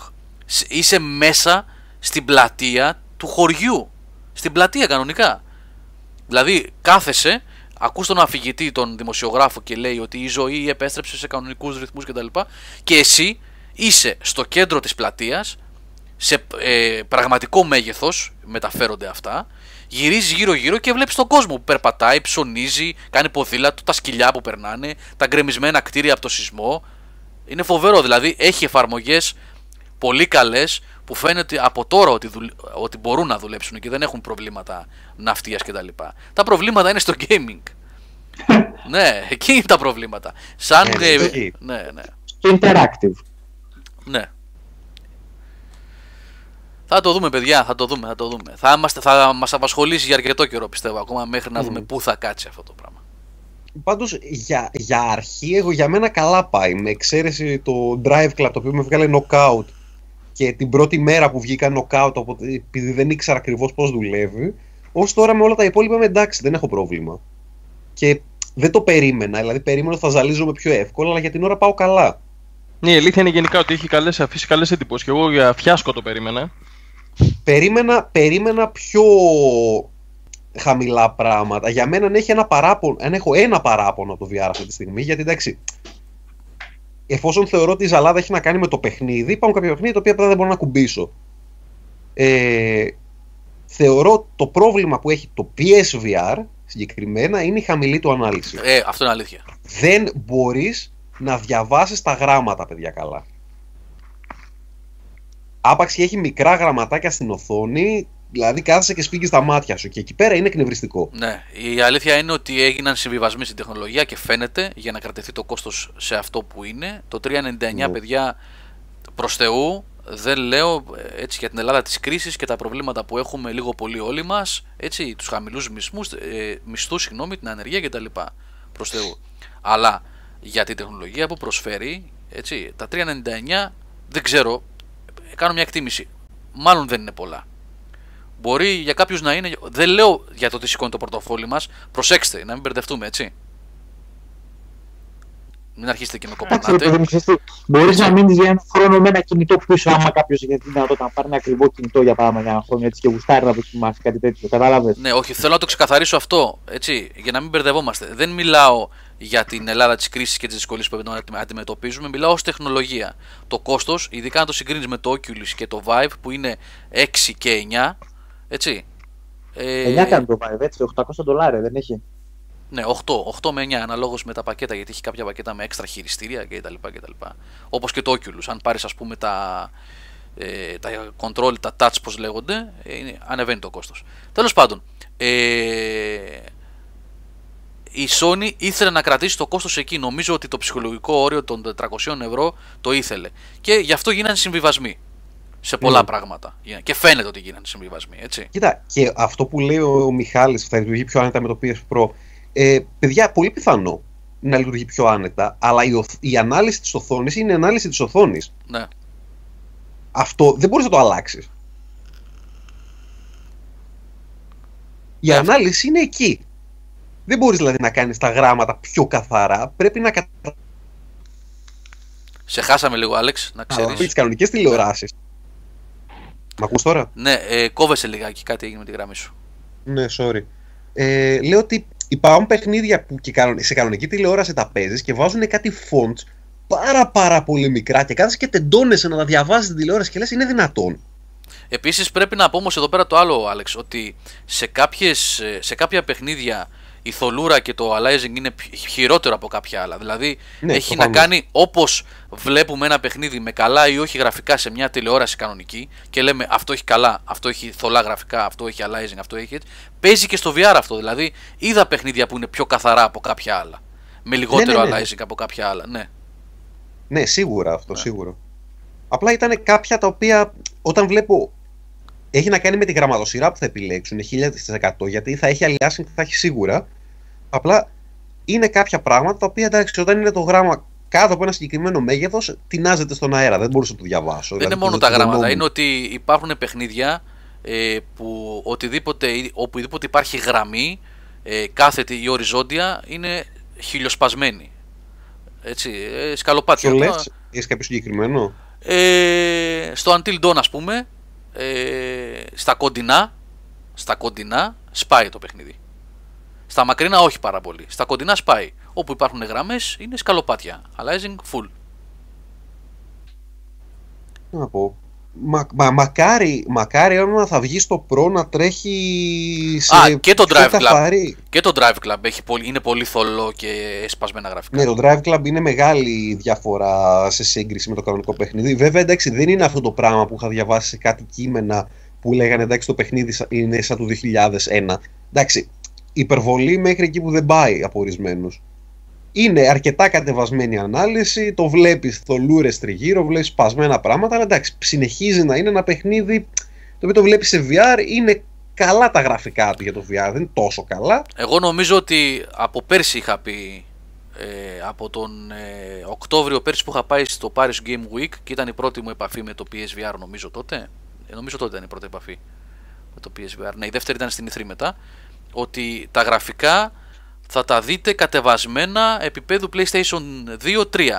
Αν θυμάμαι καλά, κάτι τέτοιο σας είχα πει. Το- ε, Έτσι ήτανε; Early, ναι, ναι, εκεί είναι. Λοιπόν, ε, εκεί παίζουν τα γραφικά. Όχι όταν τα βλέπετε στην τηλεόραση σε mirror mode που παίζει ο άλλος, αλλά όταν τα βλέπετε μέσα από το headset. Ναι. Και για αυτό τα παιχνίδια τα οποία δουλεύουν με vector graphics όπως το Battlezone και όλα αυτά Και το είναι Bound. πολύ Ναι, και το ναι, Bound ναι, ναι. και το Res είναι πολύ πιο καθαρά και πολύ πιο εντυπωσιακά. Τα βλέπεις δηλαδή και τα Πιεστό. χαίρεσαι. Εκεί πέρα νιώθεις ότι είναι κάτι πάρα πολύ εντυπωσιακό. Το Battlezone για την ώρα είναι ό,τι πιο όμορφο έχω δει στο VR. Μπόλεκ είχα πει PS2. Μπράβο, θυμάσαι σωστά. Ε, ωραία, είναι ένα κλικ επάνω. Είναι σαν να βλέπετε τα πρώτα παιχνίδια του PlayStation 3. Θα θυμάστε που ήταν και λίγο θολά έτσι. Τα multiplatform που δεν κάνανε και καλή δουλειά. Ε, Ε. εκεί, εκεί είναι. Ε, Wii, Άλεξ. βασικά. Wii θα έλεγα. Ε, εντάξει. Εκεί, εκεί είναι. Είναι 480p προς 720, κάπου στο ενδιάμεσο βρίσκεσαι. ναι, ναι, ναι, κάπου εκεί είναι. Κάπου εκεί είναι. Τα παιχνίδια Ναι, το της- λέγαμε αυτό Ναι. όταν είχες γυρίσει από την E3. Θυμάσαι που είχες δει εκείνο το, το Star Trek, το Bridge Crew. Το Bridge Crew, ναι. Το οποίο ευτυχώς Που βγαίνει και φαινόταν στο πολύ PS. χάλια, ρε φιλέ. Ε, έτσι θα είναι Δεν- και στο. Ναι, έτσι θα είναι. Μην νομίζεις. Δηλαδή υπάρχουν συμβιβασμοί σε αυτά, αλλά που πρέπει να γίνουν. Έτσι όπως το περιγράφετε, έχω την εντύπωση ότι είναι ένα κλικ λίγο πιο πάνω. Τώρα μπορώ να έχω καταλάβει και λάθος, αλλά έχω την εντύπωση ότι είναι ένα κλικ πιο πάνω από αυτό το χάλι που είχαμε δει. Γιατί αυτό ήταν παρά ήταν, δηλαδή ήταν πολύ χάλια. Από... Δεν θυμάμαι τώρα ποιο ήταν αυτό που είχαμε δει. Να σου πω την αλήθεια. Θυμάμαι ότι συζητούσαμε για το, το Star Trek, το Bridge Group, το είχαμε δει εμείς από τα βίντεο που ήταν πολύ χάλια, τετραγωνιζέ τελείως, δηλαδή anti-aliasing 0. Ναι, και... είναι πολύ χαμηλή η Ναι. ποιότητά του. Εγώ Δεν ξέρω, Εγώ όμω. θέλω να το δω γιατί είμαι μεγάλο geek, αλλά αυτό είναι δικό μου fail, δεν έχει να κάνει με το Να σας παιχνίδι. πω όμως, εγώ το Bridge Crew το είχα δει σε PC σε Oculus. Και η ποιότητα των γραφικών δεν ήταν τόσο κακή. Δηλαδή είχε πιο πολλά πολύγωνα κτλ. Ε, Παρ' όλα αυτά, ακόμα και στο Oculus είχε και aliasing έντονο, είχε και προβληματικά textures, τρέμανε και τα χέρια του τύπου που είχα εγώ, που αυτός που είχα εγώ έχνε phasers ας πούμε, γιατί ο καθένας έχει ένα ρόλο. Ε, και αυτό νομίζω είναι 60 Αλέξανδρε. Full Θα σε price. γελάσω. Ναι, full price game είναι αυτό 60. Α, ναι, ναι, όντως είναι, είναι, είναι, είναι 60. full price. Άλλο αυτό τώρα που πρέπει να δούμε εδώ. Πρέπει να δούμε τα παιχνίδια που ζητάνε 60 κατά πόσο είναι πραγματικά full παιχνίδια που σηκωνουν Μμμ. και αξίζουν το 60 ή ένα gimmick, ένα tech demo το οποίο τελικά γιατί έχεις παιχνίδια VR που είναι στα 9 ευρώ, το Tumble, Ναι. το οποίο εγώ επιμένω ότι είναι πάρα πολύ ωραίο παιχνίδι, πάρα πολύ έξυπνο, ε, αλλά για άλλους λόγους. Ε, έχεις το 20 που είναι το Until Dawn και έχεις και τα 60 που είναι Riggs και Eve, έτσι. ναι. Πρέπει να τα δούμε αυτά για να τα ζυγίσουμε. Κατά Ναι, πόσο ισχύει, αξίζουν. όχι. ναι. Κοίτα, εντάξει, δεν θα βλέπεις τόσο εύκολα με 9, γιατί εντάξει, κοστίζει φαντάζομαι πολύ παραπάνω να αναπτύξεις κάτι τέτοιο. Οπότε φαντάζομαι αυτά τα παιχνίδια που είναι μέχρι 20 ευρώ είναι τα arcades. Αλλά αυτά τα οποία θα δι- ζητάνε full price πρέπει να δίνουν κάτι πολύ ψηλό για να ε, σεταριστείς. Κάτσε, είπε κάτι ο Amiga. Το Tron πρέπει να βγάλουν σε Ναι, VR. ναι, ναι. Ε, Ε, το Battlezone. Ναι. το Battlezone είναι το Tron. Βασικά το Tron είναι εμπνευσμένο πάνω στα γραφικά του πρώτου Battlezone. Στην ουσία. Και το καινούριο το Battlezone είναι, είναι το Tron πάλι. Δεν μπορείς να το περιγράψεις αλλιώς. Το Αλλά- Drive. Ναι. Ισχύει ότι αυτή τη στιγμή η τεχνολογία θα σου δώσει πιο κατώτερα γραφικά αυτά που θα πω. Αρκετά κατώτερα γραφικά σε σχέση με αυτά που θα δεις σε μια καλή τηλεόραση. Και γι' αυτό είναι ίσως ε, πολύ εντυπωσιακό εδώ θα μπορέσει να γεμίσει η αγορά με remaster. Γιατί τα πιο παλιά παιχνίδια, τα οποία θα τα τρέξει πολύ πιο άνετα και καθαρά, αυτά μπορείς πολύ πιο εύκολα να τα δεις με κάποιες υποχωρήσεις στο VR. Λοιπόν, πάμε Και για τρίωρο. παιχνίδια της Nintendo. Πάμε για τρίωρο σήμερα. Α, για αυτό της Nintendo πήγα να σα πω προηγουμένως. Ε, που είπε κάποιο παιδί, ποιος το είπε, ο Μιχάλης το είπε, ότι θα ταιριάζουν τι. Τέλος πάντων, ε, υπάρχει ένα mini game στο ε, Playroom VR ε, το οποίο είναι σαν να παίζεις ένα 3D platformer. Δεν ξέρω αν το δοκίμασες Αλεξανδρέ, αυτό που είστε και σε Το λες. όρθιος. Είναι αυτό που στέκεσαι όρθιος και προχωράς σε ένα διάδρομο, σε ένα, έτσι με χόρτα και καλά σε ένα χωράφι. σε Όχι, ένα- δεν το είδα αυτό. ε, που προσπαθείς να σώσεις τα υπόλοιπα ρομποτάκια, ελέγχεις το ένα εσύ και προσπαθείς να σώσεις τα υπόλοιπα. Όχι, όχι, δεν το είδα αυτό. Έπαιξα αυτό που ήταν με τη γάτα και εκείνο με το, Με τον Godzilla. τέρας, Με τον Godzilla, με ναι. τον Godzilla Ναι, ναι. και Λοιπόν, το άλλο με το σαλούν. υπάρχει ένα στο οποίο παίζουν, παίζει ή ένας ή δύο. Γιατί έχει και co-op, ας πούμε. Ε, το οποίο είναι σαν ένα 3D platformer. Και είναι αν βγάλεις αυτά τα γνωστά ρομποτάκια των Playroom παιχνιδιών και βάλεις το Mario είναι, και η μουσική και τα εφέ είναι σαν να βλέπεις ένα platformer της Nintendo. Ε, λοιπόν, παιδιά, το πόσο θα τέριαζε σε ένα τέτοιο περιβάλλον VR ένα ωραίο πολύχρωμο platformer της Nintendo δεν περιγράφεται. Ελπίζω να το πάρουν χαμπάρι αυτό κάποιοι και να βγάλουν κάτι σχετικό από τη Sony. Λοιπόν, πάμε για τρίωρο σήμερα. Να κάνουμε ένα δεύτερο διάλειμμα και να πάμε για κλείσιμο με ταινίες και σειρές. Εγώ Γιώργο θα κλείσω γιατί είναι περασμένη η ώρα. για Είναι μένα. περασμένη η ώρα για σένα, Νίκο, μου έχεις δίκιο. Έχεις δίκιο. Ναι, ναι. Ωραία. Οπότε ε, συνεχίζουμε εμείς ένα μισάωρο ακόμα; Ό,τι θέλετε. Ωραία. Γιατί ο, Νι- ναι, ο Νικόλας δεν έχει μιλήσει τόσο Ε, στην Αγγλία αυτή, το παίζω μάγκες. Ε, βέβαια, έχουν το διωράκι μπροστά. Καλά, μην το λες. Εγώ είμαι εδώ πέρα με 38 πυρετό και κάθομαι, έτσι. Οχ. Από το Θα τα VR. λέμε αυτά από το, Από το VR. VR είναι, από το VR είναι. Προκαλεί και πυρετό. Προγραμμή και πυρετό, ε. Λοιπόν, ένα δεύτερο διάλειμμα, δύο κομματάκια και πάμε για ε, λίγο ταινίες, λίγο σειρές να κλείσουμε. Ε, Καλή θα πω μένα, παιδιά. γεια σου Νικολάκη, καλό βράδυ, ευχαριστούμε πάρα πολύ. Φιλιά, φιλιά πολλά. Πάμε.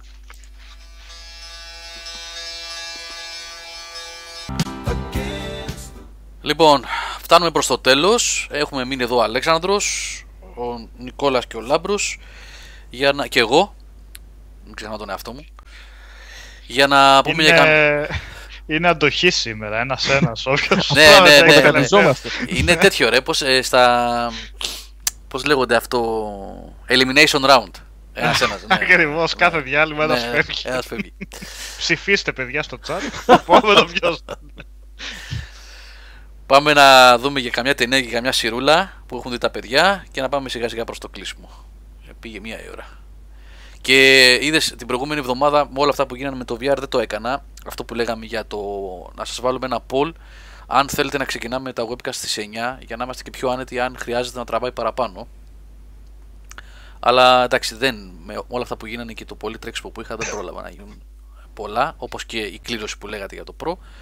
Αυτή τη βδομάδα πιστεύω θα τα καταφέρουμε. Λοιπόν, παιδιά, τι προτείνετε αυτή τη βδομάδα;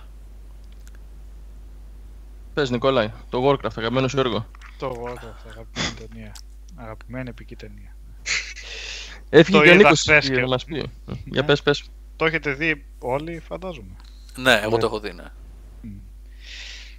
Ε, δεν είναι και το χειρότερο έργο που έχω δει, αλλά αυτό είναι το θε- μόνο θετικό που μπορώ να πω βασικά. Α, ωραίο είναι αυτό, ρε φίλε.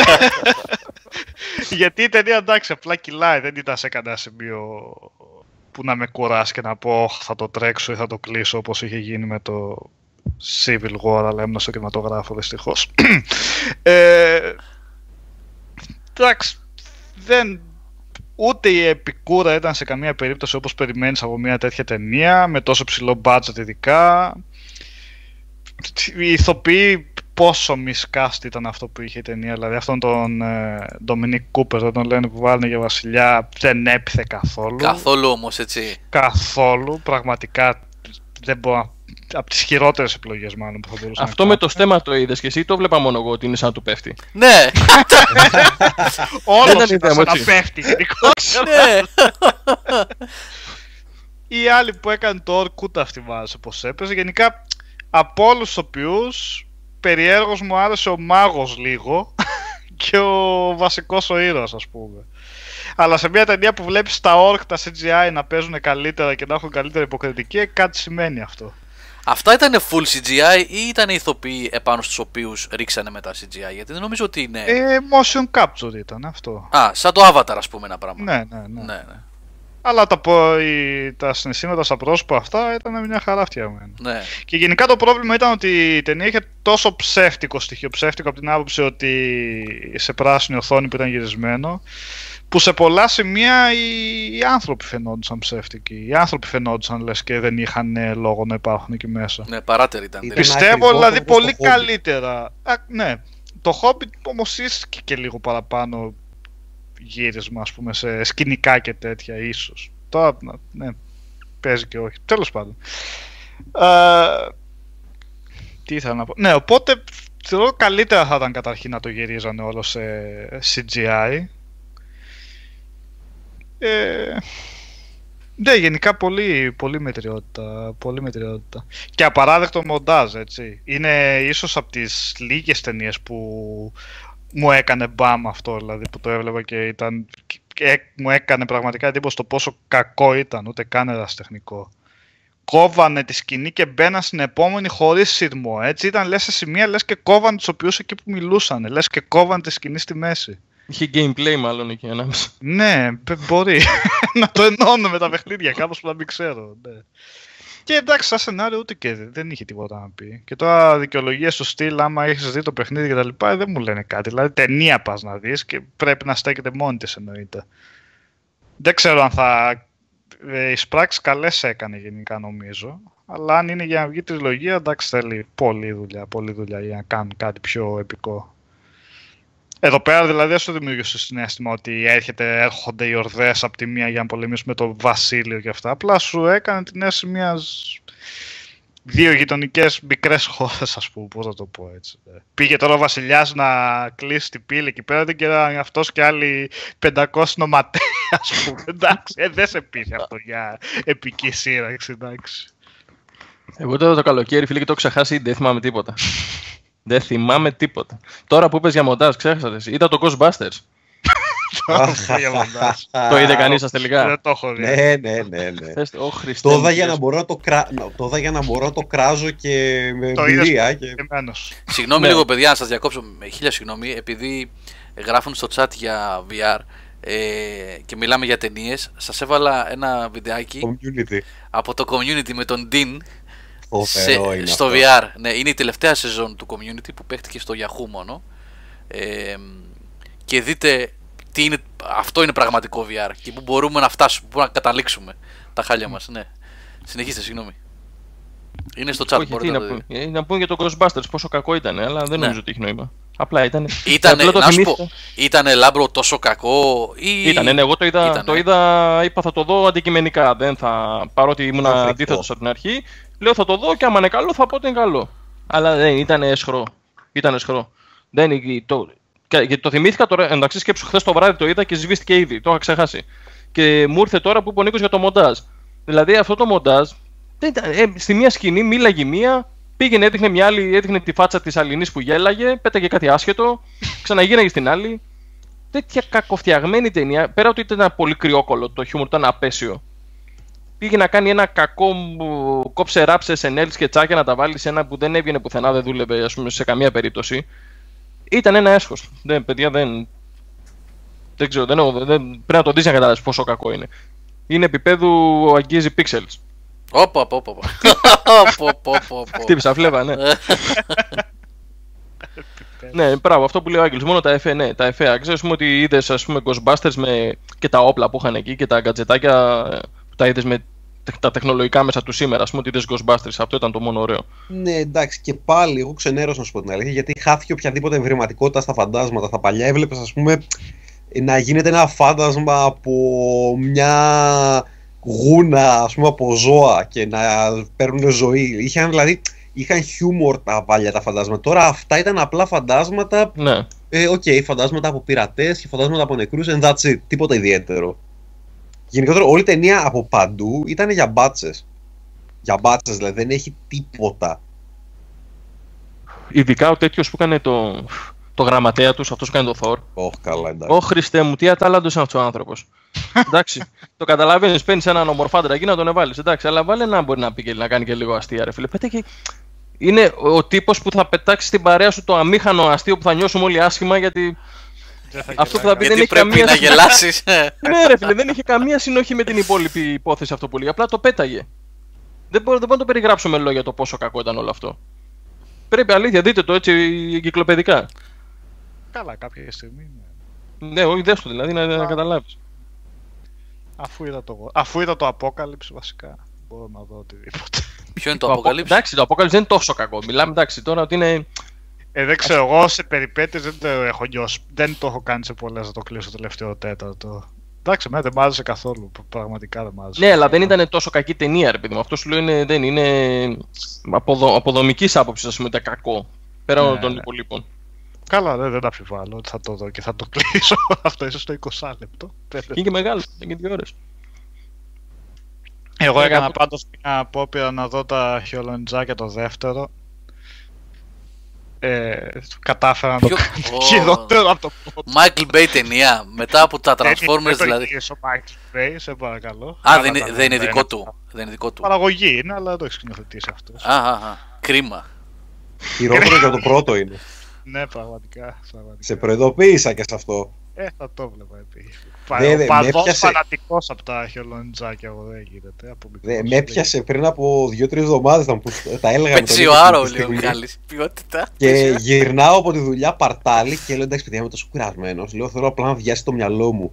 Θα δω σαβούρες. Και τα πήρα σε ρί. Είδα Ghostbusters, μετά είδα στο καπάκι χελονιτζά και δεν θυμάμαι ποιο ήταν το τρίτο. Δηλαδή είδα απλά έτσι Άκια εγκέφαλος. Στο τρίτο σου γύρισε η τα- γλώσσα, τα- μάλλον. τα σκουπίδια, Αυτό το τα θυμάσαι. σκουπίδια που είχα μαζεμένα. Ναι. Παίζει ο Άρο, έτσι. Ε, Εγώ, παιδιά, Σαν είδα από μετά από... τον, ε, Α, για πες. ε, Ναι, ναι. το- Το Michael Bay, το Pen and Gain ήταν συμπαθητικό όμως. Δεν ξέρω αν το έχετε δει. Είχε γέλιο. Αλλά εκεί πλέον το πήγε σε πιο normal κάπως ταινία. Ποιο είναι όχι- αυτό, είναι αυτό με τον Mark, Ru- με τον Mark Wahlberg και τον... ε, Είναι Και τον Dwayne Johnson. Αυτό μου το έχει πει ο αδερφός μου ότι μη σε ξεγελάει λέει που παίζουν αυτοί οι δύο και είναι Michael Bay, Α, δες ο- το γιατί είναι κάφρικη η ταινία, είναι ωραία. Είναι, είναι καλό. Είναι Βασισμένο σε καλοκαίρι. πραγματική ιστορία, κάτι τέτοιο. Ε, είναι είναι αυτό. σε πραγματική και η πραγματική από ό,τι είχα διαβάσει γίνεται όπως γίνεται στη, στη ταινία και ήδη στη ταινία είναι ε, είναι λίγο λες, λες και φαίνεται λέει, υπερβολικό αλλά όντως ήταν όπως τα δείχτηκε λίγο κουλό αλλά είναι, είναι καλογισμένο και ο Dwayne Johnson αυτός βασικά είναι καλός τοπιός γενικά άλλο που Ε, έχει κάνει επιλογές τι να είναι Μ, παίζει Οκ. Βασικά Σαν είναι... από action hero δεν σου λέω ότι είναι σεξπυρικός αλλά σαν action Φαντάζεσαι. hero Οκ, εντάξει, οκ, το δέχομαι. Ε, θες να πεις ότι ως παλαιστής μπορεί και λέει ατάκες. Α, ε, ναι, Ναι. στο- Ναι, οκ. οκ. Από τον Ε, Τόθ Τούρκιδεν, ας πούμε, είναι καθένα. Ε, ο, εντάξει, ναι, ναι. Τίμιος, τίμιος που λέγει ο Μιχάλης. Εγώ, παιδιά, μετά πολλά χρόνια, είχα πολλά χρόνια να το δω. Είδα το Snatch χτες το βράδυ.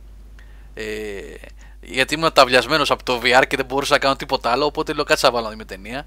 Είχα ξεχάσει πόσο κάφρικη η ταινία είναι, πόσο αλήτικη είναι, πόσο τρελή. Ε, αλλά εντάξει, τι να πεις Αυτός για πώς το. κατάντησε έτσι, ρε φίλε. Τι ταινίες έκανε και πού κατέληξε. Ναι, όντως. Ε, τον αυτό έφαγε η Μαντόνα αυτό. Κατέστρεψε η Μαντόνα, όλοι αυτό. ναι, λένε. ναι, ναι, ναι.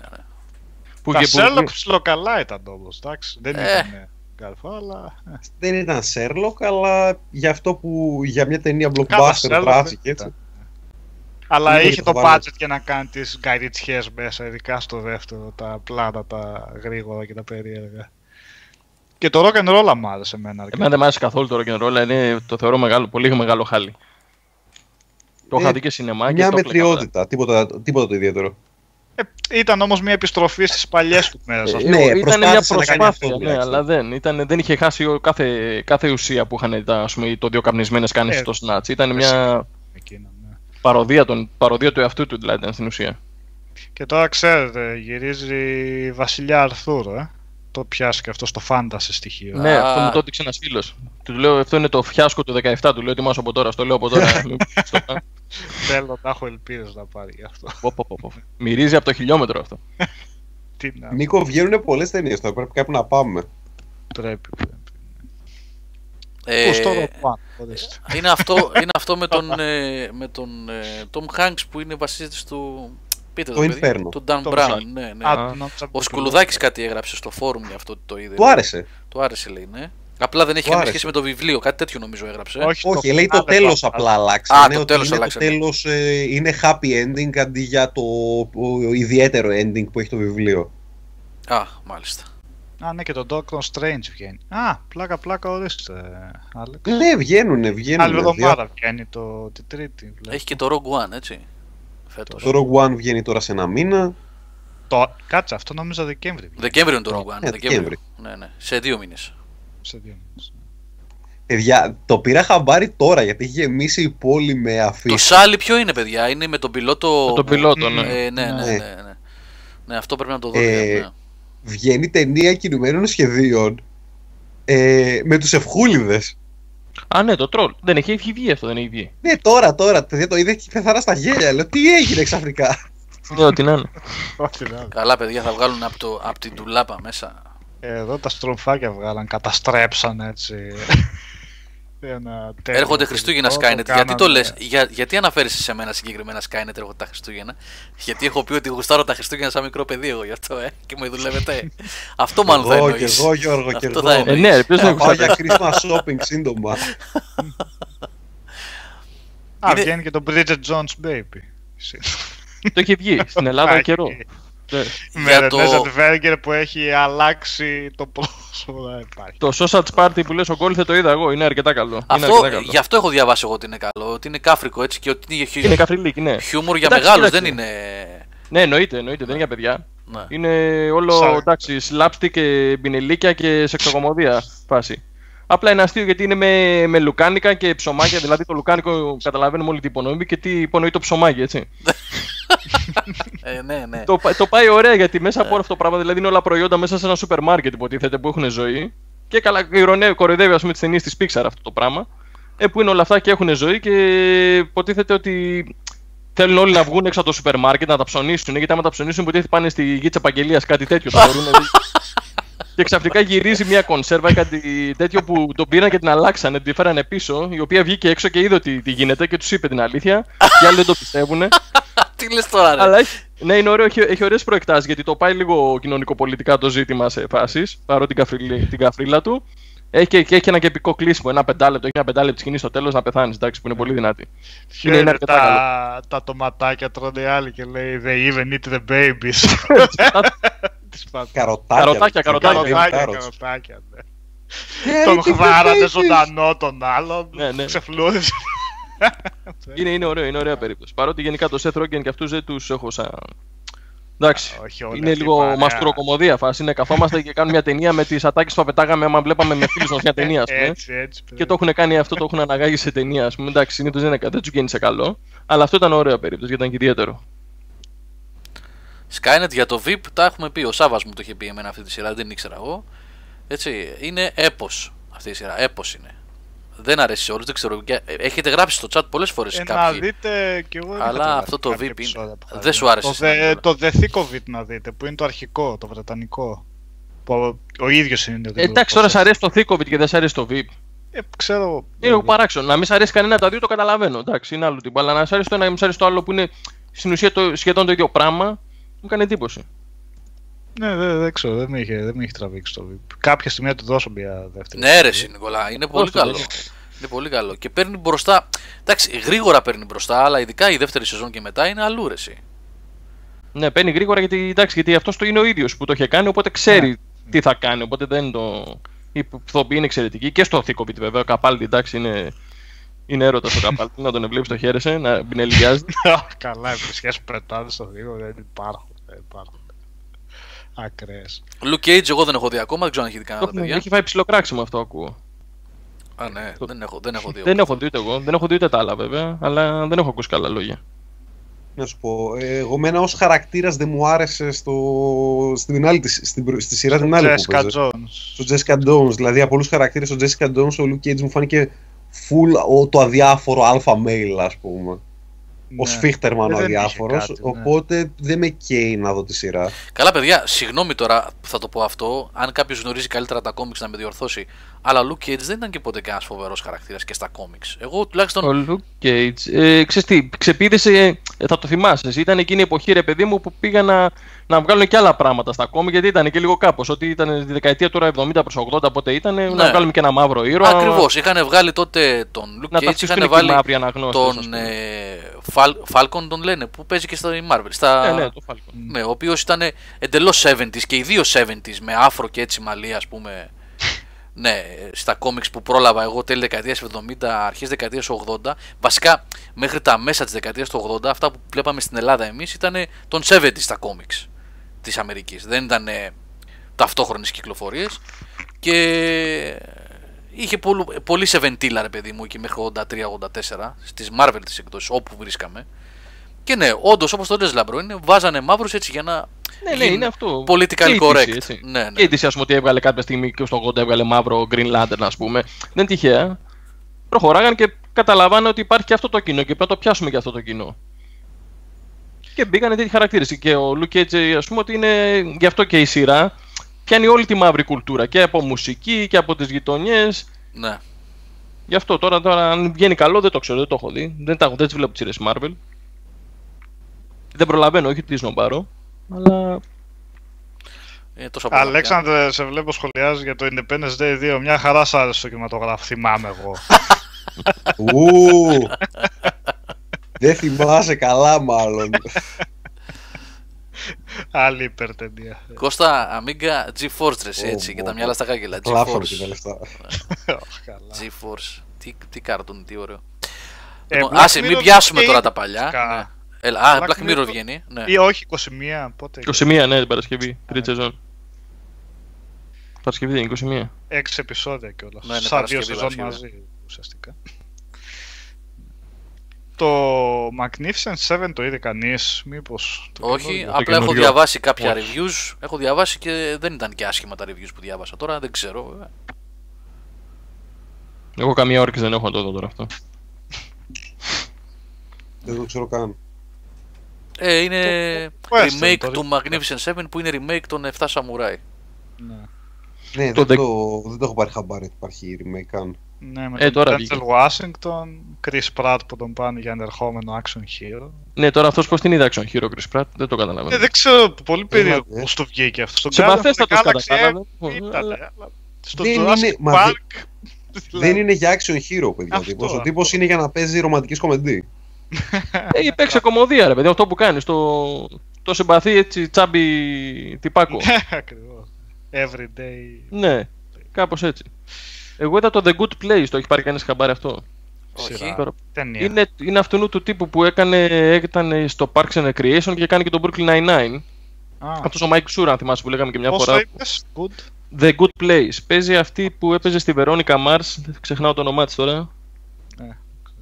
Ναι. Και ο, Παλιά- το, το- Στην παλιά ταινία. τι, Kristen όχι, Bell.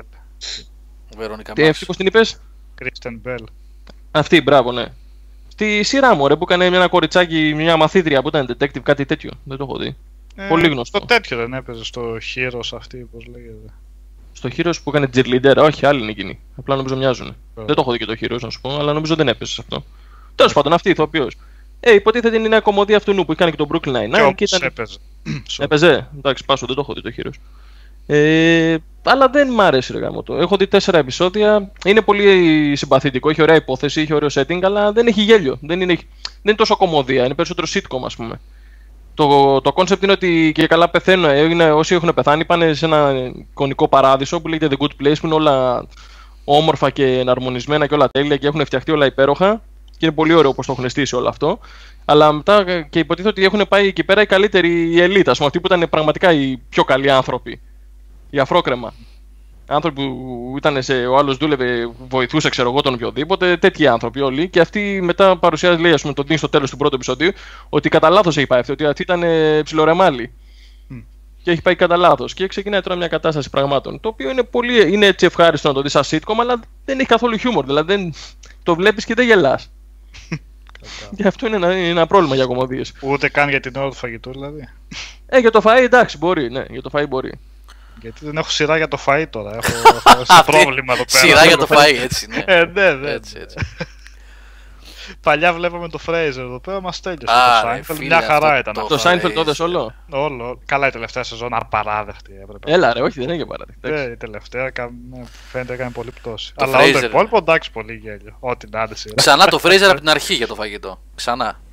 Το Εγώ αυτό ξαναβλέπω, ε, κάνω. αυτό ενώ μαγειρεύω. Μπορείς, κοίταξε, μπορείς την ώρα που μαγειρεύεις να βλέπεις Fraser και την ώρα που τρως να βλέπεις Everybody Loves Raymond. Ε, αυτό το έχω. Α, χάνεις. Ωραία. Οπωσδήποτε, οπωσδήποτε. Βρέθηκε. οπωσδήποτε. 20 λεπτά είναι αυτά; Ε, ναι, 25 εκεί. Ναι. Μια χαρά. Γιατί το Last Man on Earth λίγο το βαρέθηκα από την αλήθεια. Αυτό πρέπει να έκανε νωρίς κοιλιά από ό,τι κατάλαβα. εγώ. Μμμ. Λίγο. Είναι καλά τα πρώτα επεισόδια που είναι μόνος του και με το που Ναι. μπαίνουν και άλλοι χαρακτήρες μέσα ξαναχαλάει. Μετά στη δεύτερη σεζόν το πρώτο επεισόδιο είναι απίστευτο και μετά ξαναμπαίνουν Ω. άλλοι χαρακτήρες και ξαναβαριέσαι. Με το F16 που είναι. ναι, και F16 με το βομβαρδιστικό το stealth. Ναι, ναι, ναι. Μέσα στη ρε, πόλη κα- πήραν τα, για όχημα για κάτω τις βόλτες ένα βομβαρδιστικό και πηγαίνουν με τις ρόδες. Έτσι. Αξίζει από αυτή τη σειρά να δεις το πρώτο επεισόδιο την πρώτη σεζόν και το πρώτο επεισόδιο τη δεύτερη σεζόν. Έτσι, τα Ε. πρώτα που δεν έχει πολλούς άλλους ανθρώπους. Εκεί απλά κλαις από το γέλιο. Ναι, αλλά δεν έχει. Α, και το Ναι, Ατλάντα. αλλά να μετά δείτε. δεν λέει τίποτα. Λέω- Ποιο; Το Ατλάντα. Αυτό. Α, Έξι επεισόδια έχουν βγει. Είναι του Donald Glover. Είναι αυτός ο. Που, έλα, που έκανε τον Troy στο Community. Από το Community, ναι. Το οποίο Α. το γράφει μόνος του. Αυτός γενικά είναι παι- παιδί περίπτωση ο τύπος. Ήταν, έγραφε για το 30 Rock όταν ήταν ακόμα φοιτητής. Ε, έχει βγάλει και hip hop δίσκο, έχει κάνει stand-up, είναι πολύ πράγμα γενικά και έγραψε και σειρά. Γι' αυτό τώρα μην κάνω και spoiler, τέλος πάντων, άστο δεν το λέω. Κατάλαβες Γιώργο, μάλλον, και όσοι έχετε δει. Κάτι που συνέβη στο community. Ναι, ναι, ναι. Ε, ότι είπε να κάνει δική του σειρά και είναι πολύ ενδιαφέρουσα, πολύ καλογραμμένη κατά βασικά. Αυτό είναι το, το βασικό της. Είναι ημιβιογραφική, ότι είναι αυτός ο τυπάκος που ζει στην Ατλάντα και προσπαθεί να τα φέρει βόλτα, έχει ένα παιδί, δουλειά δεν έχει ε, και κάνει το manager ενός άλλου έτσι, ψιλοπαρτάλι και αυτός ο ξάδερφός του που προσπαθεί να γίνει rapper. Είναι σε αυτό το στυλάκι το, που κάνουν σειρές οι stand-up comedians, ας πούμε, πώς έκανε ο Λούι, αυτό το που είναι λίγο δράμα, λίγο κωμωδία. Μμ, μμ. Το έκανε, ας πούμε, όπως έκανε ή ο Αζίζ, ο, Αζ, ο Αζίζ Ανσάρι που έκανε το καλοκαίρι Ναι, το Master Master of of None. Είναι σε αυτό το μοτίβο. Απλά είναι, είναι πολύ ωραίο γιατί και το, όσο, όσο το, το δραματικό του μέρος είναι ωραίο και το κωμικό του μέρος είναι ωραίο. Δηλαδή πετάει αστεία, καλά αστεία και μετρημένα εκεί που πρέπει όσα πρέπει. Έχει πολύ ωραίους διαλόγους, είναι, είναι πολύ καλοφτιαγμένο. Γενικά αξίζει πάρα πολύ. Και έχει ακουστεί και πολύ, θα το έχει πάρει ταυτή σας. Ναι, κάπου. Ρίχτε μια ματιά, 5-6 επεισόδια έχουν βγει. Νομίζω τώρα βγήκε το έκτο προχθές. ενδιαφέρον. Άντε να δούμε και το Westworld βασικά. Ναι. Τώρα που είπες για ένα επεισόδιο τώρα. Αυτό 10 πρέπει να είναι όλα συνολικά. 10 θα είναι, ναι. Ε, Για να περιμένουμε δούμε να γι' αυτό. ολοκληρωθεί η Έχω- σεζόν και ναι, μετά. Ναι. Γενικά έχει πάει ψηλά σχόλια το μάτι μου γιατί δεν θέλω να φάω και κανένα spoiler. Νομίζω ότι λίγο μέτρια κυμαίνονται κάπως. Ε, Το πάει αργά ή κάπως έτσι έχω καταλάβει. Εγώ, Αλλά και εγώ δεν αυτό θέλω να νομίζω ότι διαβάσω άλλο. δημιουργήθηκε ένα hype, ψηθήκαν όλοι πάρα πολύ και τώρα ψιλοντρέπονται να πούνε ότι δεν τους αρέσει και τόσο. Ε, Κάτι μπορεί, τέτοιο νομίζω, δεν το έχω δει Κοίτα, ακόμα. η ιστορία, δεν ξέρω αν θα την αλλάξουν, αλλά η ιστορία του κανονικού του Westworld, Α, πολύ ταινίας καλά μας, λέει ο το πα- Νίκος της εδώ. παλιάς, δεν είναι τίποτα το ιδιαίτερο, έτσι. Μην λέμε χαζομάρες. Δεν λέει τώρα, για τότε έλεγε πολλά. ναι, για, ναι, αλλά για σήμερα που έχουμε δει τα άπειρα τέτοια, δηλαδή πρέπει να αλλάξουν τη σειρά πάρα πολύ για να μπορέσει να σταθείς στη σημερινή εποχή. Άμα παίζεις με το παλιό σενάριο και με μικροαλλαγές, ε, δεν έχει μεγάλες ελπίδες για μεγάλη διάρκεια. Ναι, ξέρω, το έχω δει το παλιό.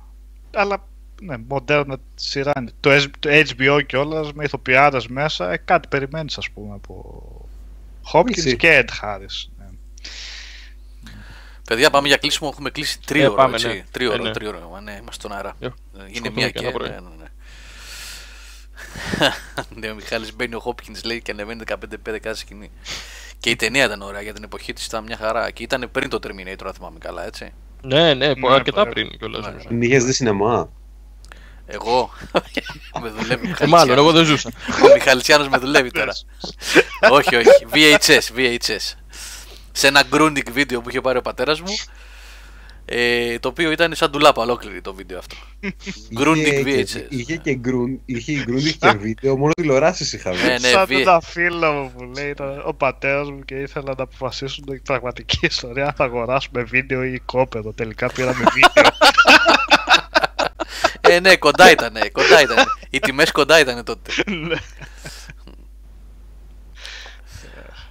Καλά Λοιπόν, πήγε. ναι. Πες του η αγορά. ναι, ναι. Αν πήρε βίντεο ήταν, ε, ήταν σωστή η επένδυση. Έτσι πως είναι με τα ένφια και αυτά τώρα πες να είναι χειρισμένο. Λοιπόν, αυτά παιδιά από εμά για σήμερα. Ευχαριστούμε πάρα πολύ για την παρέα. Μείνατε μέχρι αργά έτσι. Ελπίζουμε να περάσετε καλά. Λοιπόν, ε, μέσα στη βδομάδα περισσότερα έχουμε reviews. Έχουμε, έχουμε Battlefield, έχουμε VR reviews, έχουμε διάφορα. Έχουμε πολλά ακόμα. Θα τα λέμε. Ευχαριστούμε για την παρέα. Ε, μέχρι το τέλος άντεξε Αλέξανδρος Μιχαλητσιάνος, Νικόλας Μαρκόγλου, Λάμπρος Δημακόπουλος και ακούσατε και πιο πριν βέβαια Νίκο Πλωμαριτέλη και Χριστολιάπη. Πάμε πολλά σήμερα. Μετά το διάλειμμα μείνετε να δείτε ποιοι θα μείνουν, έτσι. Τραγούδια μόνο θα ακούσετε. λοιπόν, φιλιά, να είστε καλά. να καλό παίζουμε βράδυ. τέτοιο. Να παίζουμε τη σημαία σαν την ΕΡΤ. Ναι. Ναι, ναι, ναι, τη σωστό, λογέρα. σωστό όπως κάναμε. Το κλείσιμο. Τι- τι- Και την κουδούνα. Και την κουδούνα. Τι- τι- τι- τι- τι- τι. Γκλουν, γκλουν, γκλουν, γκλουν, γκλουν. Καλό βράδυ, παιδιά, να είστε καλά. Φιλιά. Καλή τα παιδιά.